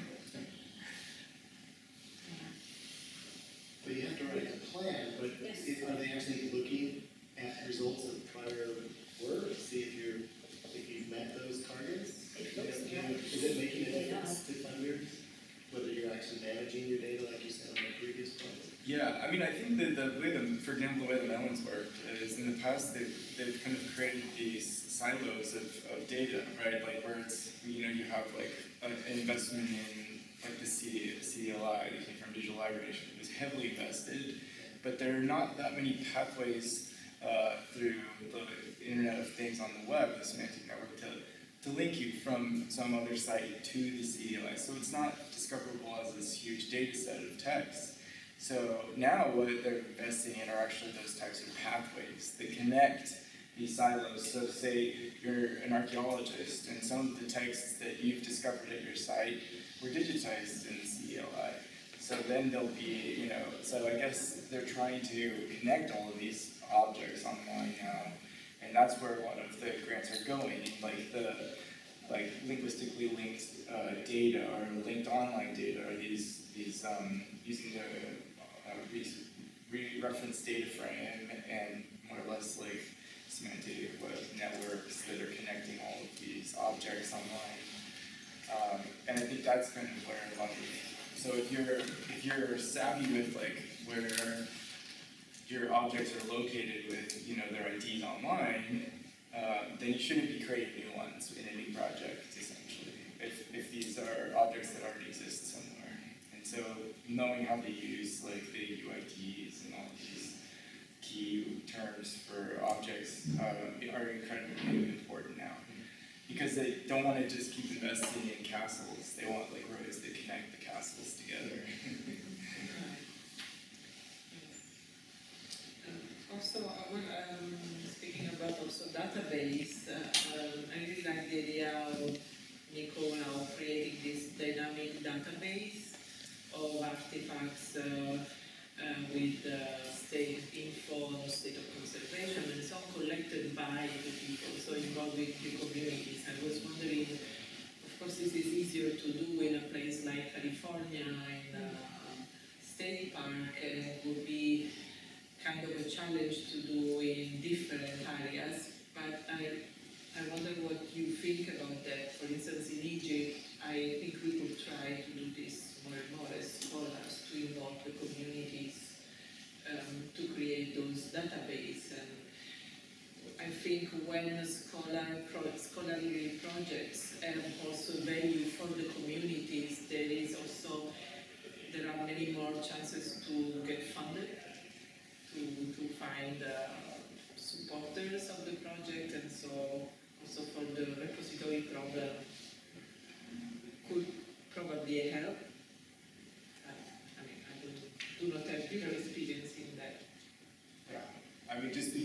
My neck of the woods, which is slightly more east of where many of you were, uh, you know, say Turkey, Syria, and Iraq, the Ministry of Tourism actually controls a lot of what happens at the archaeological sites. And so being able to appeal to that administration in that way with, you know, citizen science approaches could end up maybe be, being a game changer for how they see what's what's happening a site as being something purely like kind of Western academic to something a lot more inclusive and, and uh, interactive and raise awareness as well as you know maybe like the, the um, monetizing it somehow. you know, everyone's broke in these things. So.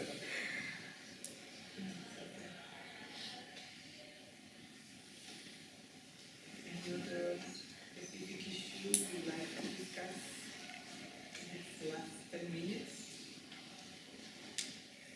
Well, one thing I have actually, I think a lot of I have a lot of colleagues who are kind of apprehensive in terms of investing right now and in um, a large 3D scanning project.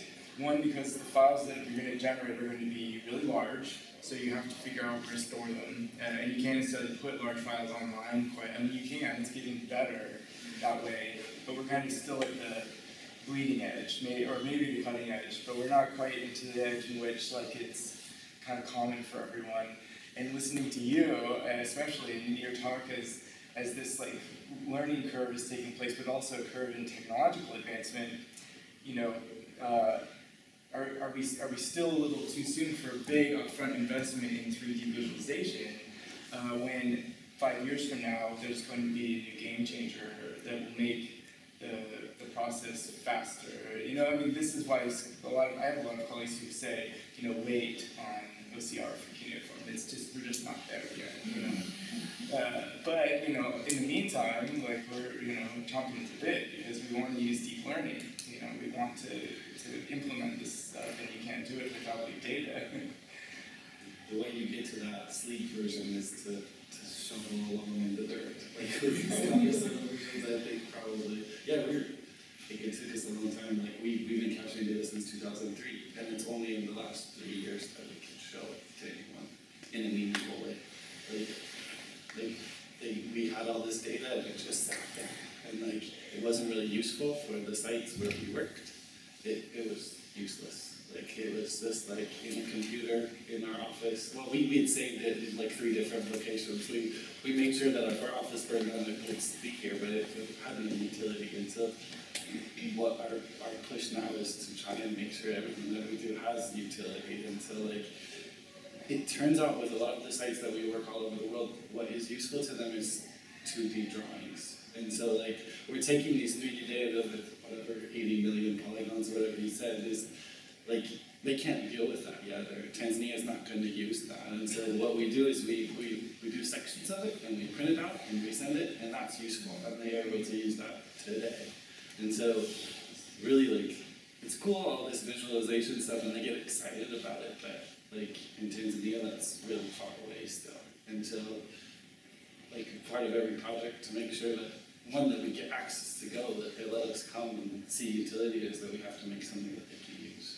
And so, um, like every project, there are drawings. There, even in the United States, it's still like HABS, like for they need drawings at a certain level, and so that's kind of like our our focus. And then if they can support more, or if they if they have a museum that has that capacity, then we'll provide those models. But starting as like a base level is just two D drawings. And I also don't like the idea that somehow we're just gonna let the tech companies decide how to make all of this software, right? well, they'll make it easy so we can just touch the button and it'll work, right? They don't make things for education, they don't make things to include citation and annotation and all of the kind of layering detail that we're interested in, right? So if we're not engaging with that, if they're not out there seeing um, us experimenting with this material and saying, oh, this does have educational purposes, look at what these people did. It's very low tech, but wow, we never would have thought of doing it that way, right? Look at what they're interested in. I, you know, I really think um, to expect private sector company that's trying to sell things to a private sector market to make things that are going to work for us is totally unrealistic. I, you know, we're always hacking the stuff that they've created and trying to make it work for us, and it's never really a good fit because they're not including the kinds of things that we want to have. So I think just kind of the idea that we're just going to step back and let them fix our problems for us, I think that's a very naive um, point of view that your colleagues are taking. That if we engage with the people that are making this kind of material, if they see how we're using it, if we're using it in our classrooms, if we're, if we're training our students to think um, about these concepts, then maybe we can actually get involved with creating the digital future that we want to have that's actually focused on cultural heritage and education. And I think that's the right approach to have and not just wait until they build it, right? Yeah. We won't come. so let's start to combine our wish list. like right now we have this relationship with RealityCapture. We are one of the first users, and so we can ask for things. And like some, they, they won't always say yes, but sometimes they do, and we give what we want. And like we still have to hack to make certain things, but um, they do give us. They, they see the utility, and then then it comes out as a. We, we try it as the alpha user, and then it comes out as a beta for everyone else. And so, yeah, like pushing and like asking for those relationships. I think universities can can do that. Like they're they're big user bases. And, like you're teaching people how to use this, this software, I think it, you have some power there too, like to, to these companies. There's a lot of archaeologists. we are midway. okay, thank you. I have to stop now because of the museum time. I hope we to see you all also tomorrow morning and we can continue conclude uh, the workshop.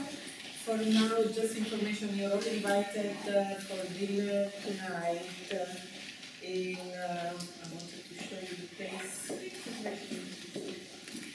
Anderson is a Mellon postdoctoral fellow in the digital humanities, uh, serving also on the academic advisory board for digital humanities at Berkeley, and co-author and designer of the theory and methods curriculum for the digital humanities minor. His work brings together the fields of uh, computational linguistics and archaeology to quantify the social and economic landscapes emerging during the Bronze Age in the ancient Near East.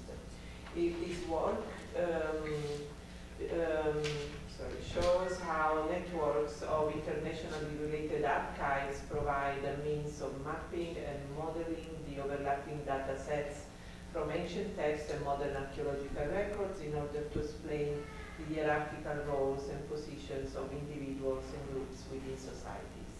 And today we speak about the case for 3D cuneiform. Thank you.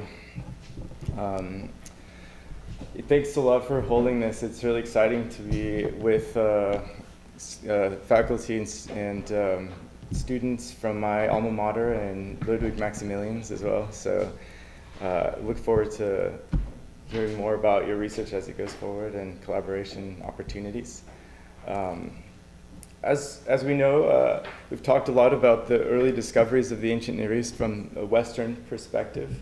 Uh, and I, will just fill in some of the gaps for the, the um, Mesopotamian region. We have early discoveries by Sir Austen Layard, uh, who introduced the Western world to some of the fantastic um, remains of the ancient empires, whether they were the uh, Neo-Assyrian Empire or the Babylonian Empire. And those, of course, were both conflated uh, in our rediscovery of these um, cultures. Uh, and really awoke a curiosity in the Western mind with blockbuster museum exhibits uh, that, that were in the Louvre and British Museum at the time in the 1920s and 30s. Um, really kind of created a, a, unique culture around the way the world looked at these long forgotten cultures that this in these cases were buried in, in, this, in the ground for over a thousand years and kind of forgotten. Uh, but in rewaking that kind of imagination, we've also kind of through whether it's cultural appropriation, like we like in Hollywood as it, it imagines, or through kind of a misinformation as to what these objects are uh, and their value to us has kind of trickled out into our modern world in ways that were unforeseen at the time when Napoleon went and took the, the wonderful goods, you know, back home to Paris or, or um, uh, and then all the other countries followed suit in the Western world in, in many ways. So a lot of my work is driven with the, with this kind of impetus to address the wrongs of the past that weren't perceived as wrong at the time, but have since come to look at the, this in, in a way that, that our effects can have sometimes devastating effects on the um, local cultures, especially, who have the, uh, much closer proximity to these objects and in many ways uh, a, a closer identity with them. Whether they want that identity linked to these ancient cultures or not, they, they're in many ways um, uh, closer to the ground, and, and we see that in many ways. Um, of course, one of the main ways that it's come into the news recently is uh, thanks to the Hobby Lobby Corporation, who, as we know, uh, was recently in this scandal where they had spent $1.6 million uh, falsely labeling artifacts that were coming from the Middle East, describing them as ceramic tiles, clay tiles, as it turns out, these were in fact um, a hoard of cuneiform tablets and um, plaques, bullae cylinder seals. You see cylinder seals and dockets. Um, and uh, this, this is just a glimpse of what I think what we catch if, if we look at how much uh, and can kind of project to what degree these artifacts are being um, taken by looters and by uh, groups like ISIS, we see that it's on the equivalent of uh, their oil and gas. And, and they often think about these artifacts in this way. So that pulling valuable objects from the ground is like pulling oil from the ground. Uh, and they go to resell these things. Very few of them, even though much of their propaganda suggests they're destroying these objects, very few of these objects are being destroyed. We're finding the, the pits where they're keeping the, the objects, and we're, we, um, but we, we know that in the process, we're, we're very familiar with this kind of story. Most of what we have in our museums in the Western world from the, that precede the 1930s came to us in a very similar way. We found them, or the, the museum workers, of the British Museum, for example, would go to a bazaar in Syria or Iraq and find uh, a recent hoard of objects that were being sold at a bazaar. And, and that at the time was never questioned what our involvement in, as a museum would be in procuring these objects. Whereas today, no responsible museum is purchasing these objects. These are left uh, to the black market and um, very, very few of them uh, are presented for any kind of scholarly eye to capture before they go into um, different auction houses or sold privately. But it's important to realize how also how these um, objects come from uh, places like real, real spots on the earth that can be recovered in some way, or at least that's the question. Can we take, say, a, a hoard of texts that that we know uh, come from a certain location and reconstruct some kind of archive. And, and that word is, I think, an important one and a confusing one, uh, the way we use it in the field. Uh, it, we, we use that word to describe, for example, a scholarly archive of an excavation, the Tebtunis archive, as they described it. Uh, and we also use it to describe ancient archives or collections of objects and texts from uh, contexts in houses and at sites in, in antiquity. There's a disconnect there, and I don't think our specificity of language is exact enough to distinguish them within the word itself. And so I, I think that there's um, maybe certain qualifiers we can use as we describe these archives, but especially in, in uh, southern Iraq, the, where the scholars have, due to the Gulf War and whatnot, been many, many steps behind the looters. We, we can't get ahead of it. It's, it's gone further than, than we can at most sites. Um, there's uh, currently, thanks to scholarly um, help, about uh, 150,000 Neo-Sumerian uh, texts have been recovered through photos being passed before they are up for auction. And these photos have been used to digitize a database.